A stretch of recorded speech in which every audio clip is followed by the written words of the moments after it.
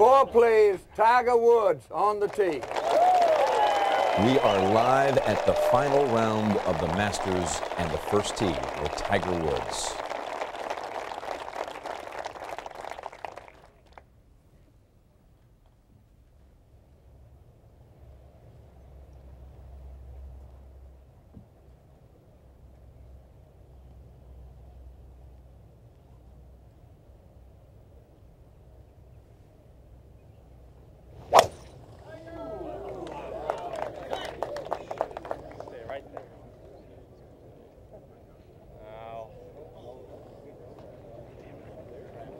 Well, he lost that one right. But yesterday, he regained his form at the very time he needed it. They had to tidy up round two in the morning, then establish the cut, and Tiger came to his final hole, the ninth, needing par to make it into the final 36 holes. After driving it right, punching out, he had to get down in two from the green side bunker, or his streak of over 100 cuts made in a row would be broken. And he drilled the putt to make the cut right on the number at five over. He talked between rounds of possibly shooting 65, 66, and because he was one of the last in, he started on the other side using both tees. Suddenly, there was a not so subtle reminder to everyone in the field hey, I'm still in this. Holding the long putt at the 11th, his second hole of the day, on to his 15th, yet another long one. A bogey free round of 66 to climb over 37 players. Find himself on the first page of the leaderboard.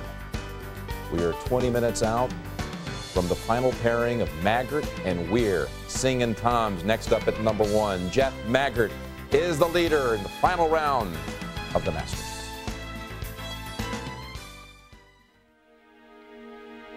Sunday at Augusta. Will it be a day that defines a player's career? Or will it belong again to the man who has defined his sport? Here I am, this is me. I come into this world so wild and free. Here I am, so young and strong, right here in the place where I belong.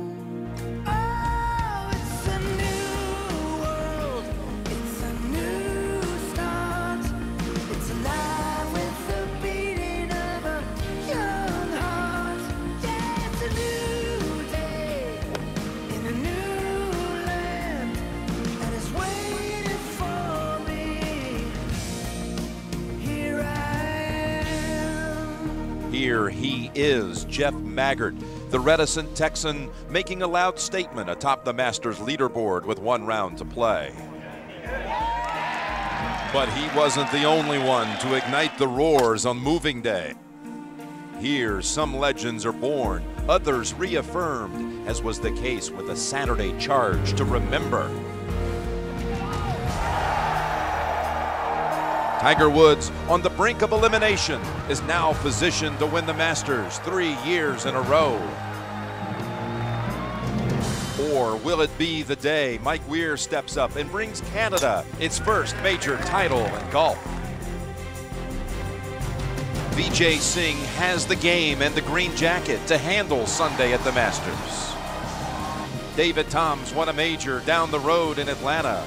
But for many followers, they are longing for Phil Mickelson and the round of his life, while the world's greatest player reminds everyone Here I am.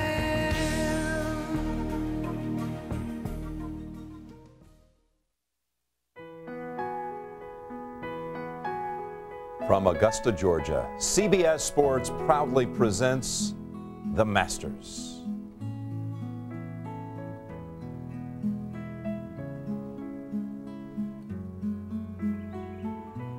You know, if you are passionate about this game, this is always the day you relish the most.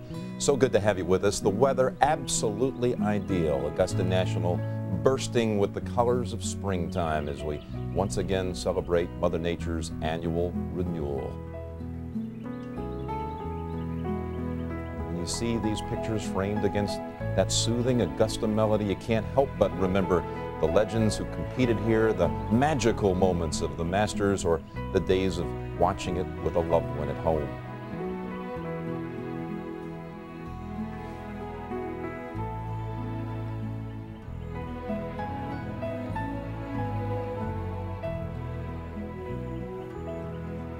Days in, will it all belong to Vijay Singh? All the glory here. How about David Toms, who won the PGA two years ago, right here in Georgia at Atlanta Athletic Club? Or Mike Weir, who at one time had a six-shot lead yesterday? Or how about Phil Mickelson? He's already out there having parred his first hole.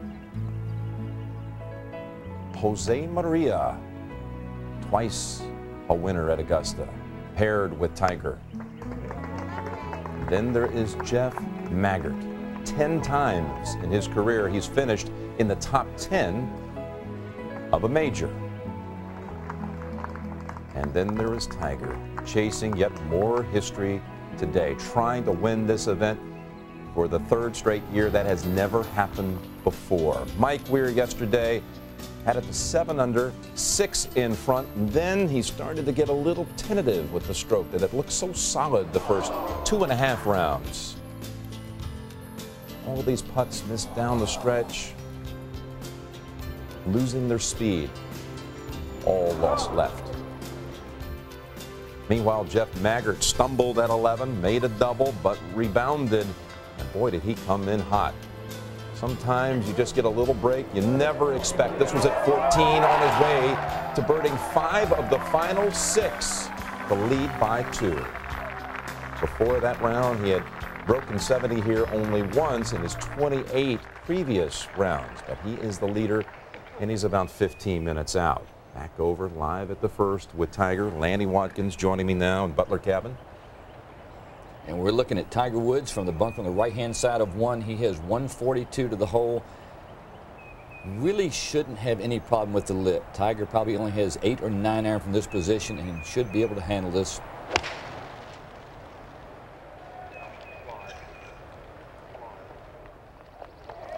Now will it stay up? Nope. False front on the front of this green. It spins back off down the slope, leaving himself a very difficult pitch up over the slope back down to the hole. one of the easier hole locations at the first. It really is in the right front center, almost in a bowl. Ball will suck right down to the hole. Trying to mount what would be the most significant comeback of his career. Yes, he did come back from 11 down at the 98 Johnnie Walker, and that would match the total here. This being a major, though, there would be really no comeback bigger than this for Tiger in his remarkable career. Earlier, Jose Maria playing with Woods from 187. Managed to chase it on the right side of the green. Oh, look at this. It just catches the slope. Not bad from there. Good start for Jose out of the trees. Got a good look at birdie, too. Over to the second, Len Mattiace, who got back into this tournament yesterday with a round of 69 and said, who knows, anything's possible. And Lenny, one of the best putters on tour year in, year out. And That was for birdie to put him one under par.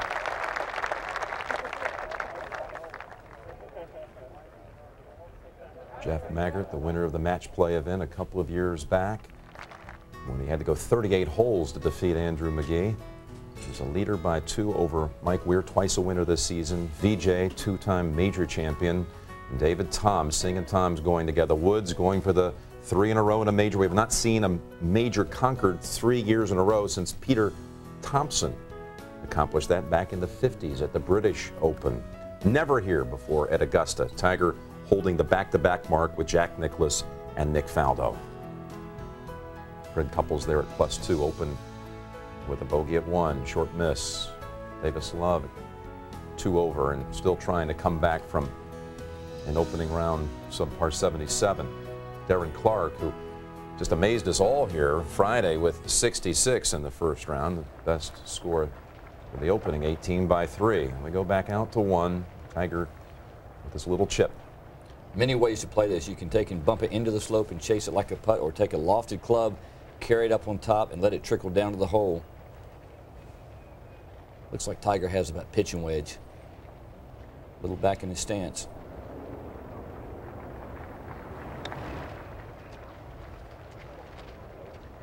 You know, Lanny, we talk so often because we see it so often how his presence on the leaderboard just seems to throw all the other players in a funk. Now, what about his strategy today, knowing how everyone reacts to him? What do you think Tiger's trying to do here? I think number one, Tiger needs to put the ball in the fairway today. This is a very narrow golf course. You saw him struggle off the tee at one. Uh, his alignment didn't look good on that first tee shot. VJ at one, winner at Phoenix this year, said right after, nobody wants it more than me.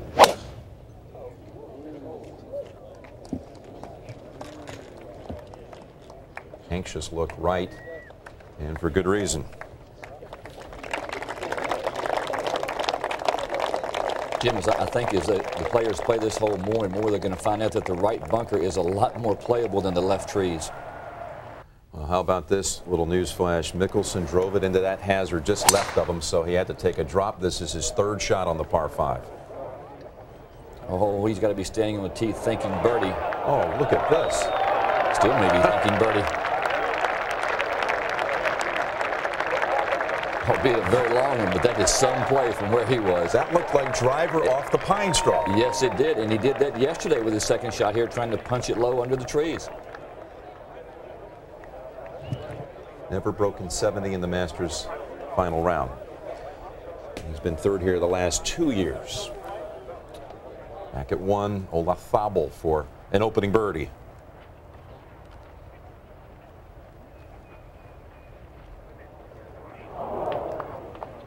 Think that you're looking at a man who is pursuing green jacket number three in his career, which would equal him with his playing companion and the likes of Sam Snead, Jimmy Demaret, Nick Faldo. Earlier on the first tee, David Toms. Beautiful golf swing of David Toms, a player I really like to watch. Just really in control of his swing and his game right now. We had that breakthrough performance here in 98's final round. Really, no one knew of him back then. When Tom shot 29 on the last nine on Sunday, had six straight birdies as he set a couple of Augusta records. Back to Tiger looking for par at one.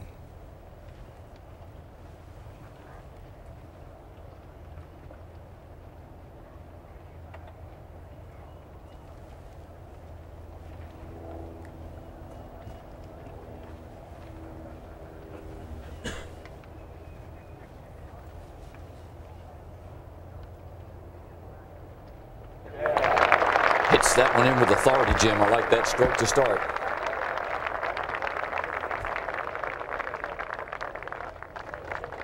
Jeff Maggert and Mike Weir making their way over to one. The final pairing.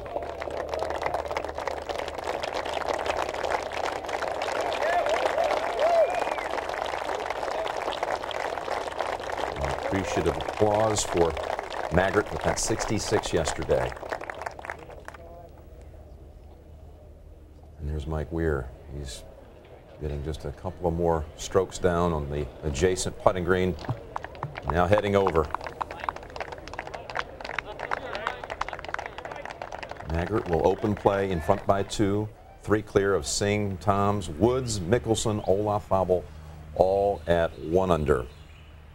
And hello, my friends. Jim Nantz here in Butler Cabin, where later today the green jacket will be presented to the 2003 Masters winner. And yes, the tradition, unlike any other, continues. The Masters on CBS for the 48th consecutive year. And that tradition continues with my friend here, Lanny Wadkins, in the cabin. What about this day? I mean, you got all these great names on top of the leaderboard, and Tiger's right in the middle of it all. What do you expect we're going to see here? I think it's a wide open tournament, Jim. We have an unproven front runner in Jeff Maggert. He has not fared well when he's been in front. A lot of pressure on him. I'm sure he didn't sleep well last night. Some very experienced veterans, major championship winners right behind him. they're licking their chops, anxious to get after it. You wonder what will it take to win here? If you're a guy like Maggert, what's the target score? If it's 500, if you think 500 is the winning score, you only need to go out and shoot 72. Look at the champions final round score here over the last several years. Tiger 71 as everyone else last year made the mistakes. What do you expect the number is to watch at the top at the end? I think if Jeff Maggert can get it under par, he's going to be awfully difficult to catch. I, I like 600. I think 600 is a very nice score right now. So that would be 71 for Maggert, but that would be 67 for Mickelson and Woods. Conditions suitable for something like oh, that conditions today? are very suitable for good scores today. A lot of the tees have been moved up. Some of the pins are very, very accessible in the par fives. I think we're going to see some eagles and a lot of birdies. We'll have some fun watching it from here and the 18th, Lanny, and let's take a look at these pairings. There's Mickelson. We are talking about how he hadn't broken 70, but uh, listen, to be fair here, the last four years, 71, 70, 71, 71. So they haven't been awful final rounds. They just haven't been extremely low, and he may need one today. Toms and Singh. Uh, these are very, you would think, compatible pairings that you see here. Very business-like players, those two right there. And I think for Maggert and Weir in the last group, also compatible. They don't intimidate each other. All right, Lanny, the CBS Golf family. So happy to be here, proud to be here with Bobby Clampett down on Amen Corner. Peter Kostis at the pivotal par 5 13th. Bill McAtee calls the action at 14. David Feherty at the par 5 15th. Verne Lundquist over at 16. Peter Oosterhuis 17. Dick Enberg with, uh, well, his unique perspective from the Butler cabin. Maggert and Weir about to get started. By the way, Ernie Els opened with a birdie today. You might recall yesterday he had uh, an unfortunate break at 14, stumbled coming in, and then, uh, well, he turns around and he's given one back. So Els uh, right back to where he started. Rich Beem, the PGA champion, fine showing here at one over. And we go out to the play of the second. Tiger Woods 575 yards, par 5 down the hill, bunker in play for Tiger on the right, just over 300 yards to reach it. If he can find the fairway, no doubt at all he can reach the green in two and an inviting hole placement today back right. That's a huge drive. And we have a good look at the hole placement here up on the green. We saw Mickelson, a brilliant third shot with a metalwood out of the trees, pine straw. This for a birdie. Absolutely incredible. A penalty shot for his second stroke on this hole. and that is an unbelievable birdie four for Phil Mickelson. Goes to two under par for the tournament.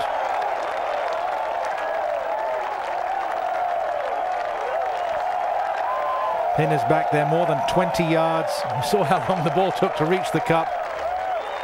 Incredible. Every champion needs a little luck on their way to a title, and that is a remarkable birdie. Back to number one. Oh, that is so stunning. Over at one, third shot for VJ. Little past the hole. If it would just go a little higher, it'll come back down the slope. Here it trying. comes. It's crawling back. Driver, drop, driver, one putt from, what would you say, 60, 70, 80 I'd say, feet? I'd say 80 feet. I've been there. That's not a fun putt. That's amazing. Maybe a harbinger, though, of great things to come for Mr. Mickelson. He'll remember that putt for the rest of his life. That's incredible. Will he remember this day for the rest of his life? He finds himself now just three back. Woods, Olaf Laubel, Mattiace at one. Goosen, KJ Choi, his first Masters. He opened here Friday. Remember, we were washed out Thursday by birding the first three holes. No one had birdied the first three holes in their first Masters in over Okay. 40 years. Can we go? All right. Four, please. Jeff Maggert, now driving.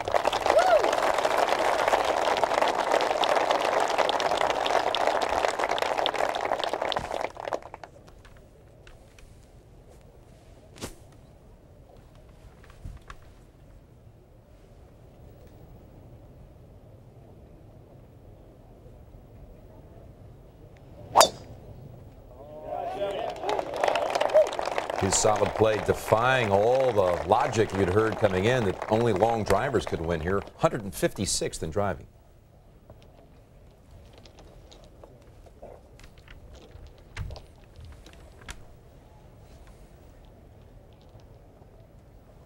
Four, please. Mike Weir now driving.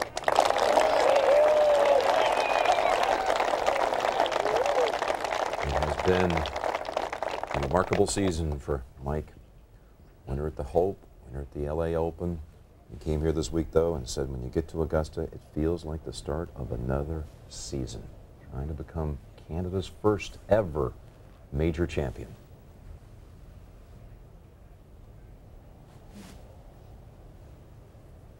Here we go, Mike. Here we go,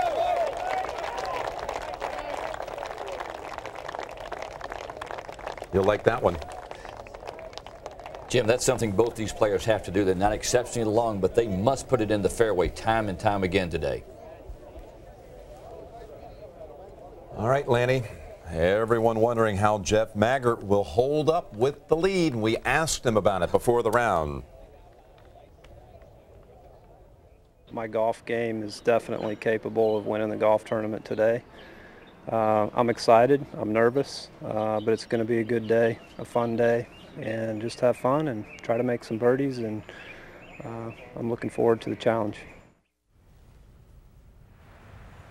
Jeff first played in the last group of a major back at the 97 Open at Congressional and finished fourth in that U.S. Open won by Ernie Els. Had his first breakout performance at a major at Bellerive at the 92 PGA where he contended, finished sixth. But his game has been suffering here the last two years. He's missed the cut in about half the events he's competed in over the course of the last two seasons. No one really saw this performance coming in. Up ahead on the green at one for par. Toms. Not a good start for David, especially from the middle of the fairway where he drove it.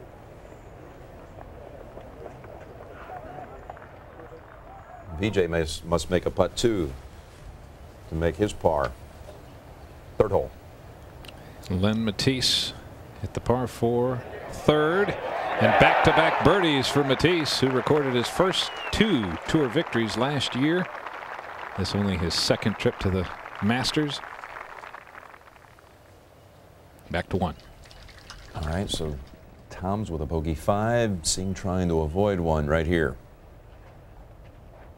Good sign for VJ. Wonderful up and down there. The two.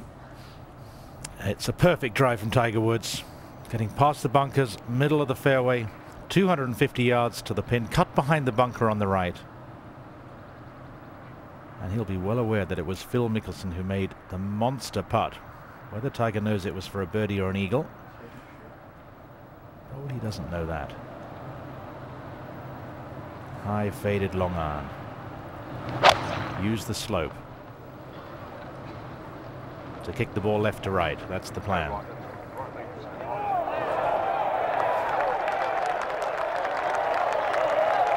Beautiful shot.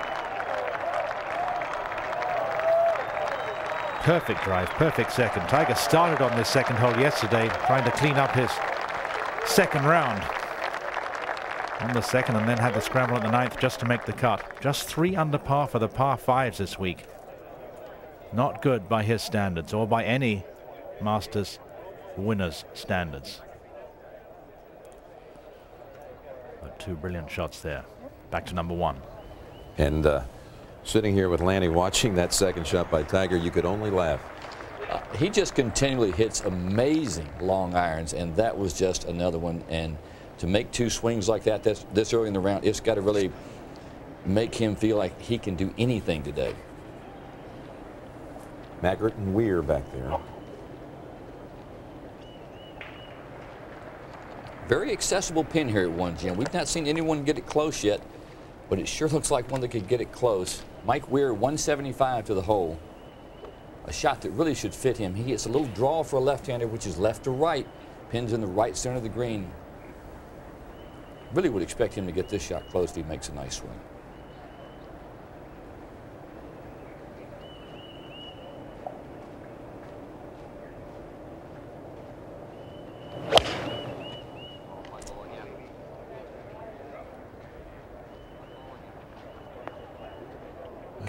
little ahead of that shot, just like he did with the irons coming in yesterday, which resulted in a push for him, not getting the ball to turn over. Now Jeff Maggert from 173. Tougher pin for Jeff. He tends to work the ball from right to left.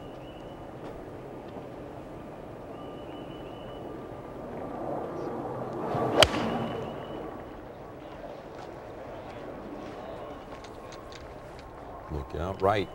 And that's Jeff's mistake. He starts fighting the hook a little bit and instantly blocks it to the right. And that is really in a bad position to start. Not what he was looking for at all. Here's his Masters career final round scoring average. Just a little shade above 72. And we head over to three. Mickelson second to the short par four third. Just a little flip sand wedge. And Lanny, I like the strategy for Mickelson. Perhaps he would be the only one in the field that could take a go at this green, but after the long bomb at two, you need to settle yourself down and just play a conservative play here, I think, at three. I do too, Bobby. I like that a lot. He could have driven that green today.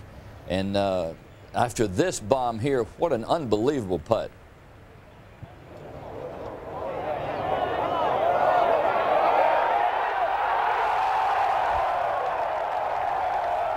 And as a player, you've got to think when those things happen, it's your day.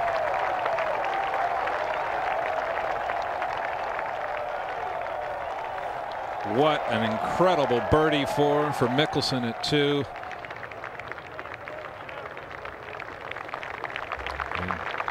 And we asked Phil Mickelson about the kind of start that he's going to need to have to begin his opening round. He's never shot in the 60s in the final round at Augusta.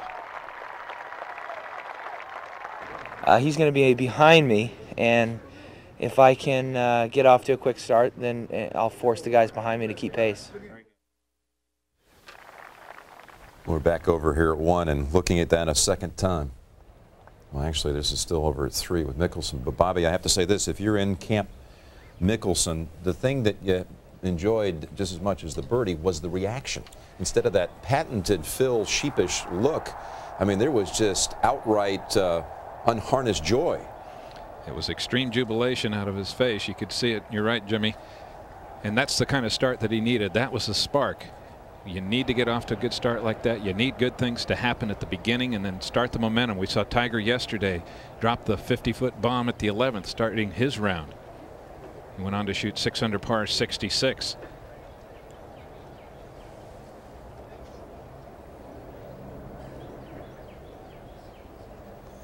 And Jimmy, that's the look that you were talking about there. That is jubilation plus.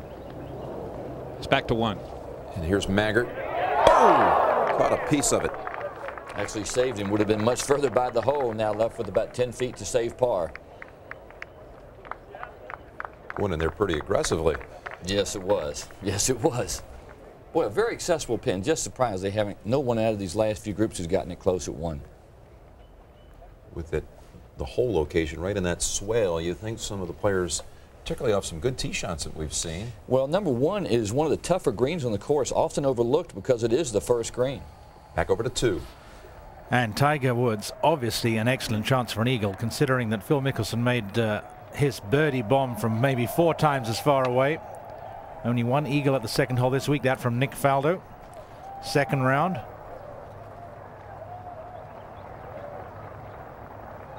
And two just stunning shots to get here and have this good a chance for an eagle.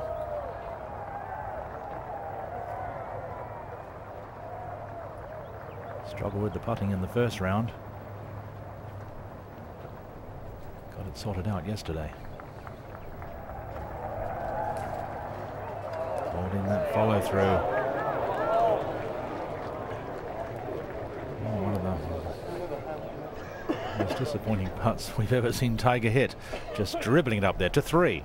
And Mickelson coming down the slope for birdie.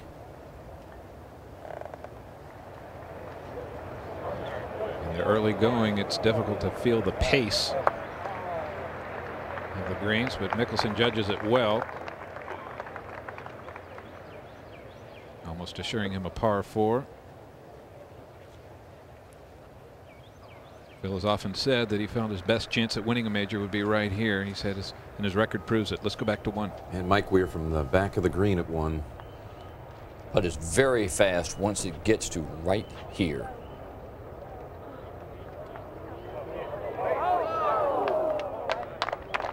Wonderful effort.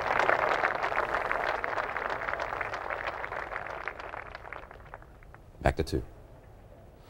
For the birdie. Birdied three of the four par fives yesterday. Only the eighth hole in this and bangs that in the back. Two very aggressive strokes on his par putt at the first and that second putt there. But he knows it was a chance. He should have had a run at an eagle. Back to the first. And Maggert with a run at par.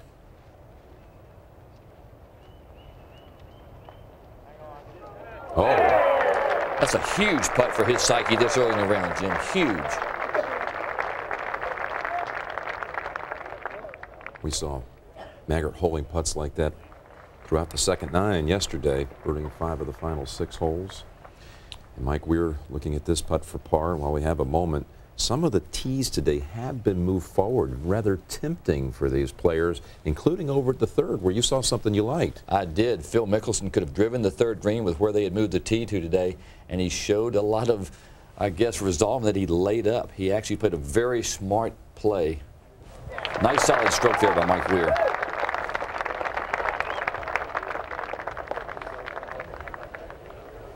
Well, off to a rather thrilling start, I would say. Maggert with uh, a great par at one, then Weir, Woods, and Mickelson. And look at Rich Beem now in red figures with Furyk.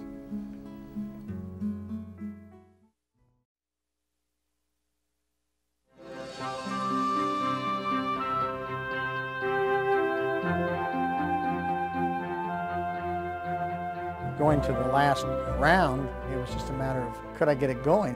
I stand out there in the fairway with Jackie and said, uh, how far do you think a three would go here? And I didn't mean three iron, I meant three for the hole. He said, I think it'd go a long way, Bob.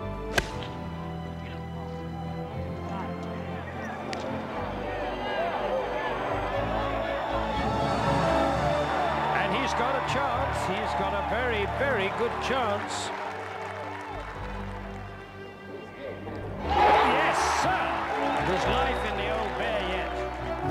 I remember forever, but an awful lot of people remember that I've won six Masters forever. I've loved every minute of it. And Tiger Woods live on the tee at three, going for the green. Lanny, this surprises me.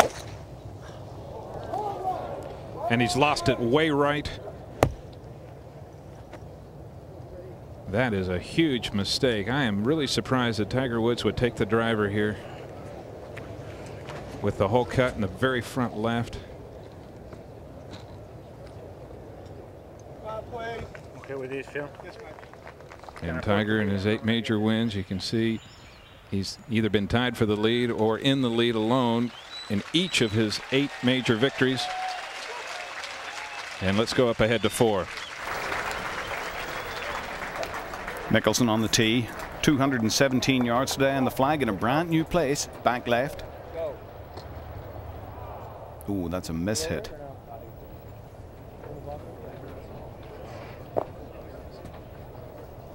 Well, he's uh, had problems with the par threes, as you can see there, plus five for the tournament. And he'll have his work cut out there to get it up and down. The back left of the screen has been tilted up a little, flattened out. There's a new flag position there. No longer the walk off to the uh, fifth tee. It'll be very interesting to see how these players cope with it. And there's Tiger's ball. Looks pretty.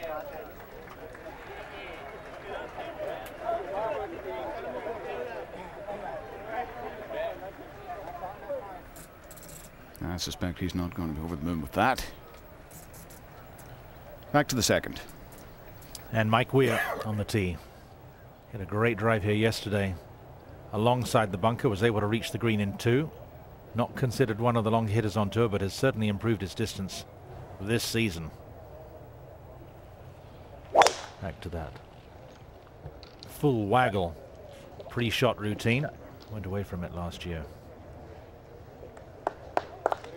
And safe enough. But considering where Tiger was in relation to that bunker, Mike Weir well back. Final round scoring for Mike Weir in his Masters career. Just the one round of 72, that his best. Earlier, Jeff Maggert. Just a super rhythm off that first tee, considering the pressure. Pretty good rhythm there, but leaning as if it could kick into the trees. No, it's all right.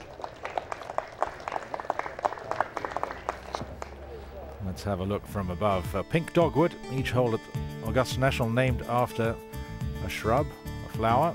575. Huge bunker on the right, over 300 to reach that. Sharply downhill, almost 90 feet downhill from tee to green.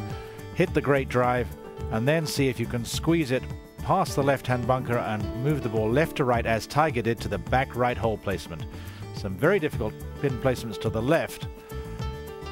Very difficult to get close to them. This week's second easiest hole, the four par fives, are the four easiest holes in relation to par at Augusta National.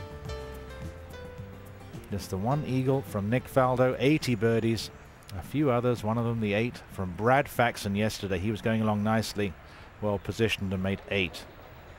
Up on the green, Vijay Singh, who had just over 260 yards for his second shot. Uh, looks as if he'd lagged a putt, had the putter in his hand. Anticipating that to be a birdie putt for Vijay, who so often goes quietly about his business, stays in position, an opportunity to win. Now Toms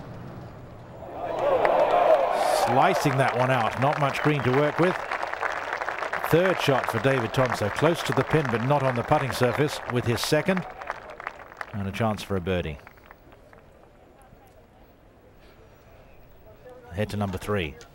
Of all the golf I've watched Tiger Woods hit play, I don't think I've ever criticized him for as strategic error, but I just don't like the driver play here at three with a hole cut front left. I believe the play is to lay it back, play a sand wedge, and we'll go ahead to four. Where Jim Furyk uh, hung up on the uh, side of the slope there. This will be a long right to left chip and run.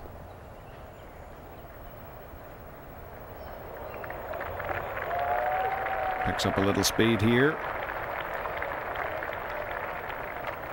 Ooh, and that will be a tester. Have to start that one outside the hole. A very quick right to left putt to save par.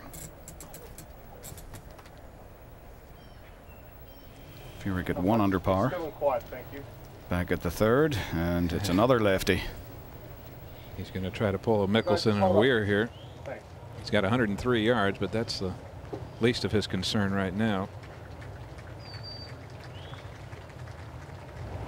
Flipping the wedge oh. over. Oh my. That's as well as could be played from there. A chance to get it up and in and somehow salvage a par, but that's a very difficult pitch from below the green.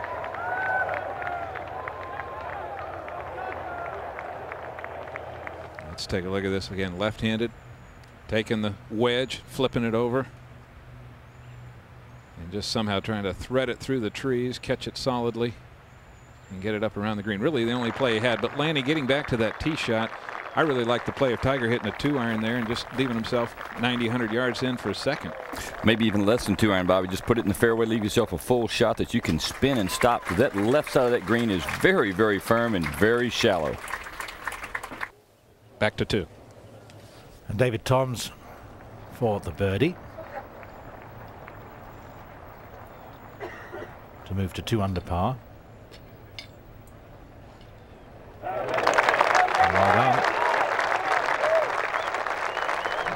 Punching up at two under par, three behind Jeff Maggert. This was earlier, Vijay Singh for a birdie, and that goes in. So three under for Vijay. Good putt at the first hole, nice putt at the second for Vijay. Ahead to four. And Mickelson, a little bit on the upslope here, will have to fly this quite a long way. What a shot.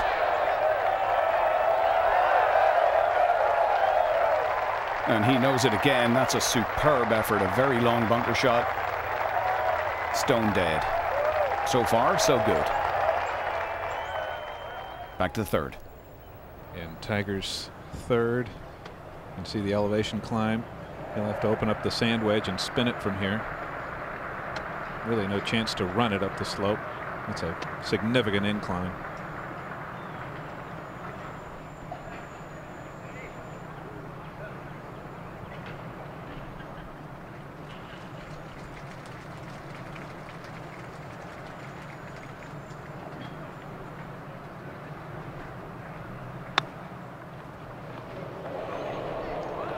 Have the life for it, perhaps. And now Tiger lies three and still is not on the green. Lanny. Well, Bobby, there's no question that you know he's being very aggressive playing driver off the tee, but boy, it brings any number into play. And right now, he's got his hands full just trying to make five. And this is a very difficult little pitch shot again into a. He'll have a, a significant incline just reaching the green. He'll have to open it up again. Or if he elects to go low, He's looking low, Bobby. I think he's going to go into the bank here, try and control it. You know, into the bank, one hop, spin, stop. Mm. And that's difficult because it's straight downhill once it reaches the green. So again, if he can get this inside 10 feet, it'll be a good shot. But there's just so much danger here. Bobby Jones once said about the third that it's a short hole, and most people think you should birdie the third, but he once said some holes are not meant to be birdied. Bobby, I think it's probably the toughest short hole I have ever seen. Especially with a hole cut front left. That's the most difficult hole placement here. And Tiger is looking low. He's got a downslope. Really the only shot he's got. Mickelson did make par up ahead at four.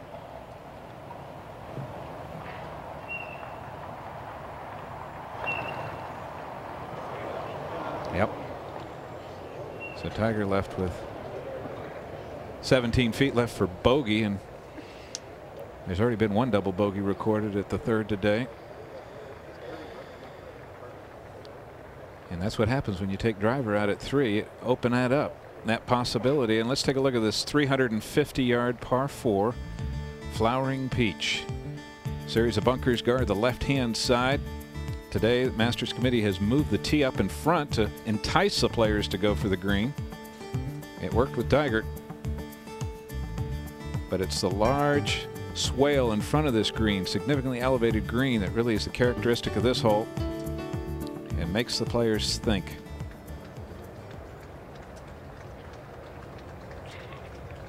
Alister MacKenzie just a magician when it comes to strategizing a course. Let's go to five. That's Mickelson. Sit. Sit. Soft. Begging for it to hit soft and look out right. And again, so heavily influenced by the set of bunkers on the left side. Let's go back to three. Downhill, significant left to right break for bogey for Tiger.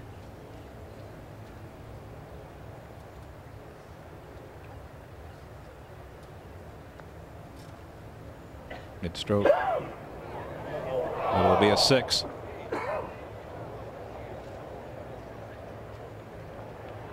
And just like that, Tiger Woods gives two back. He's not had an over par hole in 22 holes. His confidence was riding on a high.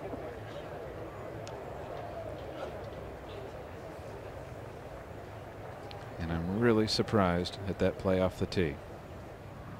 Back to two. Jeff Maggert laid up with his second shot. This his third. No option to go for the green and two for him. And use the slopes with a ball already very close. We know whose that is. A nice pin placement for a left-hander. A little draw with a short iron. They would reach this green in two yesterday, but a careful layup to the favorite yardage. And his wedge play has been superb this year. A great wedge to win the Bob Hope against Jay Haas. A great wedge to set up a birdie to beat Charles Howell in Los Angeles. Beautiful shot.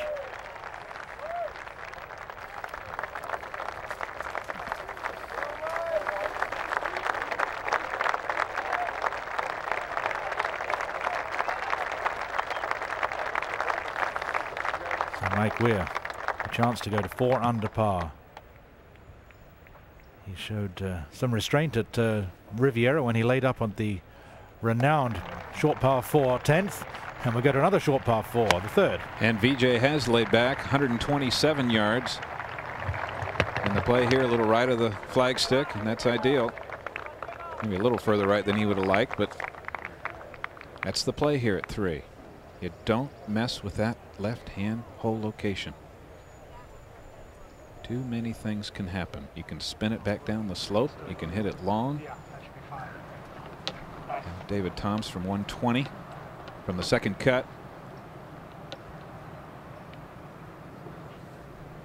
Better angle for Toms, but he won't be able to spin it.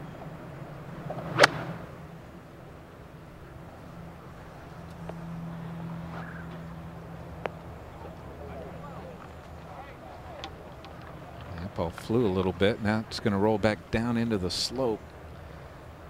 Should hang a, on an uphill lie. That'll help him there. Be able to spin a pitch as it comes down the hill. To five.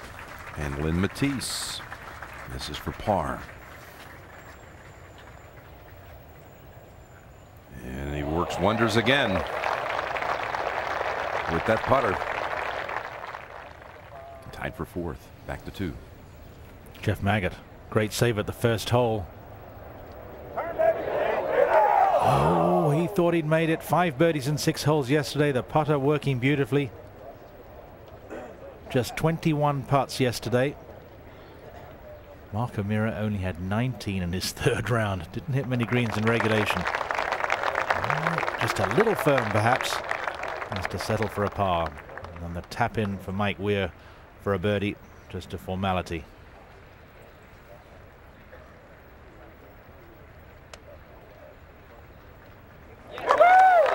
So he didn't need the power to reach the green in two. Finesse with the wedge. Makes the birdie. 39 on the second nine yesterday. Let an opportunity slip to establish a pretty good lead to the fourth. Tiger Knott taking dead aim at the back left.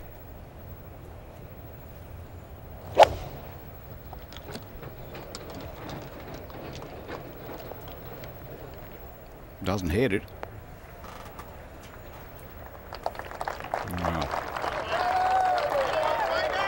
Another half a club maybe.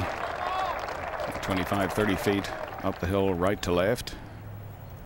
To the fifth. Well, he's on the pine straw, but it's better than he had first feared. Made such a nice play at three, Jim, laying up off the tee. Smart play, and then took driver here. If he gets this to stay on the green, it'll be one heck of a play. That's very nice from there. Isn't that an interesting little twist? He backs off driver at three. Course management. Tiger goes driver and makes double. Just shows you what can happen. You make the wrong decision. All kinds of things happening here. The lead one now for Jeff Maggert.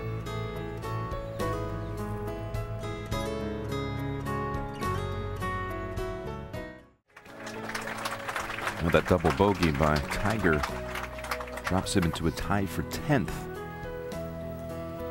with Angel Cabrera. And we head to the seventh. Rich Beem, who had a thrilling eagle at the fifth hole, now attacking this hole location at seven. Oh, almost another one, but that is going to come back off the front edge.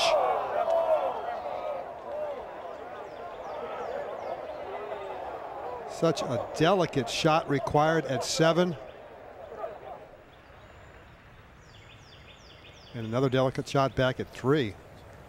Toms trying to take advantage of the uphill lie. Well played. Uphill five footer remaining for par. And on the tee, Jeff Maggert.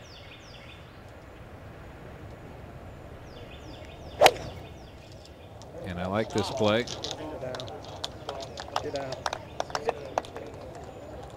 Ooh, but he hooks it well left. That'll be short of the bunkers. And on the green, VJ. And he gets fooled. He'll have a tricky downhill four footer remaining for par to seven and the chip shot up the slope. But electing to go with the putter is Rich Beem. Not bad. Had to get it up there, otherwise it would roll back down to his feet. To three. and toms for par.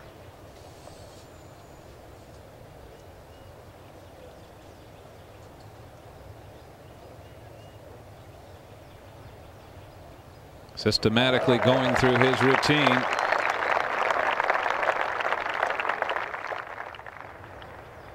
The four.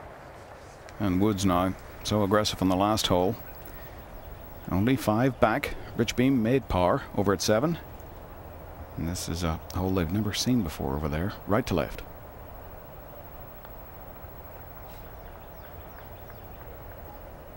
Boy, well, these greens are a very healthy matte finish. They're not just as shiny as they've been in recent years, and but they are still quick. And Tiger, that's just a, a reaction to uh, not wanting the three or four foot down the hill. Boy, that was almost like the the melting left wrist at impact. Very strange putt. David, it almost looks like he still has number three on his mind. The kind Boy. of mistake Tiger very seldom makes. Be hard to get that one out of your head. Back at the third. VJ. Well done. For par.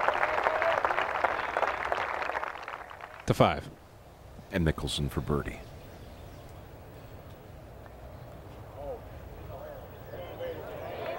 Rammed it. Hmm. Good effort. It was an uphill putt from there, so he could take a run at it with it not getting too far away from him. But I'll tell you what, anytime you can get par on this hole and get out of here is very nice. Over to three. And Jeff Maggert did find the bunker. Oh, my goodness. Bobby, he was lucky that didn't hit him. That'd have been another couple of shots. Exactly. Be careful not to ground your club now. The ball's still in the bunker. Bobby, it did hit him. He just said it hit him. That's two more shots. Oh, my goodness. What a bad break that is. Get the official over just to let him know.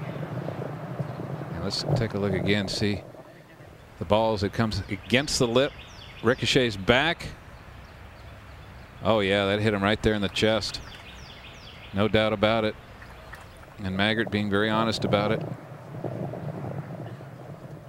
Not only that, Bobby, probably a good chance the ball semi buried in the bunker. A lot of times that happens, comes off soft. Oh, what a bad break. To four. For par.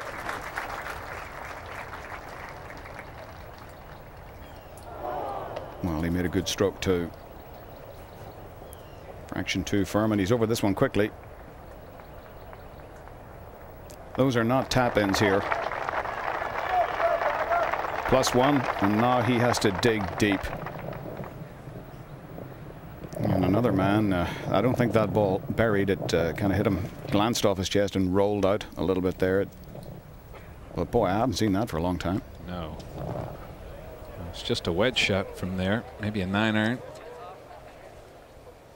Must have caught it a little thin.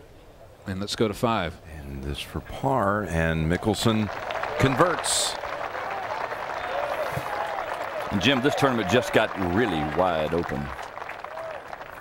And so surprising with Tiger going double bogey bogey over to four. Vijay Singh two back at the minute, but he won't be after this. With Maggert in trouble, and that's exactly where Tiger left it. And the putt fooled him.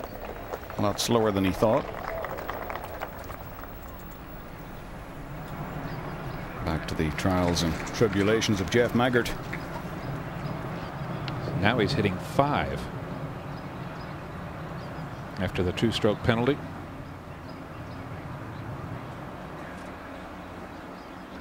Hooked the iron into the bunker, then ball ricocheted into the lip, hit him in the chest. Two stroke penalty.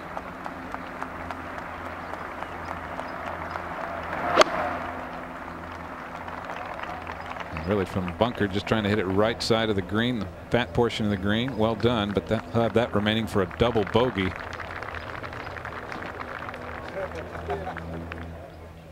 And one more time. Maggert's second shot. Hits the lip, ricochets back, makes contact with him in the chest.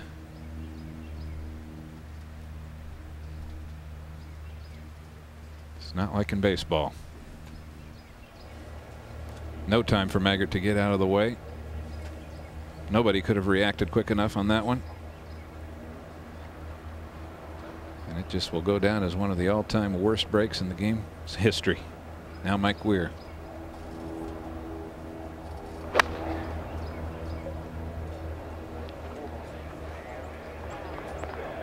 And that's the way to play the third.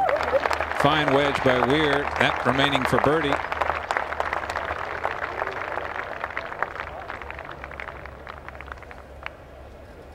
And Lanny, what must be going through his mind right now, leading the Masters and having an episode like that? Well, you just got to regroup. It's this is tough, and right now he has to concentrate on his next shot and try not to compound the mistake.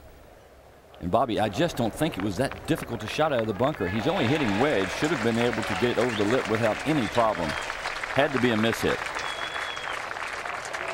And of course, the lie dictates so much, and the contact certainly did hit a little thin. And some strange things happening here at three. It started with Tiger going for the green with the driver. He blocked it right. Had this left-handed shot just trying to escape from jail. And then Jeff Maggert, his second from the left-hand bunker. Right in the chest. Two-stroke penalty. Wow. And Bobby, I'll tell you what else too. I promise you the players have noticed that Tiger has gone backwards on the leaderboard and they are feeling a lot more positive about their game. And certainly Weir and Vijay Singh. Maggert will have this some 50 feet remaining for a double bogey. Tiger made double bogey here.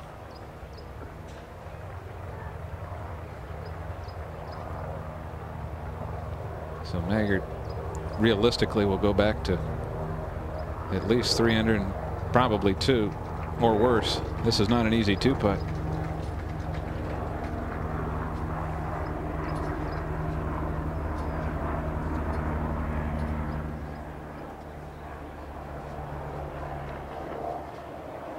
He's going to chip it. Try to carry it over the fringe and spin it down the slope.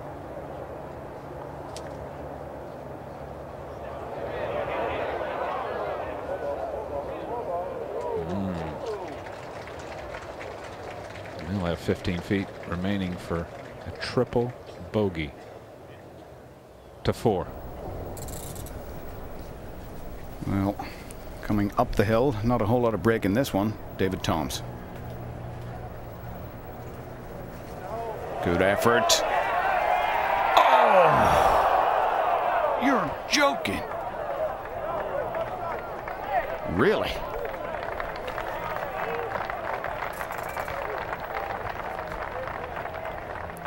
That one just a flutter away from toppling in sideways. A superb effort from David Toms. Two under par. In great shape. And look how close this comes. Just runs out of steam right there. Aye, what a game. The third. And Weir now has the lead. And this for birdie to extend it.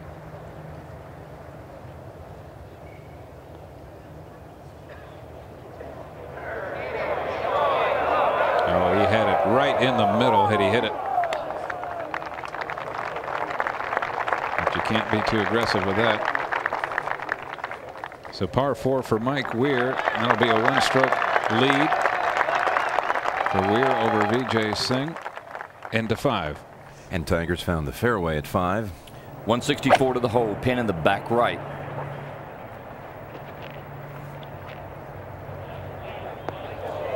Oh boy. That is a most difficult position. Back to three. And Maggert for triple bogey. Reminiscent perhaps of the one Van de Velde made of the 72nd hole Carnoustie for triple.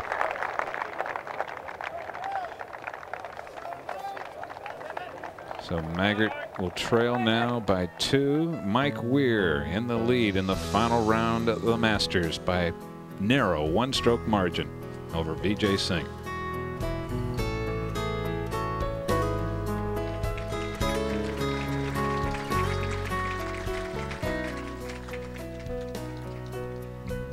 Angel Cabrera Argentinian Jonathan Byrd in his Masters debut from South Carolina. Mark O'Meara, the 98 champion. Fred Couples been playing very well of late. 92 champion. We'll go up ahead to the fourth. And VJ Singh for par. Yep. So far, Toms the only one to threaten the hole here. His new hole position has proved a problem. To the sixth. And this is the difficulty confronting Phil Mickelson. His second shot missed the green badly to the right. And Mickelson, for whom things have gone extremely well. And we go to three, four, beg your pardon. And Mike Weir in the lead once again. He had a six shot advantage at one stage during the first nine yesterday. And the inward half, has it has done to so many players over the years, just jumped up and grabbed him, tempted him into taking on the shots. Looks like he's going to try and hit a little draw in here. He's lost a few to the right. That one looked better. To the left, rather. That's a good shot. That's up the hill from there and a decent chance. The only left-handed player ever to win a major, Bob Charles, the Open Championship. The fifth. Well, the third shot. He's opening it up. Taking 60, going for a flop shot here, going to carry it all the way on top.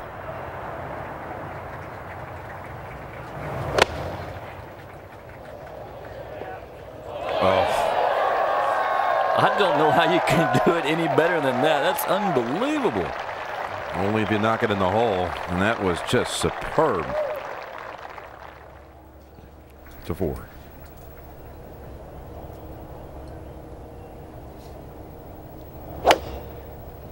What a test for Maggert.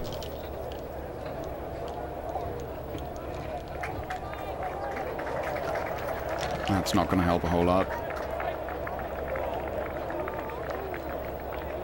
Impossible from over there, but extremely difficult. And here's a tough one for Mattiace at seven. Not too much break to this putt, but it is quick. Yeah, it's so quick. It scared him enough to leave it short. But at minus two, he's in the thick of things. Let's go to six. Mickelson for a three. Mattiace tapped in for his par. Phil Mickelson, first bogey of the front nine, had that 80 foot putt for birdie at the second after having had to take a drop, but he missed the green badly wide right here at this par three.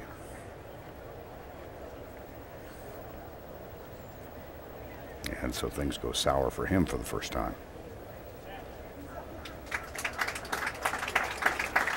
Could this be the day, finally, for his first major? Lanny things seem to be setting up for him the way uh, other players have played in the front nine here. Well, there's no question, Vern, that he's got the door wide open right now. Let's just see if he can walk through. Now there's a blemish on the card at the sixth. First bogey of the day for Phil Mickelson, who is playing in his 43rd major and yet to achieve victory. There's Jim Furyk. Furyk uh, safely in with a par three. But Mickelson, of course, wearing that uh, unwanted distinction of being the best player without a major. Here are major appearances before winning the first. Tom Kite, of course, finally broke through at the U.S. Open after 72. Mark O'Meara, Pavin Crenshaw, and then Phil Mickelson, who is competing this week in his 43rd major championship.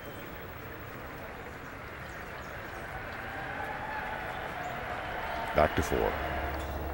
And Jeff Maggert over by the grandstand. Looks like he's got enough of a swing. And uh, pitching back up and probably We'll be looking right around the front edge, the fringe here. Trying to land it maybe just on the green. And he doesn't want to run it past the hole. Leave a lightning fast return down the slope again. And what agony he must be in at the moment. Really a brilliant triple bogey seven at the last.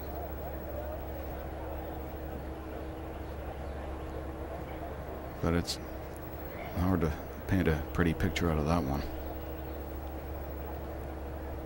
Well, he might well be considering taking relief, and that would be further, well, behind him as we look at him. Not near the hole. Which wouldn't really improve his angle any. It's going to make it a little more sideways across the hill. We'll go back to the fifth quickly. That's a par for Tiger. Just when it looked as though he may give back another, perhaps uh, get a little energy boost from that up and down. He's going to need a lot of energy from here on in, Jim. He's got a long way to go, and some awfully accomplished players right in front of him. Yeah, he's got guys like Goosen now already on the second night at even par. Ernie Els approaching the ninth. He's at even and ahead of him. Rich Beem won the last major. Back here with uh, Singh at the fifth. Pin in the back right and really just need to put this in the center of the green. VJ did not get it on top. He knew he was fighting to get above the ridge. And that's actually right at the hole from that angle. Very, very difficult putt. He's got to go up over the slope and then back down and try and judge the speed right. Very difficult putt. He's holed a couple of solid looking putts so far. He has, and this is going to be a day of holding four to six footers just to maintain at times. And David Toms on that left side. And the second cut, nice angle to the pin, but all you want to do is get it on the top level in the center of the green. 160 to the hole for David. Oh boy, watch this stance coming up. Oh, he hit it in the center of the green, but just a bit too firm, and now he has a most difficult play. Might have to go from the other side. Left-handed putter wouldn't be a bad play, or go go choke up with his with his son's putter from the other side. Let's head to four. Maggert after the free drop. Pretty good. That one will be almost straight up the hill. That's where he wanted to leave it if he couldn't hold it. What a fight back it would be if he can get back into contention. This is the eighth in Rich Beem. And having a good tournament, one under par for a birdie at this uphill par five. In the dramatic winner of the PGA Championship at Hazeltine last year, holding off Tiger's last minute birdie run. Back again to number four. And a realistic chance here for Mike Weir. So you give it a good solid wrap. A very good, very solid wrap. And that one will be a beauty. That'll be a beauty for his par. Rich Beem tapped in. Over at eight for his par. Boy, what a miscue that was.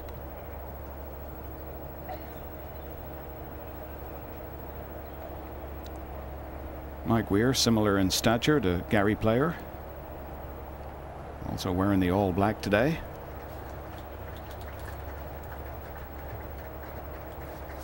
Also a man not quite as fanatical as Gary was and still is about his fitness, but thinks about it a lot. This is six. And a two-time champion, Jose Maria Olazabal on the tee. Hole cut usual Sunday. Placement back right.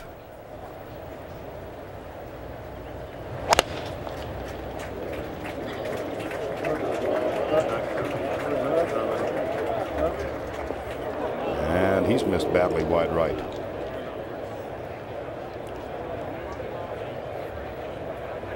Seven iron. We go to four. Lightning fast down the hill. This to save par and to stay in the lead.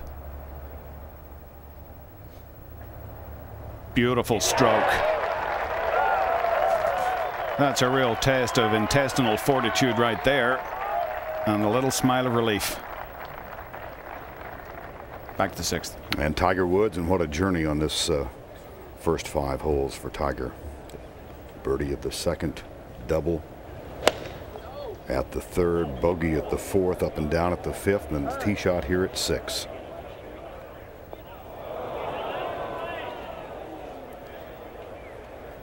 Unusual, huh? Back to four. Maggert for par. Well, despite a triple at the previous hole, he's still only two back. Ahead of the fifth. And VJ. Has to put this way out to the right. It's going to go up the slope and then break left down the slope to the hole. Very difficult to judge. What an effort by VJ Singh. Still leaves himself six feet, and it's not a bad putt at all.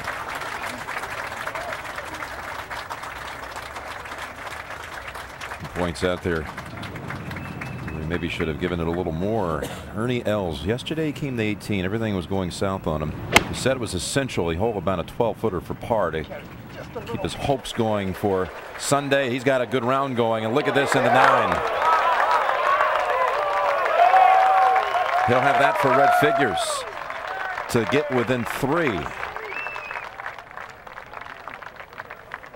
He opened here with 79. This is some comeback by Ernie Els.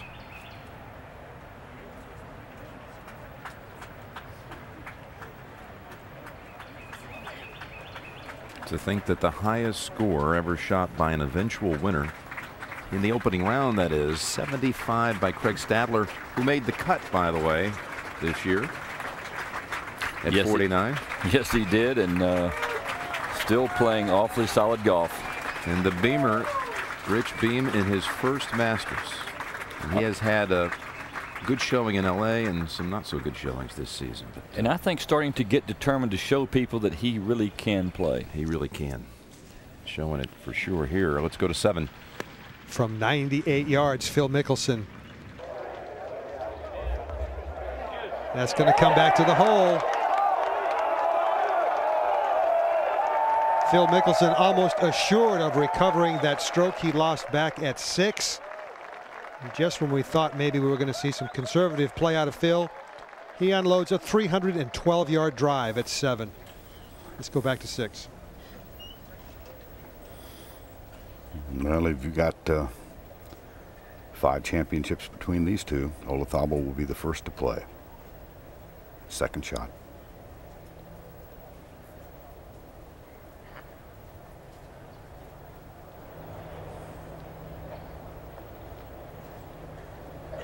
Just off the edge. Wonderful.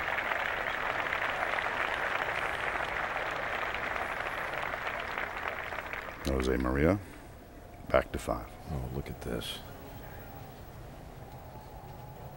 Little waist high putting effort. Well, the toughest thing is to make solid contact, and you always feel like you're not going to hit it hard enough because you've choked up so far on the club, and then you overcompensate. To six. Tiger Woods.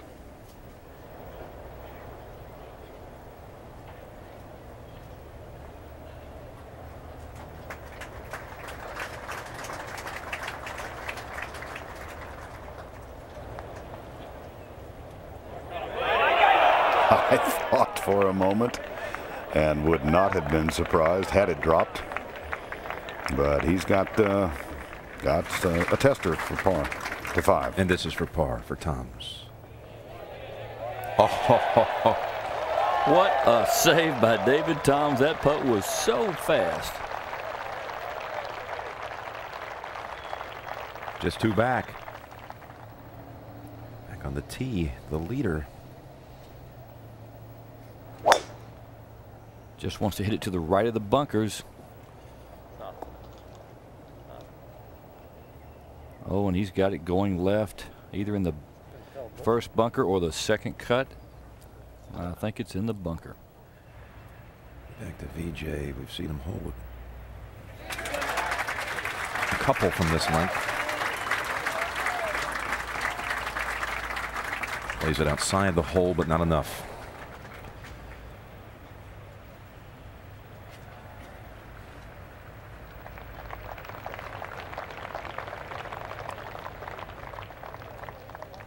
Lead is two. Well, let's go back over to seven.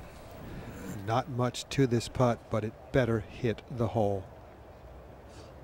Anything that catches an edge or misses the hole will run at least three or four feet by. Phil Mickelson poised now to get to minus two.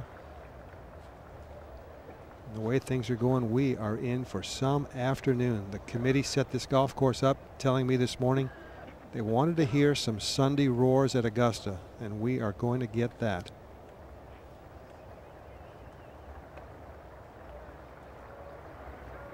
For birdie.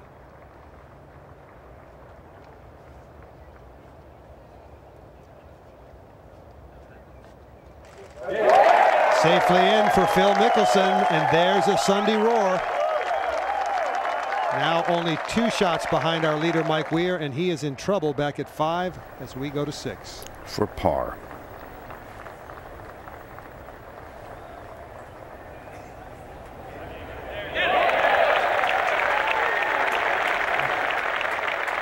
Well, had to have it. Just had to have that to the ninth. And Ernie Els needs this for birdie.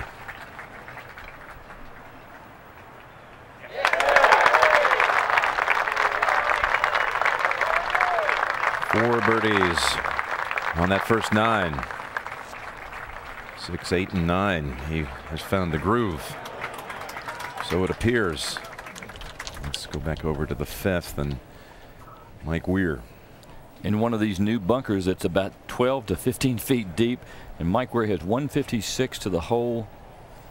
Now we've seen some people get it to the green from here this week, Jim, but I don't think Mike has the strength and the launch angle to get it up and get it near the green from here. So you better be careful. We've learned from Maggert now. You just got to make sure you clear the lip. No question. He needs to hit this over to the left so he's got plenty of green to work with on his third shot. No problem getting over the top of that bunker. And it'll be positioned right in front of the green. Actually got a little bit too far to the right. I think he's got a much more difficult pitch from that angle. He's got a pitch much on the same line that Vijay Singh had his putt. You saw how far out he had to put his putt.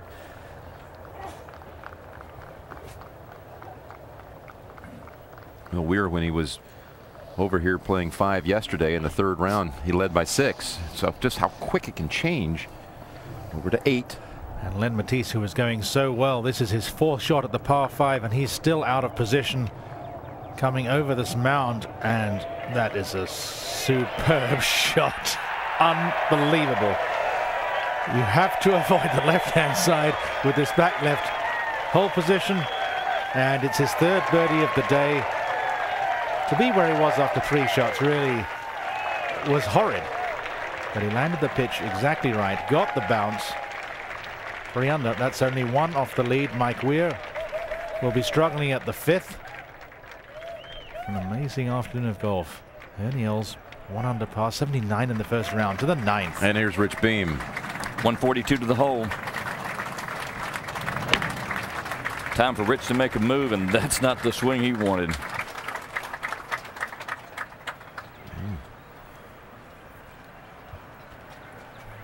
Actually, line-wise, not too bad if it keeps coming back down the hill, but just hit it too far. Really fast putt from there, Jim.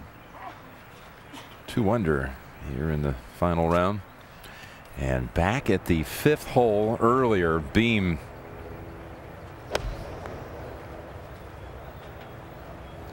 Seven iron second shot.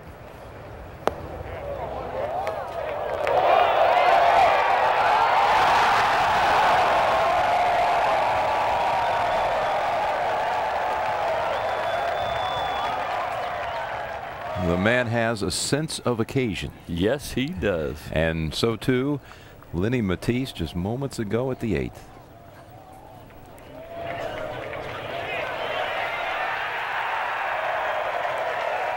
An all-world four for the man from Wake Forest.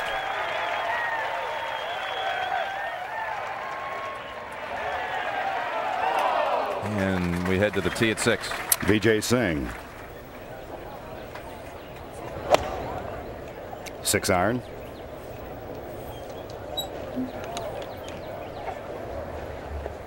And again, missed off uh, wide right. Strikes me that the competition committee is getting a full complement of Sunday Roars, but not in the way they envision. Let's go back to the fifth. Yes, those producing the roars, not necessarily the ones we all expected. Here's Weir. You can see how far he has to play it out to the right. Boy, is this well judged. Wonderful play by Mike Weir. That's some serious talent right there to get that one close.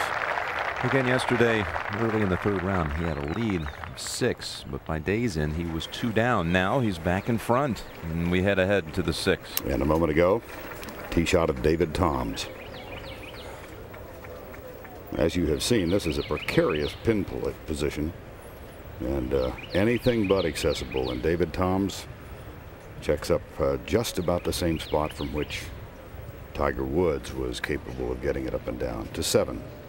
Where Tiger is poised to hit his three wood off this tee. That swing, his little knockdown stinger action, he calls it. And he's still, that ball picked up some mud. That is not in a good area to attack the hole location today. Back to six. Now, you saw just a moment ago David Toms' tee shot. Now we're live.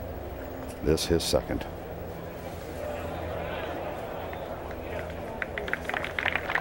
Five, six feet left for a three. Jim mentioned the uh, brilliant appearance he had here in 1998 when he wound up tied for sixth. And of course, we all remember his stirring victory in the battle with Phil Mickelson at Atlanta two years ago.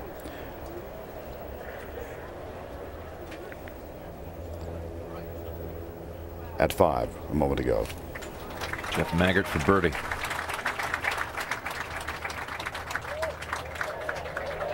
Oh, what a nice turnaround. It's some gutsy putt right there. One of the more unusual circumstances you'll see in a major back there at three. It reminds you a little bit of the TC Chen double hit back at the Oakland, 85. Oakland Hills, two chipped it, leading the tournament by a bunch at the time. Andy North went on to win. Now live with Mike Weir.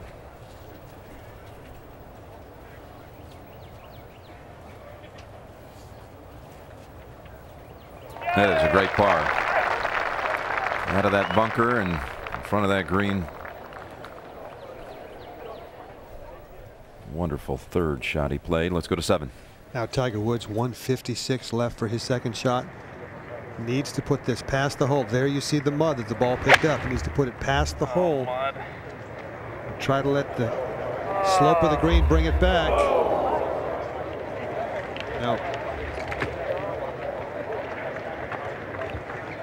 Tiger Woods, who has never won a major championship coming from behind, continues to struggle. Let's go to six. And earlier, this was Vijay Singh's second shot.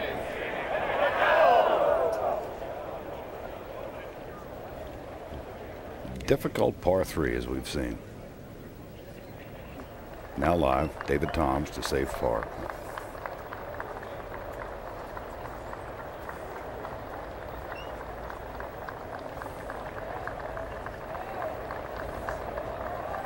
Well done to get it up and down. Stays two back, even through six on Sunday at Augusta. Back to nine or forward to nine. Rich Beem. Looking 35, 40 feet down the hill, big break to the left, and this putt is really, really fast. That's extremely well judged by Rich Beem. Once said I've had a love affair with the master since I was a young kid. This is his first, and what an appearance it is. Let's go to six. 2000 champion VJ Singh.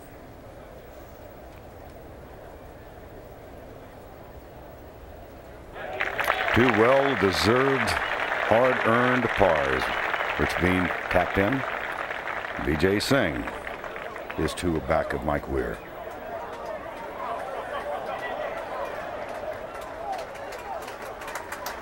Little glance back at the uh, scoreboard.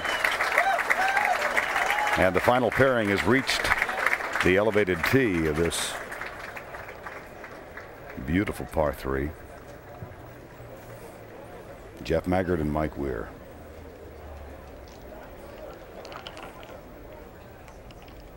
Just so difficult to imagine, Lanny, what it must have taken for Jeff Maggert to shake the effects of the triple bogey. Well, Vern, all of a sudden he felt like he was in a nightmare. And it was so early in the round, he's thinking, gosh, this is way too early for something like this to happen.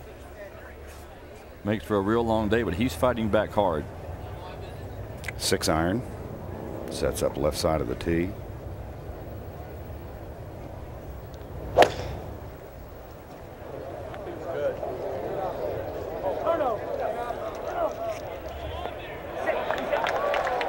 Just off the back edge. Lanny, have you ever had anything like that happen? More times than I care to remember, Vern. Thank you very much. to the seven.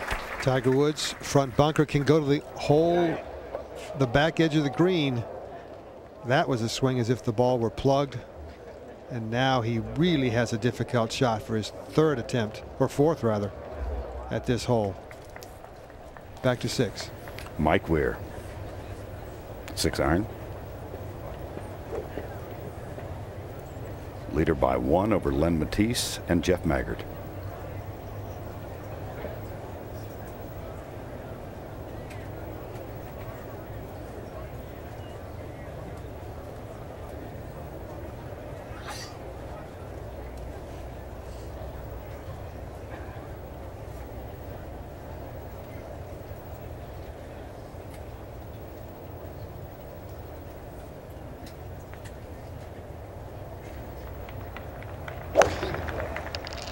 Either one, Mike. Either one. Either one. Best we've seen today by far.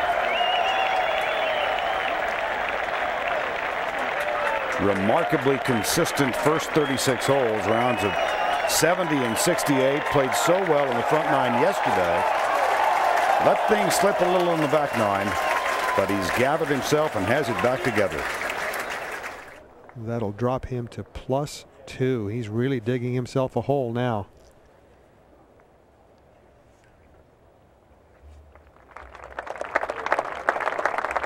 At this point, it is imperative that he can attack the eighth hole and get something to happen there to turn this match around.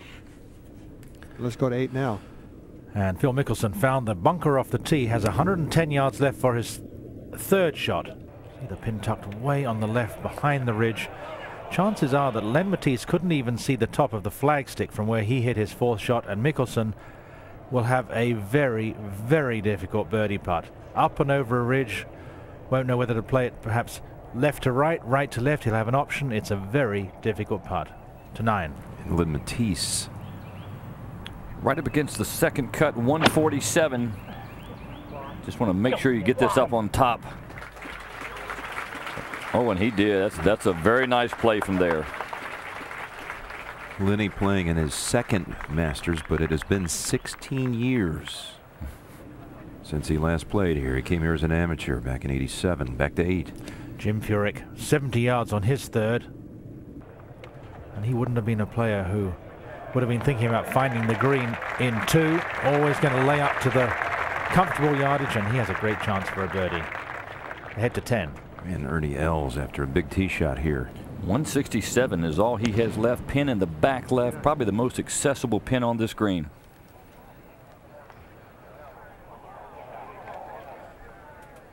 Had it right on line, just needed about a half a club more. Ernie out there well ahead of the lead groups and only three shots back to six. And the second shot now, Jeff Maggert. Had that wonderful six under par 66 in the third round yesterday. The terrible misfortune of a triple bogey on the third hole today when his uh, shot out of the fairway bunker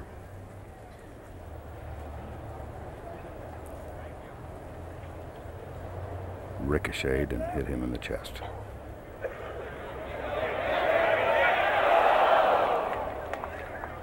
Nice effort.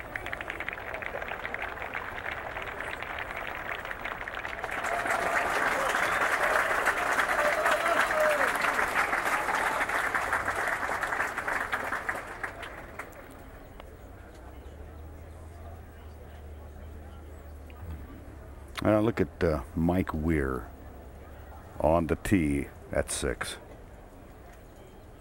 Take a look at the the eye, the eyes, Lanny. He's following it. He is he is all all business right there, Vern. I tell you one thing, that is also one of the best swings he's made today. In fact, in the last 18 holes, he stayed nice and level. His arm swung very free through the club. No wonder the shot turned out so well. Well, he grew up, as we uh, mentioned yesterday, about an hour east of Detroit, Ontario. As with all Canadian youngsters, a big hockey fan, particularly of Wayne Gretzky. As Paul Coffey in his gallery today, longtime great player in the NHL. And he's increased the lead. It's now two. He was asked if he had done for Canadian golf what Gretzky had done for all of hockey. He said not quite to seven. Vijay Singh, only 113 yards left after a 297 yard drive. That's fairly well done. He'll leave himself about 20 feet for his birdie. Back to six. Jeff Maggert. Well, he's steadying himself. Very much in the picture. Two off the lead. Forward to the eighth. And Phil Mickelson's very long birdie putt up over a ridge, about a, just about halfway along the length of the putt is at the top of the rise, up to there, and he's playing it from left to right, and then it'll go right to left at the end. Well, he made that enormous putt at the second. This would have been uh, even more extraordinary with the contours involved. Has to settle for a par five, head to nine. Inland Mattiace for another birdie.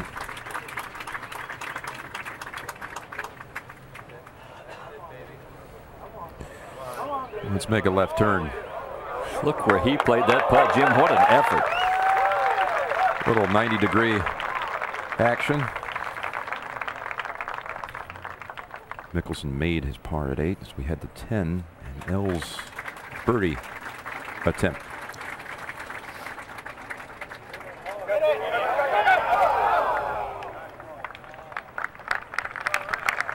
It'll be interesting to see Ernie deal with some of the demons back here on this side. 13 specifically, and the hole that led to his undoing last year.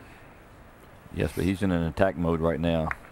And he knows that if he can post a score, they might be chasing him all the way to the clubhouse. Very difficult green here to see many putts made. Shadows are very hard to read the putts. To seven. Where Mike Weir has the driver out. Again, it is imperative to find this fairway. He doesn't like that at all. I believe that caught one of the overhanging branches and it could have kicked it almost anywhere. This golf course is now a complete examination of major championship skills. No longer can you just bomb it off the tee. You must find the fairways to eight. Jim Furyk, who finds a lot of fairways and putts very well. On two of his last three wins, he's come from behind on the final line. Doral, the Memorial Tournament last year. Brilliant play on the second nine. Mickelson made his par. We saw the long putt come up just short. We'll go back to the seventh. This time to the green where Vijay Singh, who has, uh, well, through three rounds, he had the most putts of anybody on the leaderboard. His ball striking solid as ever. But with the number of putts he's had, that tells me he's not put the ball in the best possible locations on the green.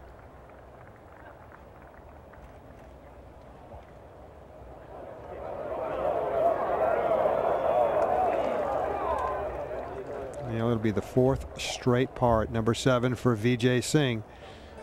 Let's take a look at number seven. 410 yards, named Pampas.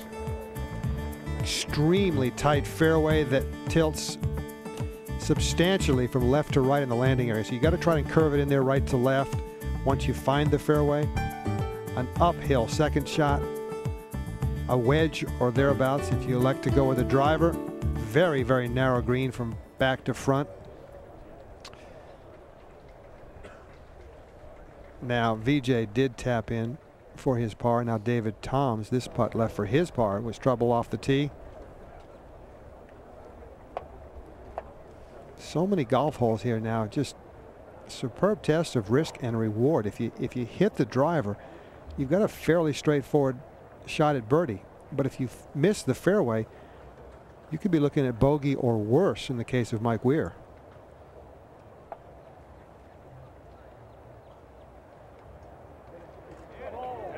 It'll be a bogey for David Toms at seven.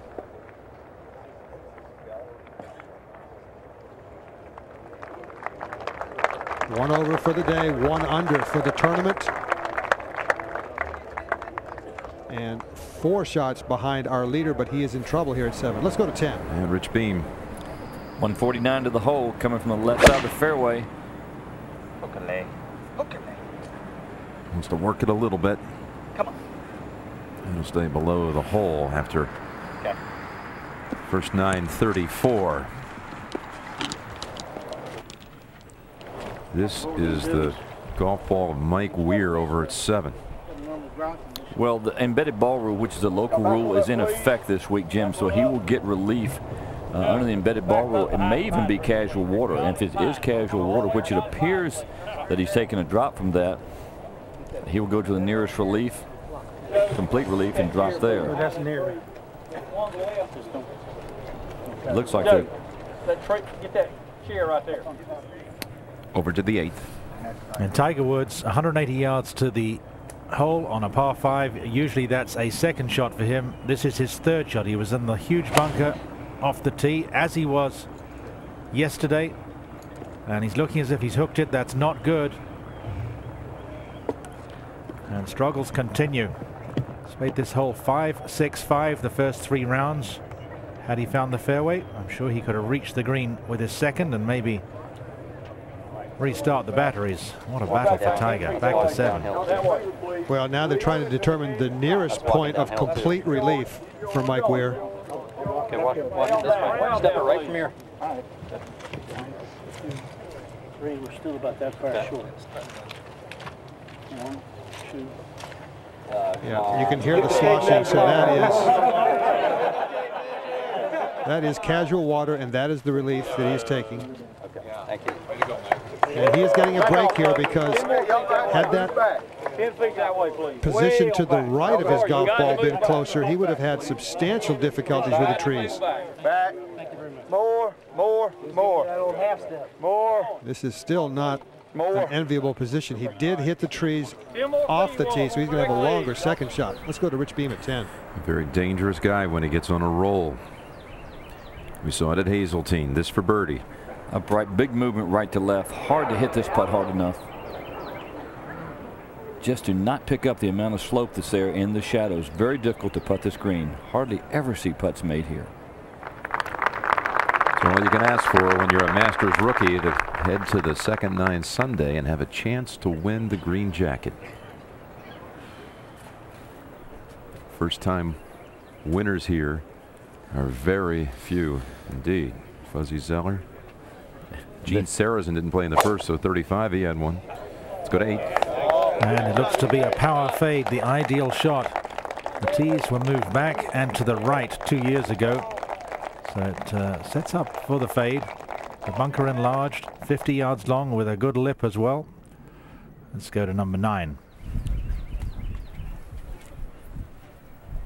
Jim Furyk. Coming out of the first cut, really needs to get it up on top. Cannot leave this putt, this ball short. Looked a little chunky, didn't it? Yes, it did. Looked like it was heavy. 147 to the hole. Now he's really left with a tough shot.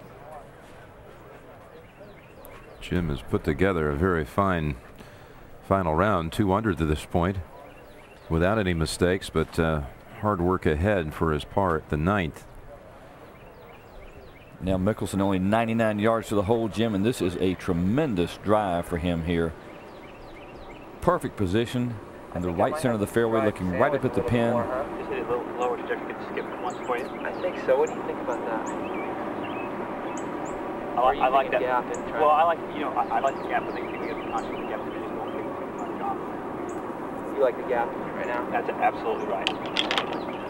He's talking about a gap wedge. He's trying to figure out what what Jim Mackay, his caddy, trying to figure out what club that they want to hit that they can keep it on the level with the pin, that it won't either spin back down the hill or take him too far and leave him the really slick downhill putt.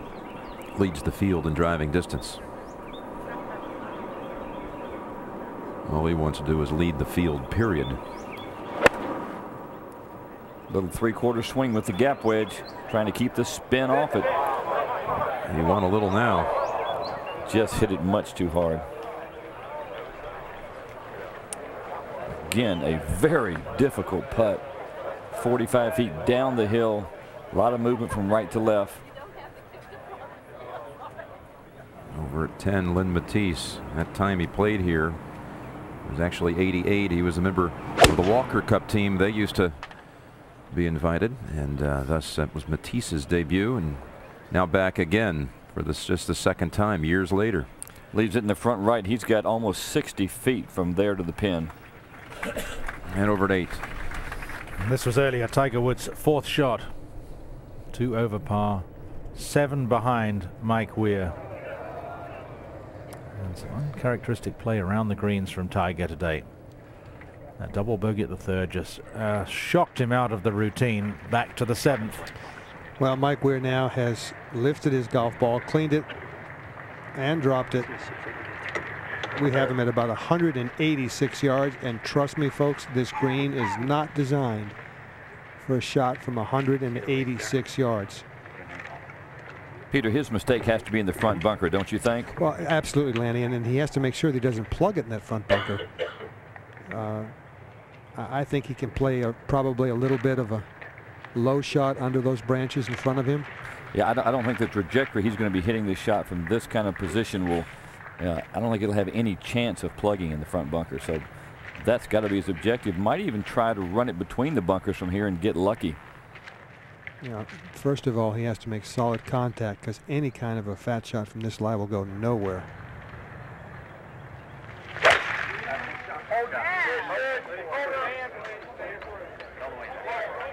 Well, he ran it right into that front right bunker.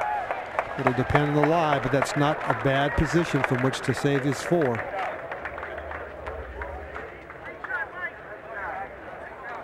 To nine. Jim Furyk.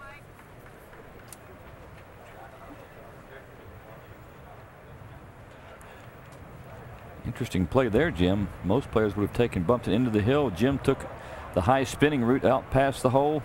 That's well done. Right off the backboard for the old point guard out of Pennsylvania. Well judged. Back to seven. Where Jeff Maggert, after a wonderful tee shot, 124 yards left.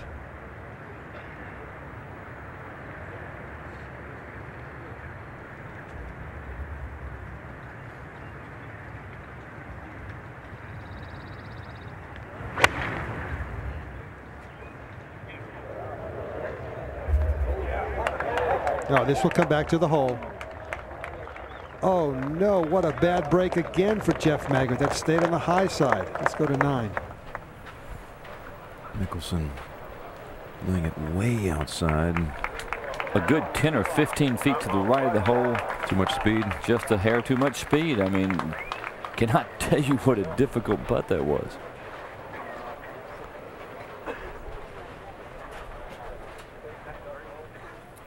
Back over to eight. And Tiger Woods chipping for a par. Made the exquisite birdie at the second hole, a monster drive, a beautiful long iron to close within three of the lead. He's going to be at least five over since then to nine.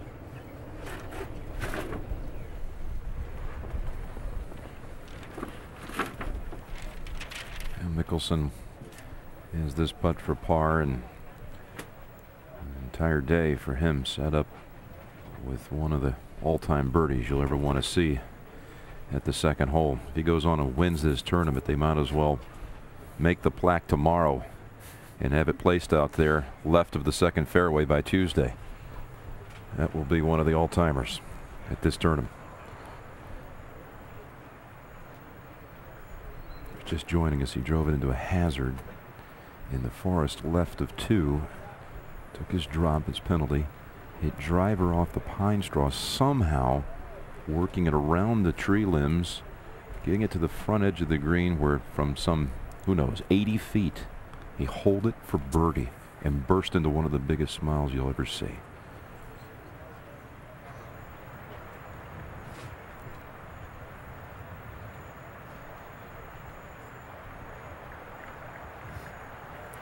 Much movement here, Lanny. Pretty straight putt, Jim. Four feet up the hill for par. Can go ahead and make an aggressive stroke. Well done. He could not ask for a better position heading to the last nine. Tiger's game is completely off the track. And Phil, that was a thrill-packed nine holes of golf right there. As always with Phil, it's never dull. Over to seven. Bunker shot for Mike Weir. Oh, just a marvelous shot from there. Again, though, he is struggling to save his pars, and that will catch up with you sooner or later around here. He'll have that left to remain at minus five and maintain his two-shot lead. Let's go back to eight. For a bogey six. At a hole that could have turned things around. Six for Tiger. And look at that after the beautiful birdie at the second. A double bogey and three bogeys. He's played this eighth hole. Two over par. The ninth.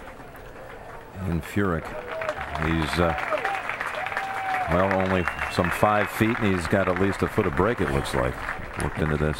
He does, and it's extremely fast. Makes it hard to pick out the line and the speed.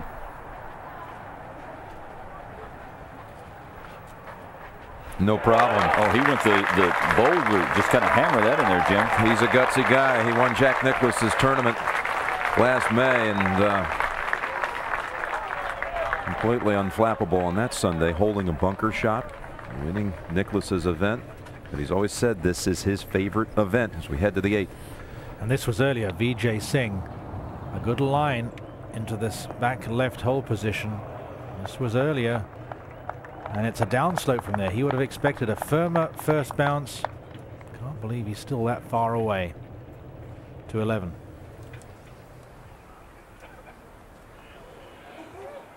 This is actually the 10th. And Len Mattiace. Some 80 feet. In Crenshaw territory. Oh my goodness, Len Mattiace. Shades of Ben Crenshaw, 1984. Almost exactly the same spot Crenshaw hold it from. Lenny's looking a little magical today. Oh, you're not kidding. Let's show you one more time, but let's substitute Ben instead of Len. Almost the identical spot. Some 80 feet.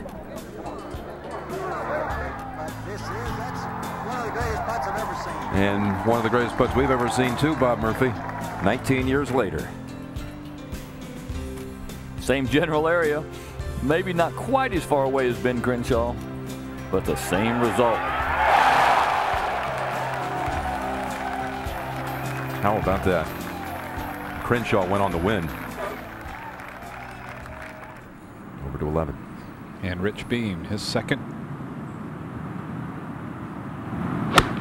11, 490 yards, par four. Hole cut far left-hand side of the green. That from 178. Well played.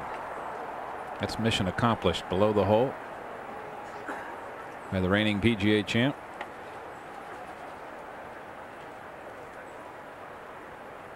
And Mike Weir holding on to a tenuous one stroke advantage over Len Mattiace after the bomb that he drained at 10.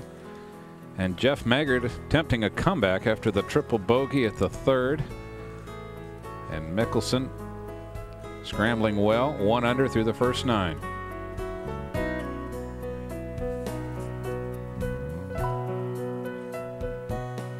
And two-time Masters champion Jose Maria Olazabal even par in his round today. Ernie Els just had a huge drive but made bogey at 11. Back to even to eight. Mike Weir, 570 yards, 50 yard long bunker on the right. About 305 yards to carry that. The tee's up about 10 yards from the back of the tee, maybe to tempt the longer hitters. And he steps away, everybody loves it. Beautifully positioned. He'll be looking forward to setting himself up for another nifty pitch shot as he hit at number two for a tap-in birdie. Eight under par for the par fives for somebody considered one of the shorter hitters. To the seventh. This was earlier from above the hole, Jeff Maggert.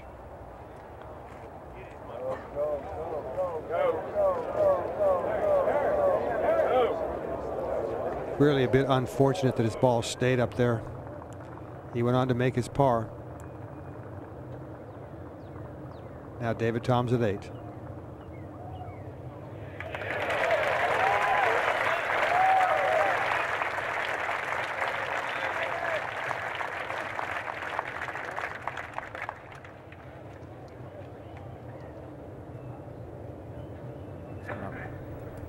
This was earlier Vijay Singh for his birdie after the disappointing pitch.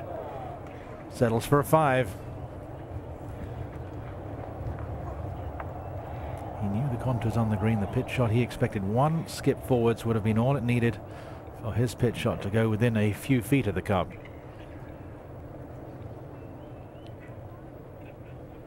So this to stay at two under par. Three back of Mike Weir. Two behind Len Mattiace after his fantastic birdie at 10. And VJ just even par today. Back on the tee.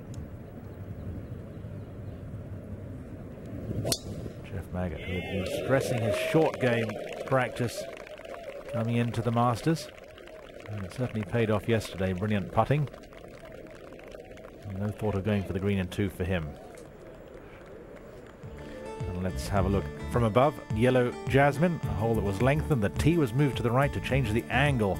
Players encouraged to hit down the left-hand side and then go to the right on the second shot. Up quite a steep hill. We saw from 180 yards, Tiger was below the hill, couldn't see where he was going. For today's back left hole placement, second shot way right, opens up a line into the back left.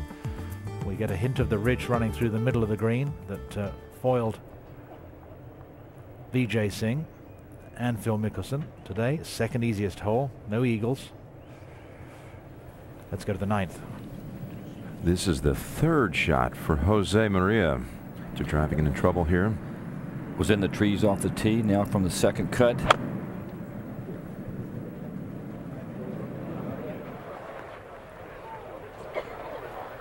There is one in there rather snug, and you can only guess.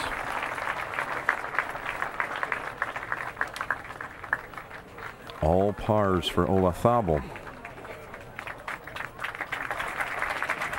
Tiger would have taken that had he known.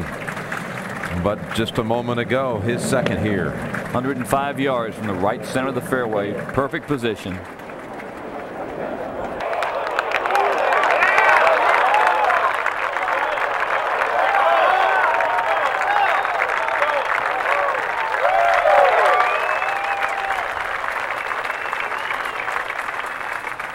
Five over over his last six holes, but poised to get one back. Just when you think Tiger's having a down day, he fights back. Over to 11. And Rich Beem with a wild swinger for birdie. Just a moment ago. And Beem competing in his first Masters. Been among the leaders all week in greens and regulation. And now Beem for par. Well done. Par beats the field at 11 to 8. Jeff Maggert has already laid up with his second shot at the par 5 eighth. Mike Weir giving that a good thump. But going to the left is a bad move. 269 yards. He has that awkward mound to come over from where Len Mattiace made a miracle birdie. So a surprising play. Masters champions over the last few years. Weir is 8 under par for the par 5s. Players not doing very well on the par 5s. Uh, the extra rain causing them problems. Tiger Woods 16 under par in 2001, 9 under on the par 5s. Tiger 13 under for his first win in 97. 8 under for Mike Weir. And playing the par 3s at even par, that's always a challenge here at Augusta National. Dangerous 12th, dangerous 16th to the ninth tee. VJ on the tee.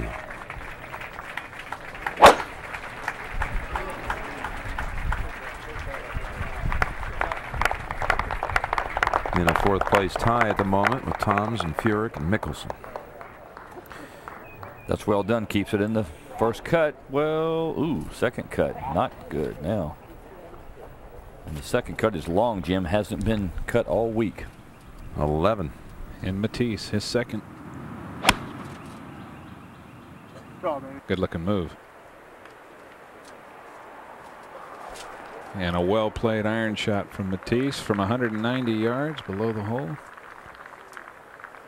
Bobby Jim McLean, Len's swing coach, said he was really pleased with the way Len was swinging this week. And now he's got to judge 11 and 12 with the wind starting to pick up. Let's go to 10. Let's see how Mickelson begins his second nine.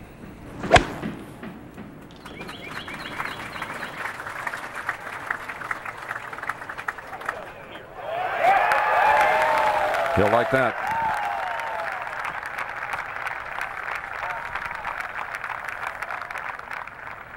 Back over here at nine.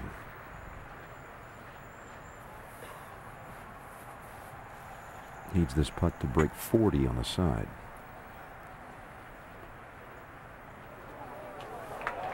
No one could have seen that coming.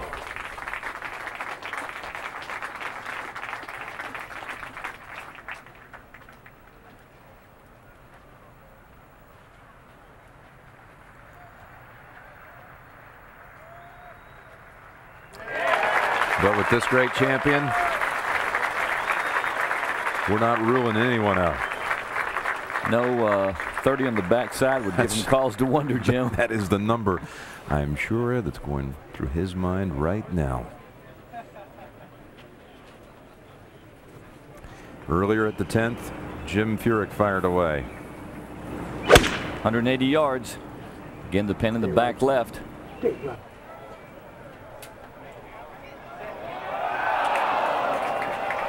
Needs a break. No, it's not too far off. That's actually a very nice play. Very makeable from there. All right, over to eight. Jeff Maggert had 275 for his second shot. Played a 210 yard shot here and beautifully positioned for the pitch. That's the way to play the hole if you can't reach it in two. And a chance for a birdie. And a continued recovery from that triple at the third. Just four under par on the par fives for him this week. Steady all around play as we've seen over the years from Jeff Maggert to the 12th. Rich Beem, eight iron. 162 yards. Flag cut in its traditional Sunday back right. And all over it for Rich Beem, one of the best of the day. Bobby, didn't anybody tell him you don't go with that pin on Sunday? That's his first Masters, Lanny. But he's trailing by four, so time to go. Back eight. And a big mistake by Mike Weir. See the top of the flagstick just over the mounds. He was playing safe and he sclaffed it.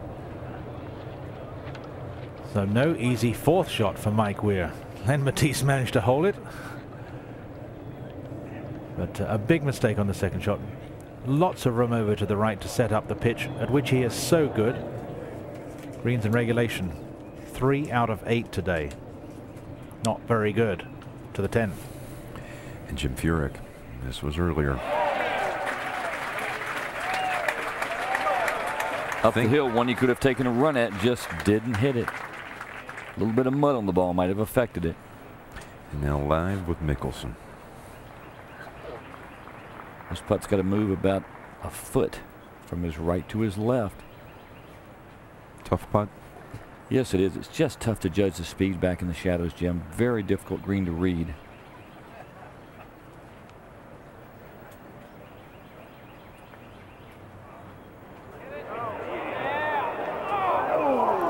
always thought that was one thing that made the second nine green so difficult Sunday afternoon was how many shadows you put in on the back on the second nine.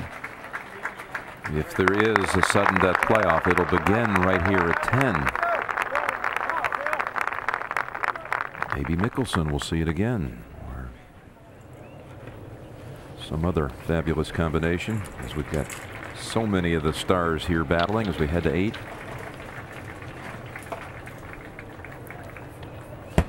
So Mike Weir, after a poor second and a poor third from the much thicker second cut than we've seen over the years at Augusta National, now his fourth shot. Choosing to loft it over that ridge, and that is beautifully played. That's what he should have been doing with his third shot, not his fourth. Chance to save par. And Mike are not easily ruffled determined competitor.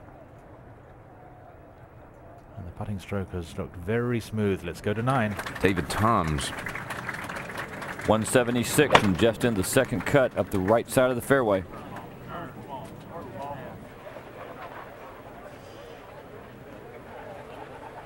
To hang right there. Still a very difficult pl play.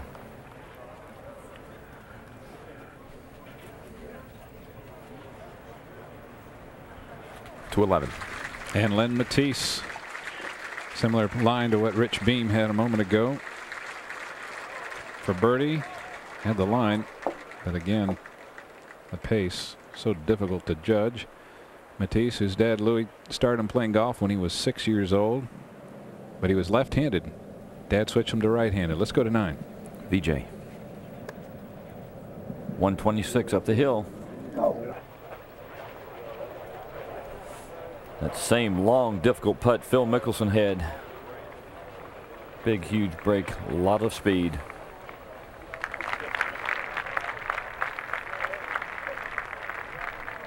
Tate. And Jeff Maggert, chance for a birdie. To be just one over for the day, including a triple bogey. Coming up the hill. And a little right to left. Couldn't believe it didn't break a little more. Settles for a par.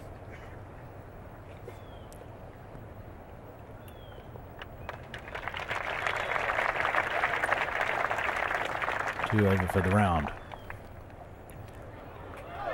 To 12. And Rich Beem for birdie.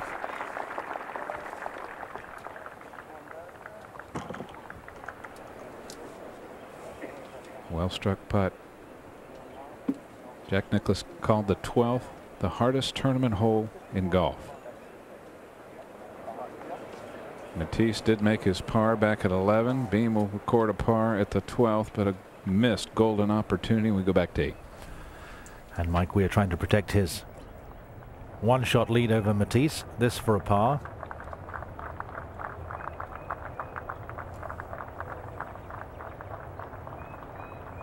Little uphill. Very easy putt. And a beautiful fourth shot to escape with a par. Stays alone at the top. And over at 15, Ricky Barnes, the leading amateur. That was to get back to one over par for the week, and what a week it's been. Seen every emotion possible from this young man. Looks almost certain to finish leading amateur. And boy, he's a superstar of the future. Ricky Barnes at plus two, Hunter Mahan plus six, Ryan Moore at plus 13. A great achievement for all three of these young men just to make the cut this week. Look at that. No hat. You can see everything about Ricky Barnes. Face like a naughty angel. Earlier at nine. It's Toms.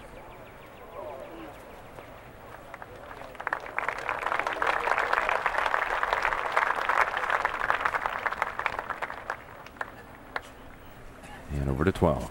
Where the winds are calm at the moment, Mattiace with an 8 iron. Play here over the middle of the bunker. But he's taking an aggressive route. Oh, and it just carries the front edge. It's brilliant. That was only about four feet from disaster. Bobby, he got away with a big mistake right there. And he knows it, Lanny. It's been that kind of day for Lenny Mattiace, a magical day. Starting with the birdies at two and three, and then the pitch in from the most improbable place, left of number eight for a birdie. And then the bomb at 10 for birdie. What a day for Lenny Mattiace. Let's go to nine. This was earlier. VJ just looking for a way to get down in two. Look how easy he hits this putt.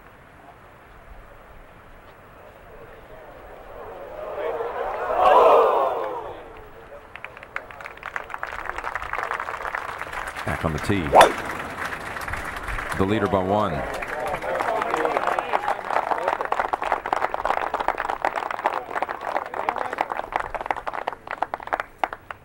Splits the center of the fairway. Not as far down as some we've seen, though. Yes, indeed, looking very player-esque in the All Blacks.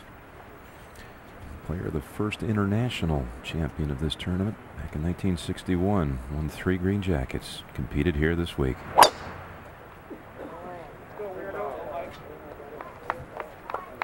Maggert, you got to give him tremendous nod here for being able to hang in there after that calamity on the third hole.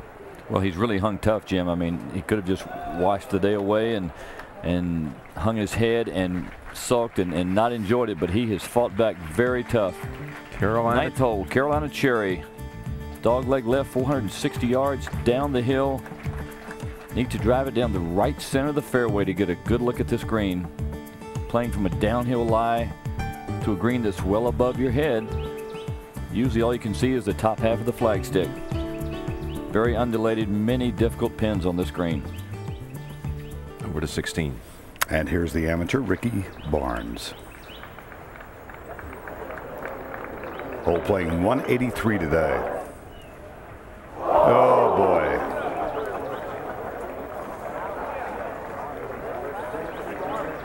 Well, he is experiencing all of Augusta National in his first Masters.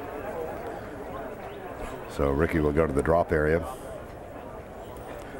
Mike Weir leads by one over Len Mattiace. Jeff Maggert alone in third. Mickelson, Singh, Toms, Furyk. And there's Rich Beem at minus one.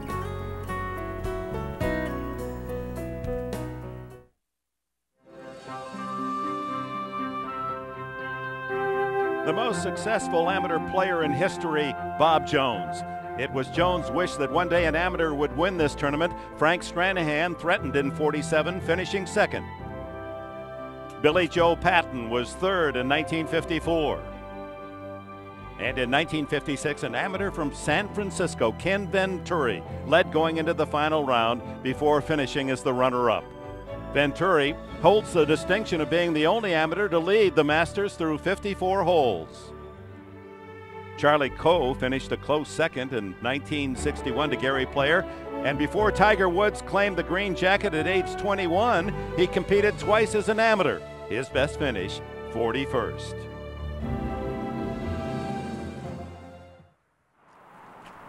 And Jim Furyk, second shot to the par four, 180 yards. And again, the winds been very calm today. They've been out of the northwest for the most part. But when you get down around the green at 11 and 12, suddenly it can turn around and move 180 degrees in the opposite direction.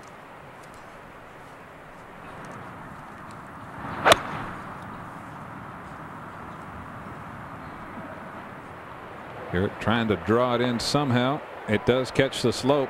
Well played.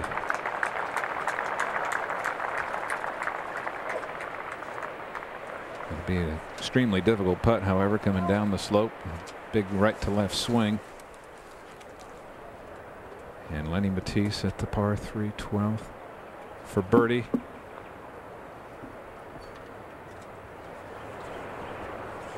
Had the line, but not the speed. And now Mickelson from 154. Shot he can be a little more aggressive, take the spin and draw it down the slope. But he's too aggressive. Now he's really faced with a tough putt.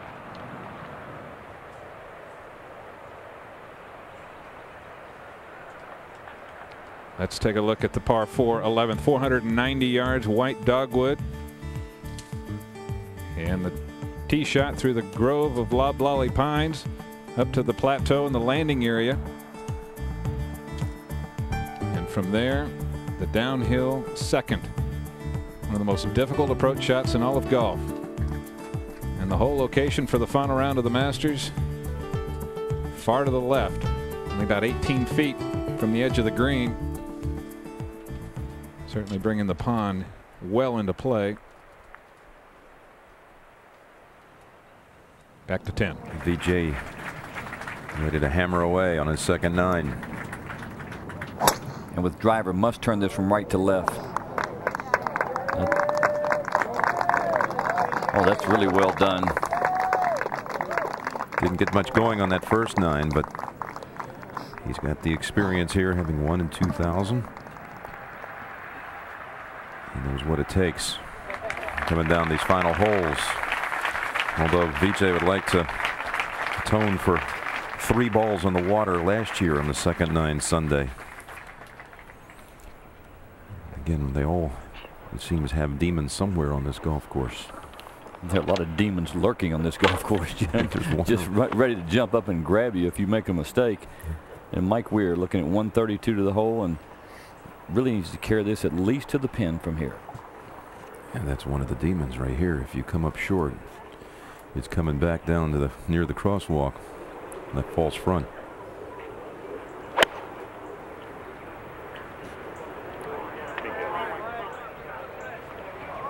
Oh, skipped over the ridge. He's Boy, fine. that- that's an excellent play right there. That's that's not a shot that really suits his eye very well, coming in from that that side. Very gutsy play right there. Earlier back there, Jeff Maggert. 176 to the hole from Je for Jeff on the second cut. Take a bounce. Kept it up the right side. Not a bad play from where he was. We saw David Toms there, a group ahead. He got down in two for par.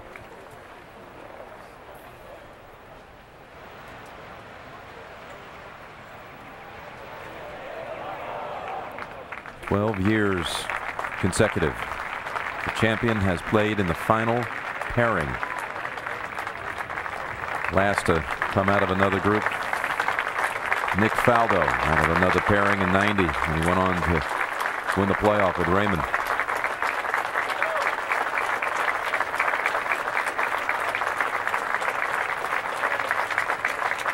Well, we talked about player, the first international champion here. Highest finish ever by a Canadian in a major, George Knudson, here at the Masters in 69. He tied for second with Billy Casper and Tom Weiskopf, one behind George Archer. Dave Barr second to North at the Open and 85 U.S. Open, out to 11.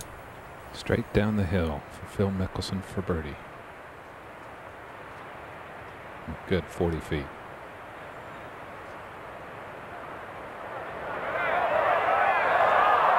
Brilliant.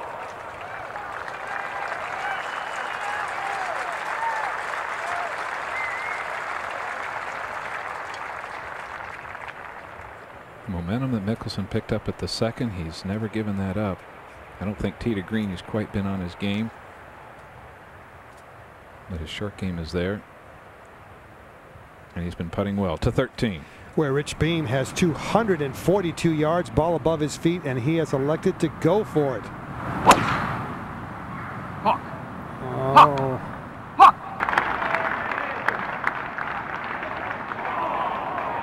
Not enough distance.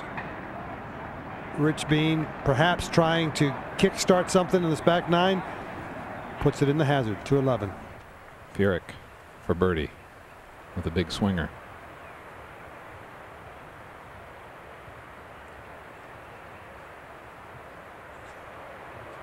I really misread that. I was surprised at his alignment there. To nine. Maggert up the hill.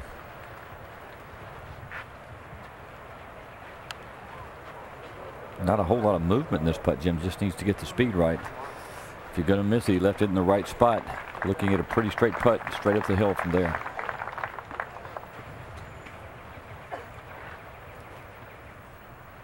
Over 10 VJ. 170 to the hole.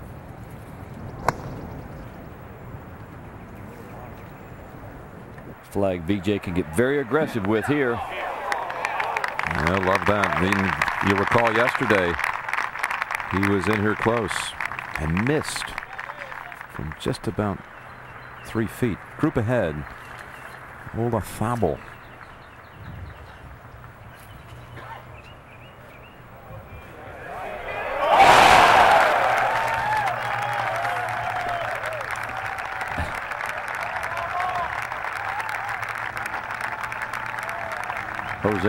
Has made a career of holding putts like that. Meanwhile, over here at nine, we're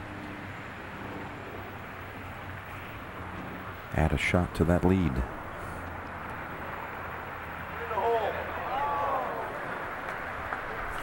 Probably the simplest putt on the screen. Not much movement. That went up the hill. Gave it a good effort.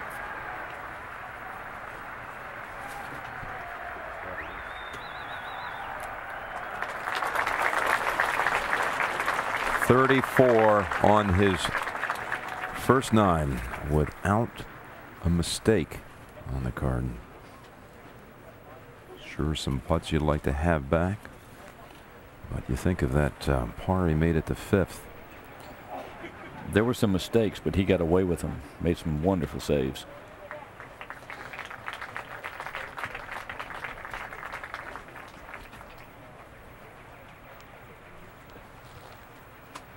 This for par.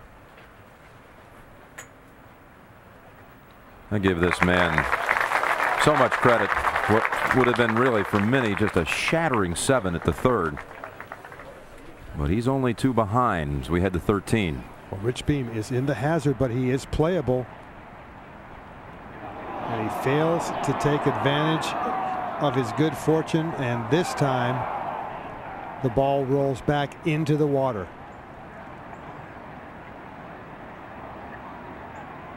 No reason to get that cute with that shot at that point. He could have hit it 30 feet behind the hole and it still would have funneled back toward the hole. Now he did get it out of the hazard so that Mark O'Meara is pointing to him where the last spot the ball crossed the hazard. He can keep that between him and the hole and go back as far as he wants having to play over the water hazard again or he can elect to go to the drop area which it appears that he is going to do.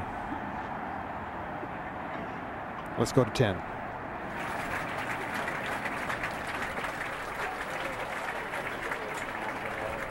All right, Weir and Maggert. Last two The tee off on 10. This is where you want to be, Jim. Leading the Masters, going to the second nine on Sunday. What a place. You guys need to get ready. It was a second nine struggle yesterday for Weir, and you said it too. Mike admitted it afterwards. Some tentative putts way in. It was, and he has to move a lot of shots on this nine holes right to left, which is not his normal shot. And by doing that off the tee, it almost looked, looked like it took him out of the rhythm of his iron swing the rest of the nine. And so we need to see how solid and how well he plays his irons on this second nine.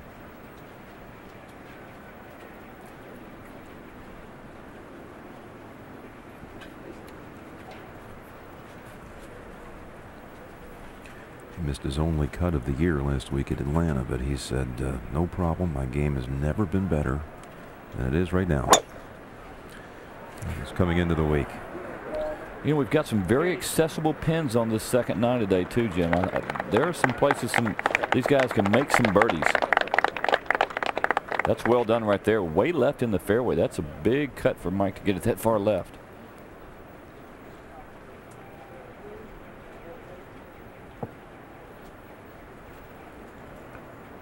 If you need to make a few birdies other than the par fives, where do you see scoring opportunities?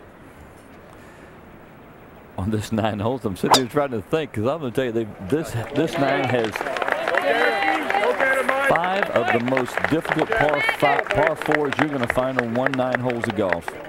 And Jeff Maggert has hung that well out to the right, caught the second cut, and he really has a difficult shot from there.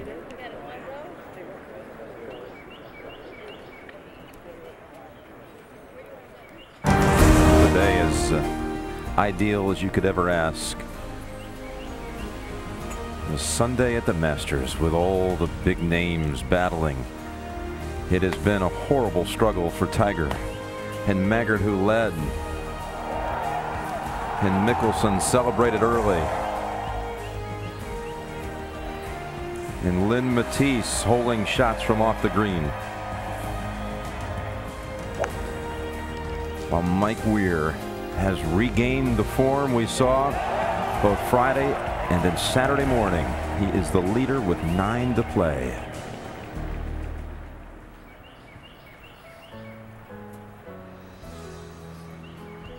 Well, Lanny, we were talking target scores early.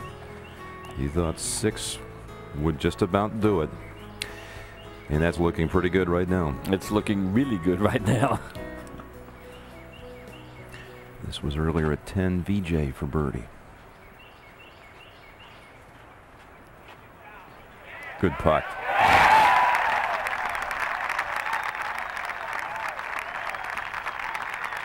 Going along very businesslike, looks very composed and very much under control.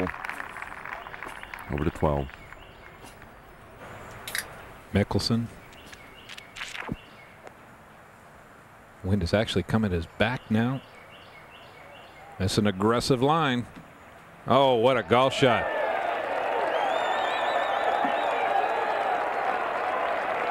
A hole that has plagued him in the past. No hole has been more difficult for Mickelson than 12. And look at this. Career major victories, only Vijay Singh and David Toms with any on our leaderboard. Hard to imagine after what our leaderboards have looked like the past few years. Let's go to 13. And the tee shot of Len Mattiace. Starts it out well down the right side, trying to turn it on over. And he has done it, and that's out there a pretty good distance as well. Len Mattiace looking very solid. Now Rich Beem, this his fifth shot from the drop area. This was earlier. The mistake that Rich Beem made was a mistake that you might expect from a rookie first time participant.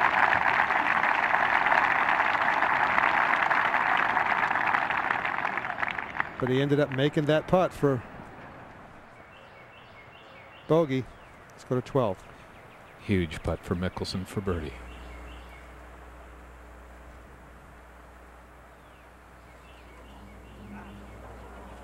Never a chance.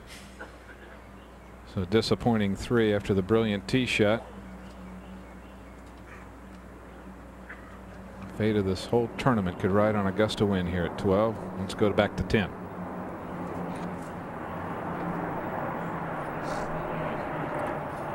Four hundred ninety-five yards, par four, with a drop of almost hundred feet. From the tee to the green, and it looks like Jeff Maggert's about halfway down that drop. He still has a downhill shot. I'll go over here with Mike Weir, looking his shot over, pin in the back left. He's going to have to move this from his right to his left.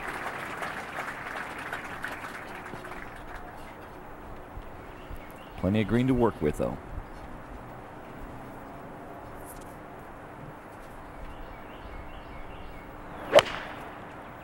One ninety nine for Mike Weir.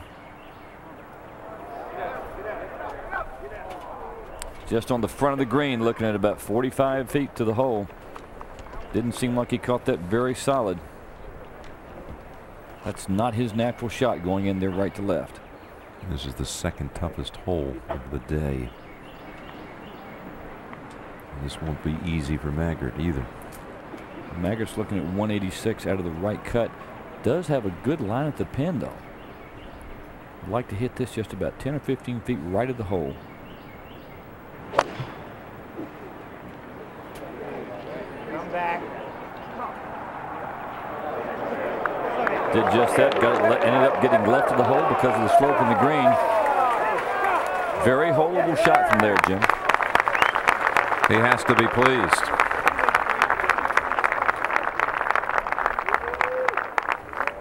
Weir than a fast finishing Len Mattiace, who shot 69 yesterday, is four under for this final round. Then Singh and Maggert. Earlier at the 12th, Jim Furyk was left and long off the tee. This for par. So as so many before him, Furyk will make bogey four. Back to 13. Where Lenny Mattiace has a five wood in his hand, 224 yards to the hole. Another good looking swing, and it's right on line.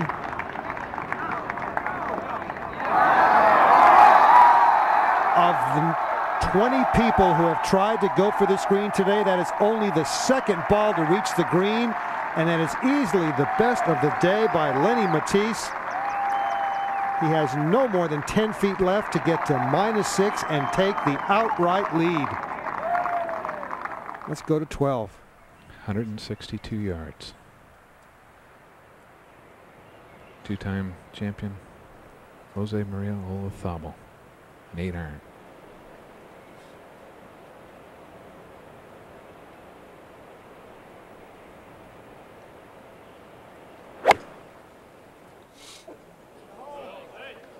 And another aggressive line just left of the flagstick. Well played. Remember when Olazabal in 99 came in here the final round, hit it in the back bunker, and made that up and in. One of the best bunker shots I've ever seen here. Now VJ, his second shot. And from 162 yards, and brilliant, best of the day. And VJ mounting a charge on the second nine already, and back to 10. Weir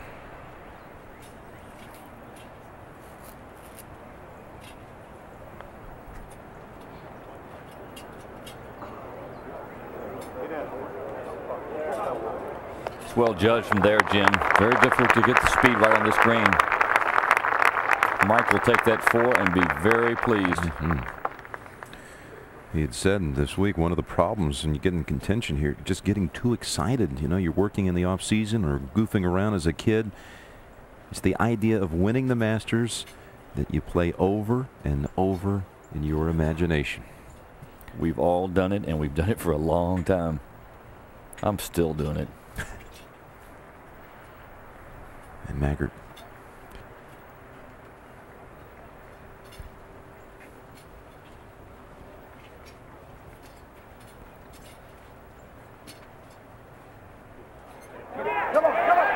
look at this. Like I said, very holdable from there straight up the hill. Well done by Jeff Maggert. Boy, this is some display by, of courage by Jeff Maggert. Only one back.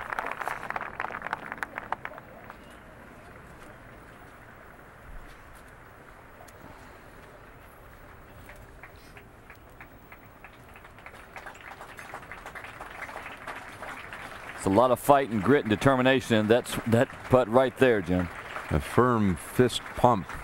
But facially, the expression is about the same as it was when he got hit by the ball back on the third hole. He, you've tried to, to read a poker face. This is one of the all-time hard ones. He could have bitten that ball in half on three. Weir for par. And his lead now remains at one, but there's Mattiace and Maggert dragging right behind.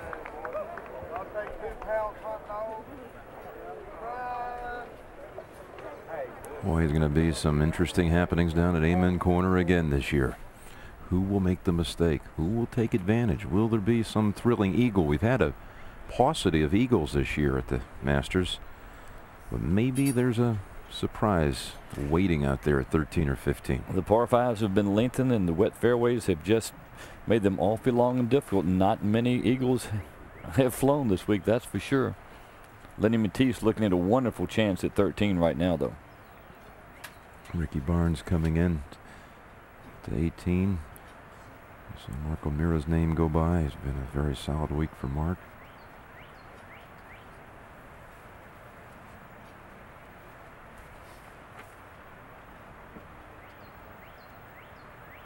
And Jeff Maggert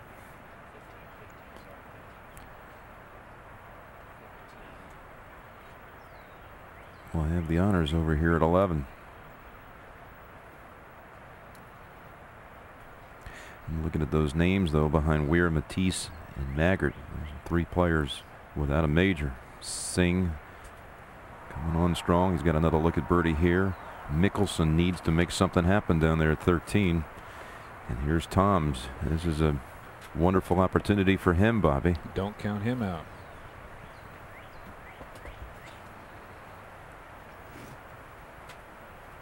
He knows what it takes to win a major championship.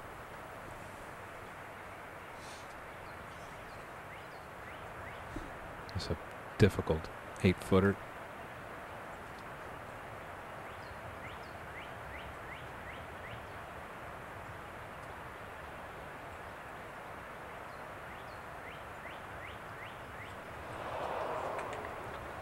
To 13. Where Len Mattiace has just watched his fellow competitor Jonathan Byrd hold a putt two inches longer on the exact same line. This for Eagle to take the outright lead. Lenny Mattiace, who struggled for 220 starts before winning his first PGA championship title, has now just taken the lead.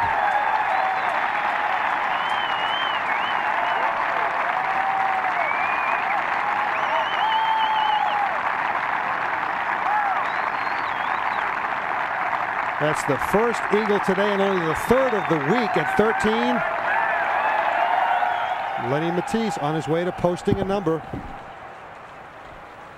Let's go to 11. And it caused Vijay Singh to back off his birdie putt. The roars reverberating through the trees.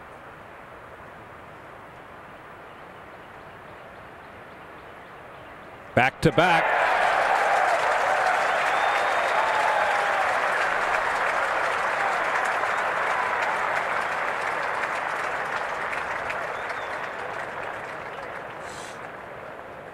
Talk about another poker face, Jim Nantz. Maggert on the tee. That's just a moment ago.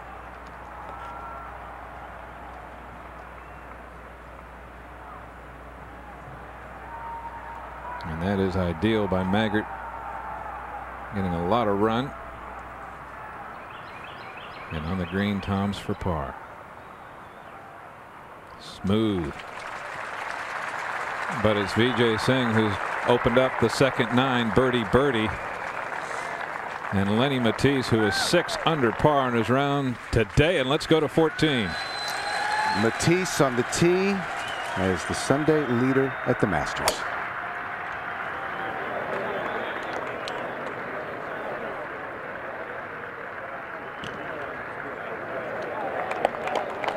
Catching that left to right slope just a bit, but still good position for Mattiace.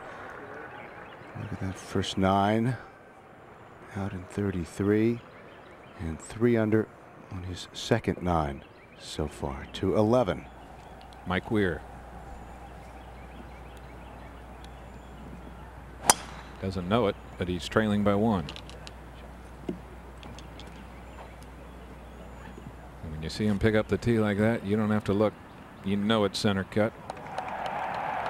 And Weir riding a lot of confidence with his swinging game today. And on the tee at 12. VJ, eight iron.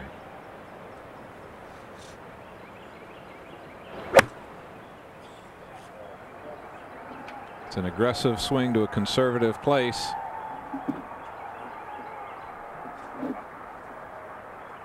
And that'll be a tough up and in from there. Right line, but the wind's so calm right now.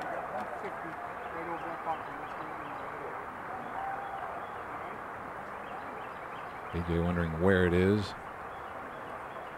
Shadows cast over the 12th green and Let's go to 13. Where earlier Phil Mickelson, one yard closer than Lenny Mattiace, had 223 to this hole.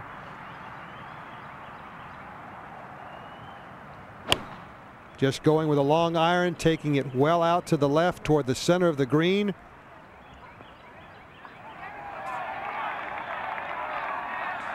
And watch this.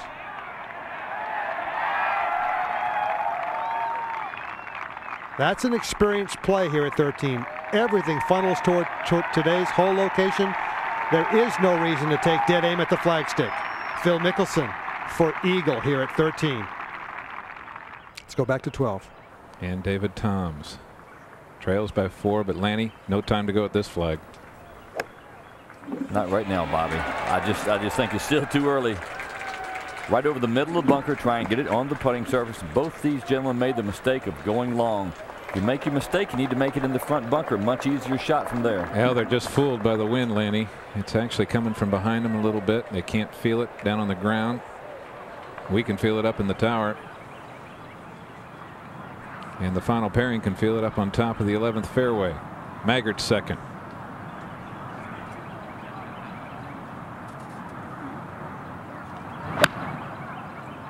Should be nothing more than a light seven iron for Maggert. And well done. All over the flag below the hole. That's the correct placement. That's a makeable putt from there. And Maggert's been rolling them in from everywhere the last two days. Remember yesterday he birdied five of his last six holes to 13. Jim Furyk's third shot had to lay up only 69 yards.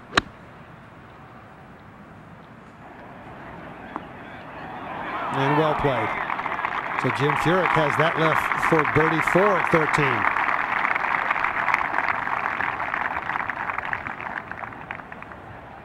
Back to 11. The second shot here today with the hole cut front left is more difficult for a left-hander than a right. If you come up right, you want to be short. Bobby, this is where he made a big mistake yesterday, hitting it to the left. He did to 13. For the eagle attempt of Phil Mickelson.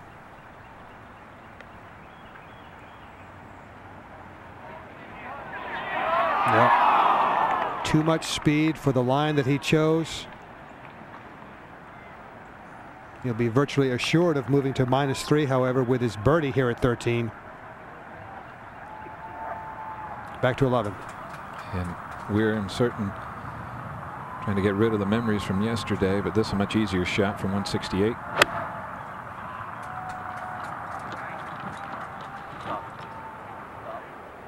Well done. Well executed. Mission accomplished. But it's a difficult 20 footer.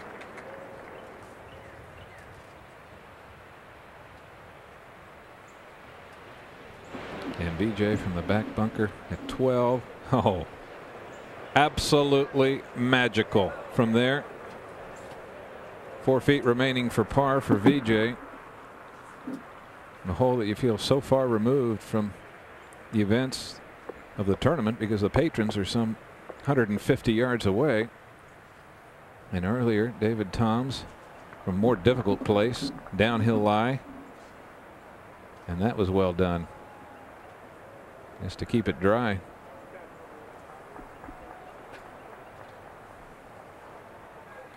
To 13. This downhill putt for Jim Furyk now to get to minus two and within four of our leader Len Mattiace. He's been playing very solidly.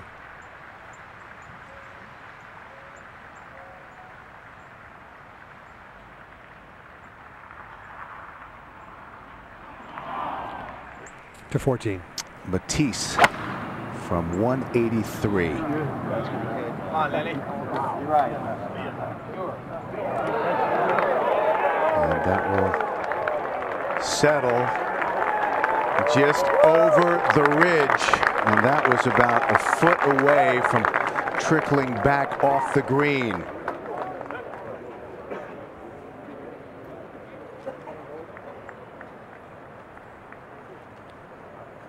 Mattiace nine under in his last 17 holes. He was three over for the Masters through 14 yesterday. He birdied three of his last four to get back to even. Now at 13, Phil Mickelson for his birdie to get to minus three.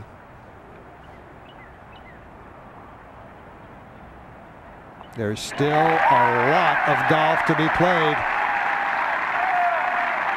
And Mickelson with his length can attack these inward holes. Back to 12. VJ for par. Oh, oh, he pushed it ever so slightly.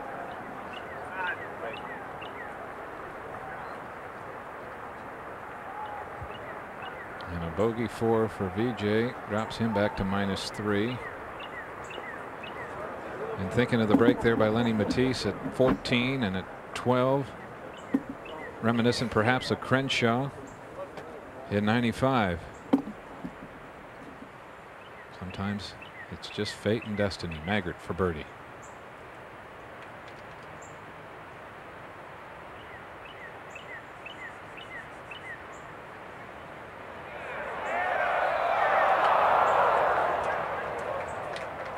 Kicking himself.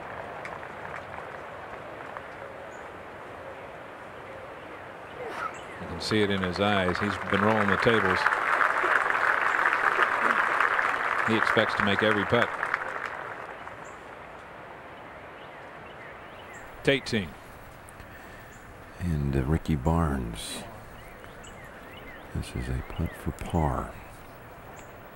Left his second shot on the lower level on the lower level and then left his first putt about six feet short. Not a lot of movement in this. What an there. excellent tournament for Ricky Barnes. The U.S. Amateur Champion was actually second alone at one point in the third round. He played his first two rounds with Tiger and bettered him by six. They both will be in the Butler cabin. Barnes to be recognized as low amateur. Tiger to present the green jacket to what will be a new champion this year as we go to 11. Weir for birdie. Good line.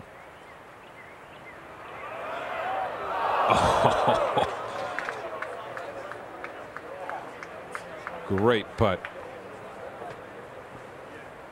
Bogey free for Mike Weir through 11 holes.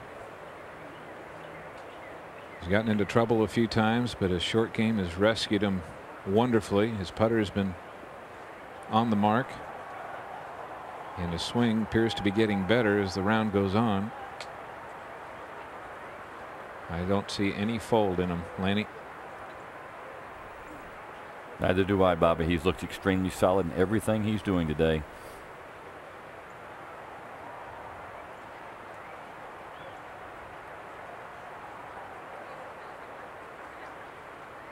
He's a gutty performer. And a wry smile. Par at 11. Earlier at 12, Toms trying to make par.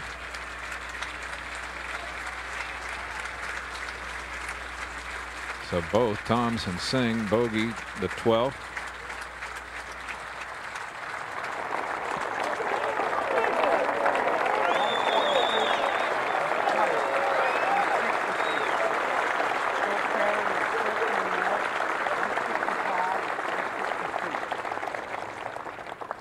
Patrons on their feet for Mike Weir and Jeff Maggert to 14. Mattiace for birdie to extend his lead to two shots.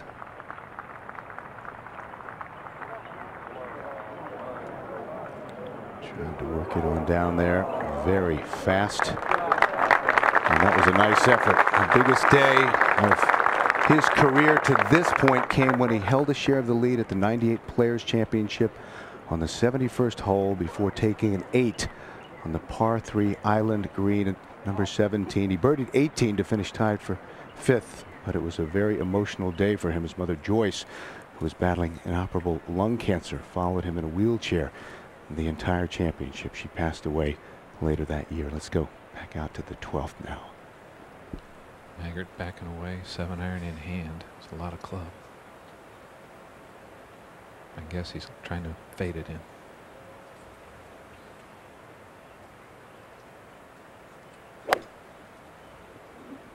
Shallow divot. Conservative line. Too much club.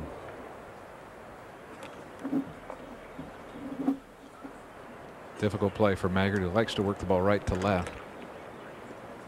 And where Mike Weir had the disadvantage at 11, being a left-hander, he has the advantage here at 12. Because if he were to go right, it would go longer. So that expands his target a little bit. But it's still a most difficult shot.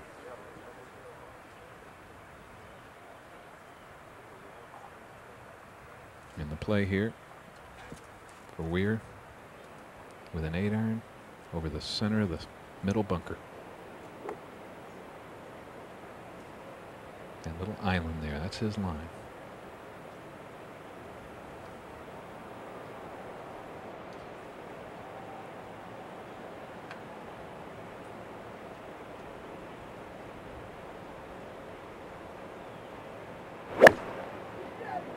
We caught a little heavy, but it's well to the left.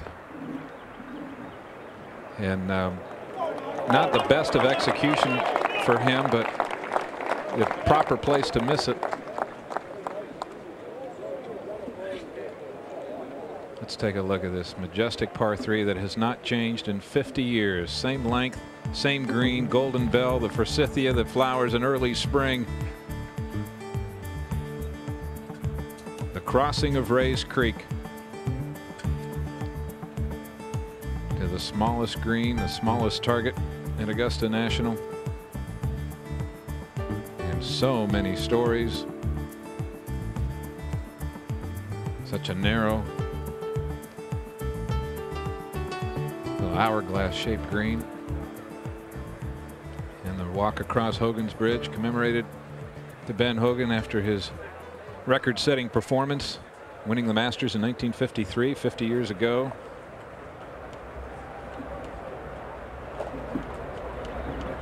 Quiet stroll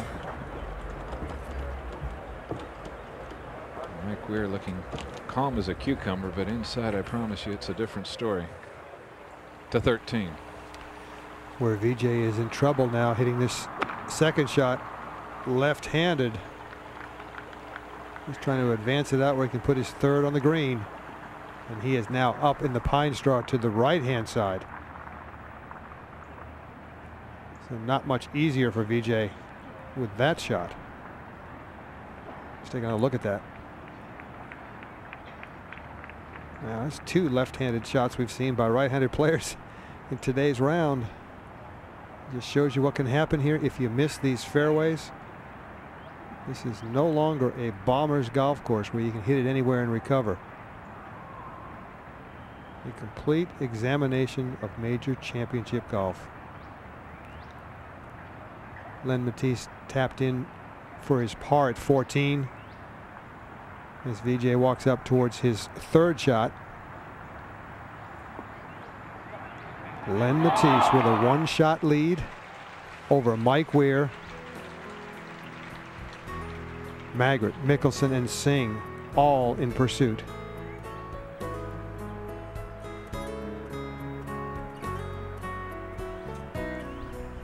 Let's go to 14. Phil Mickelson after a huge drive perfectly placed. 34 remaining.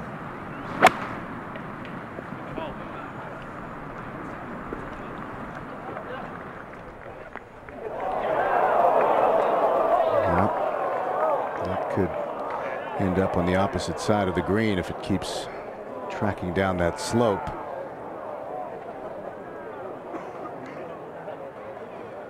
that was about a foot away from being brilliant. to 12. Some 60 feet away. Mike Weir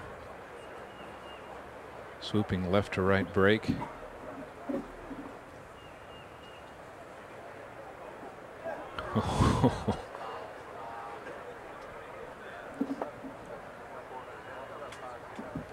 Struck putt. Weir will have four and a half feet coming back for par.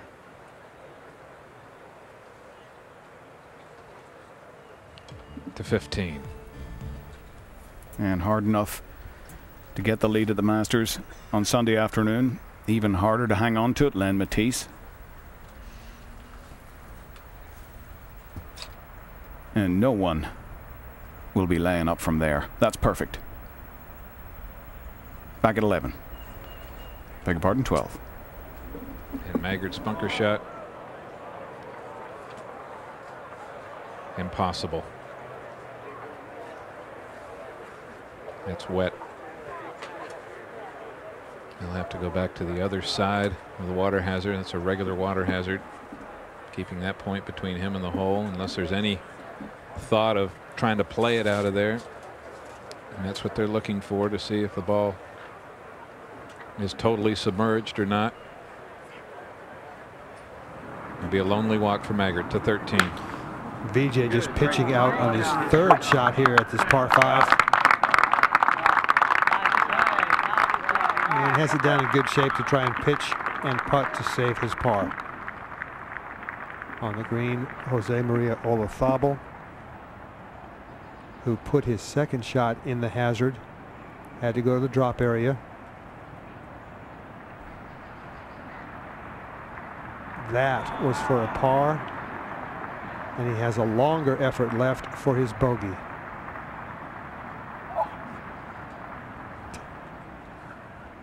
Earlier, this was Tiger Woods for Eagle after a brilliant shot from 215 yards that he had to hook probably 40 or 50 yards to hit the green. You think he's given up? I think not. A day when his game was not where he wanted it to be, but he fights all the way. Let's go back to Jeff Maggert at 12. Looking for the drop.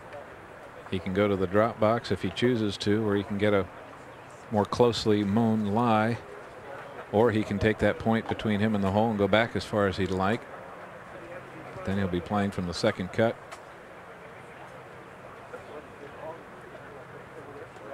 Actually, would be the first cut or second cut, his choice, but it'd still be longer grass. A lonely walk indeed to 14. Mickelson's birdie try on its way. Gosh, a lovely read. Phil has to be wondering how much time he has. Three back.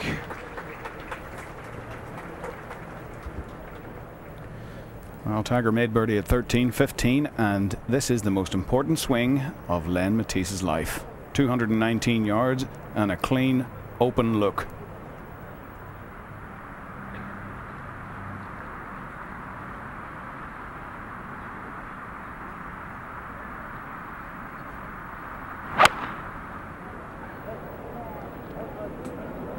Started it right at it, but he's nudging a little over. It's a good solid shot. Won't quite hold, but that's in good shape.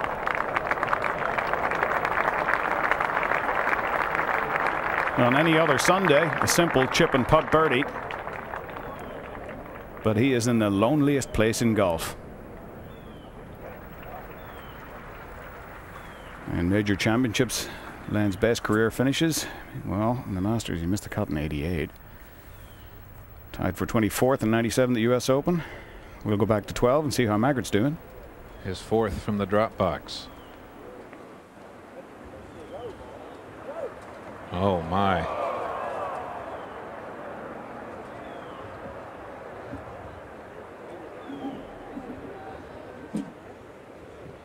Now he'll replay it again, hitting six.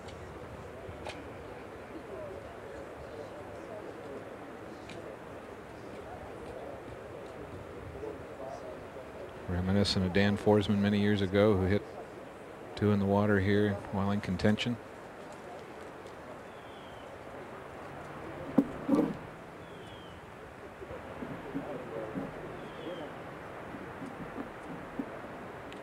So we'll have that for seven.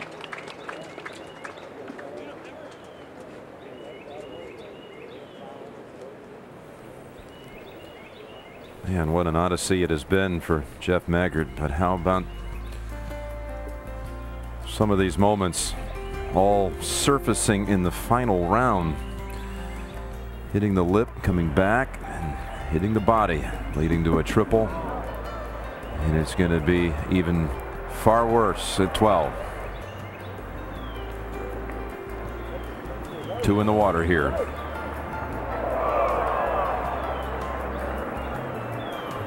Couldn't believe the first time around after three, Lanny, how he gathered himself. Did an excellent job, and quite honestly, he's made really only about two bad swings all day, but boy, have they cost him.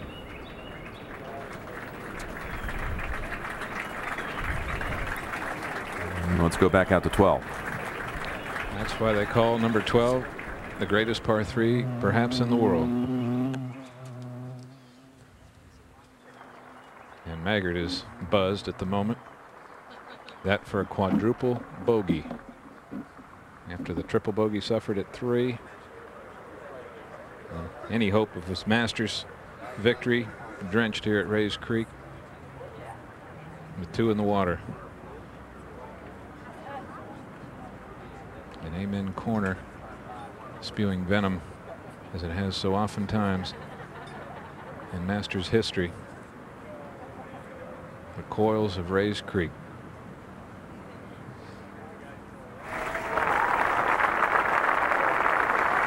Lenny Mattiace in a magical day at 15 on and two, the par five. And Lanny Wadkins he's a fellow Wake Forest grad.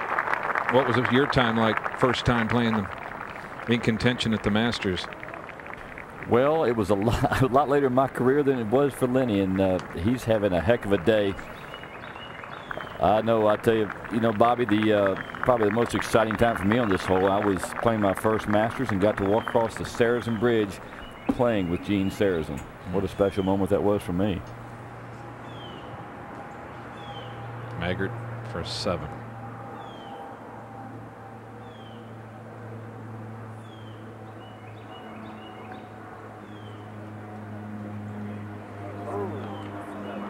And a shell-shocked Maggert is just looking for somewhere to hide. Five over par eight at 12. And now the long wait for Mike Weir, who had to watch all of this. Certainly that doesn't play well into your psyche, Lanny Wadkins.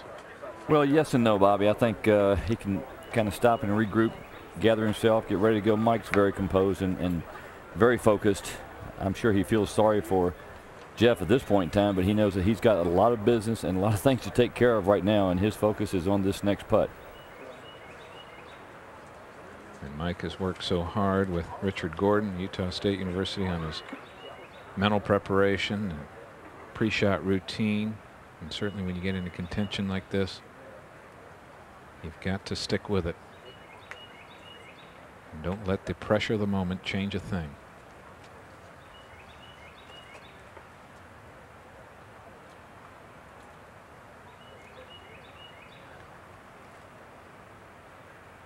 A brilliant two putt for Mike Weir. Remains one back of Lenny Mattiace. And heading to the par five. Looks like that'll continue. And now earlier, Vijay Singh from the left side of the fairway. He had 61 yards, but he caught that heavy. He has that left for his par. Let's go to 15 first. From just off the back edge. Gently left to right all the way to the hole. And that one was right on line. Right now, all he wants is four. He'll move to seven under. He wants to hang that number on the scoreboard and let them suffer. David, good play taking the putter. Lenny is a wonderful putter, and I think at this point in time, when your nerves are really starting to get the better of you, take the putter. Don't risk a chip. To 13. And a man whose putter has not been his best friend this week, Vijay Singh, has this left for par.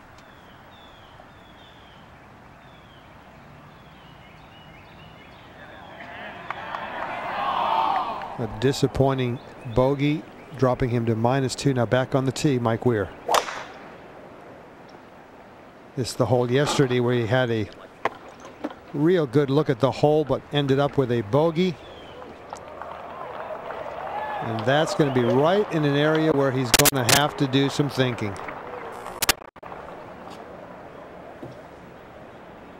To 15. And on the tee, Mickelson. Well, he got all of that one. Oh, that's enormous. Flies it onto the downslope. That'll be right around 190 yards to the hole. And the three here will give him a chance.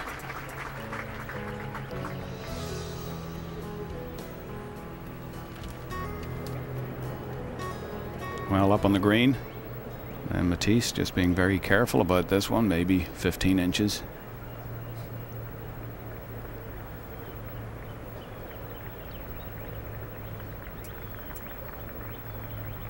And he leads by two. Three holes to play.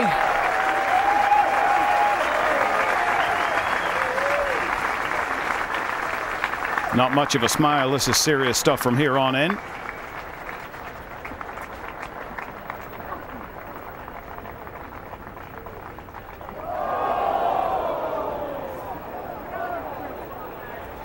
And he takes a quick glance up the hill. He sees Mickelson staring down. Three birdies on the way out. See the rare birdie at 10.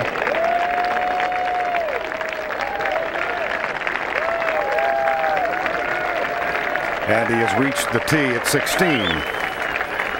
As the patrons stand and acknowledge his accomplishment of the day, much work to be done. But what a remarkable round for this 35-year-old who first played here as an amateur in 1988. And let's take a look at this uh, memorable 16th hole. Water, the pond, and the hole today cut in its traditional Sunday placement, back left. At uh, furthermost left, the three bunkers will come into play. And uh, you can take advantage of a ridge that bisects this hole. Aim toward the center of the green, watch the ball gather, and use gravity. Len Mattiace. Five birdies and an eagle on Sunday at the Masters.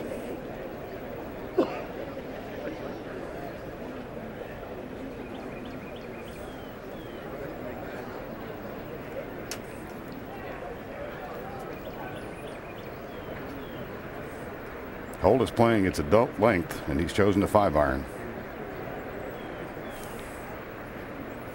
183 yards today.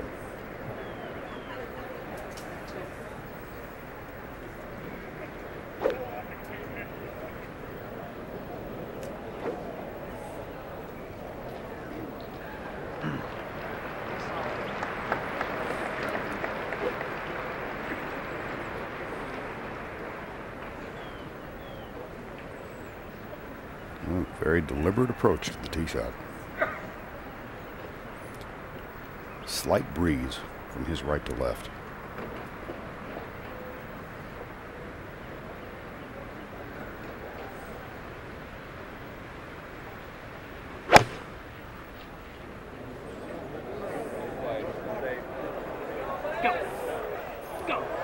This could be terrific.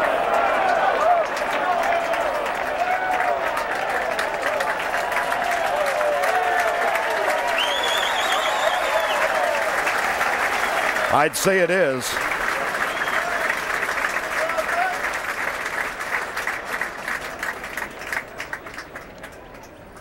One under in the par threes. And let's go to 15. And while Mattiace was hitting, Mickelson just 189 yards. Has to make three here. Just hung this one out a little to the left. Well, he'll be a little disappointed with that, but you can bet the big left-hander will take a run at it from there. And the scoring in the par fives, really not very many eagles at all this year. The flags have been extremely difficult. You can see really doesn't uh, add up. Maybe the year 2000, pretty similar.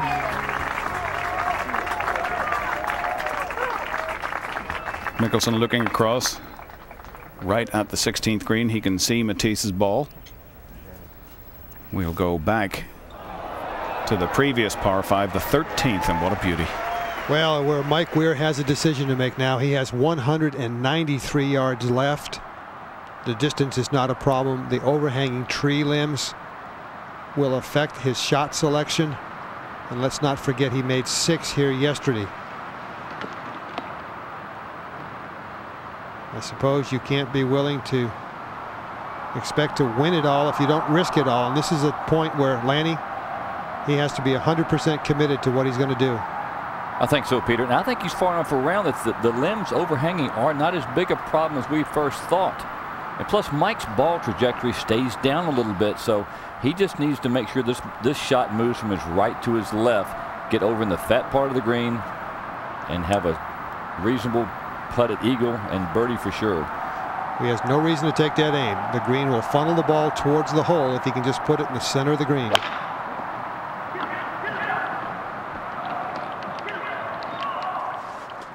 Well, he overcut it and he has put it back. It's on a downslope. This is going to be a touchy little chip shot for Mike Weir.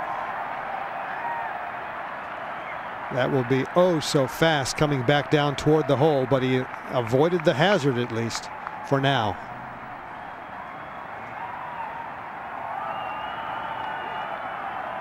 There you see the ball on the downslope. Now that's going to be really difficult. It'll almost take away any chance of trying to hit a flop shot up there. Now to 15. Well, everyone knows everyone's business around this corner. They heard the roar up on the next green. Furyk, an eagle three. And he moves to three under par with three holes to play.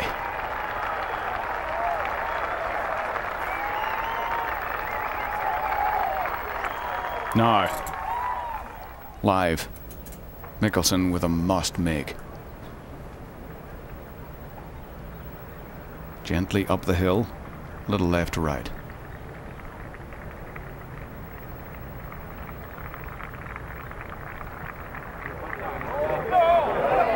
Did he give it enough? Oh, oh.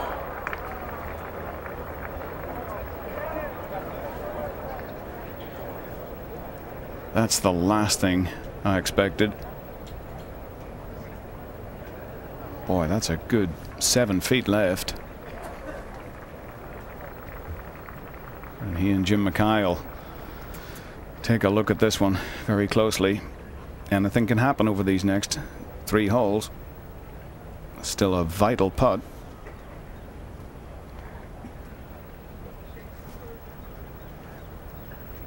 And the 16th green only some 115 yards away from here.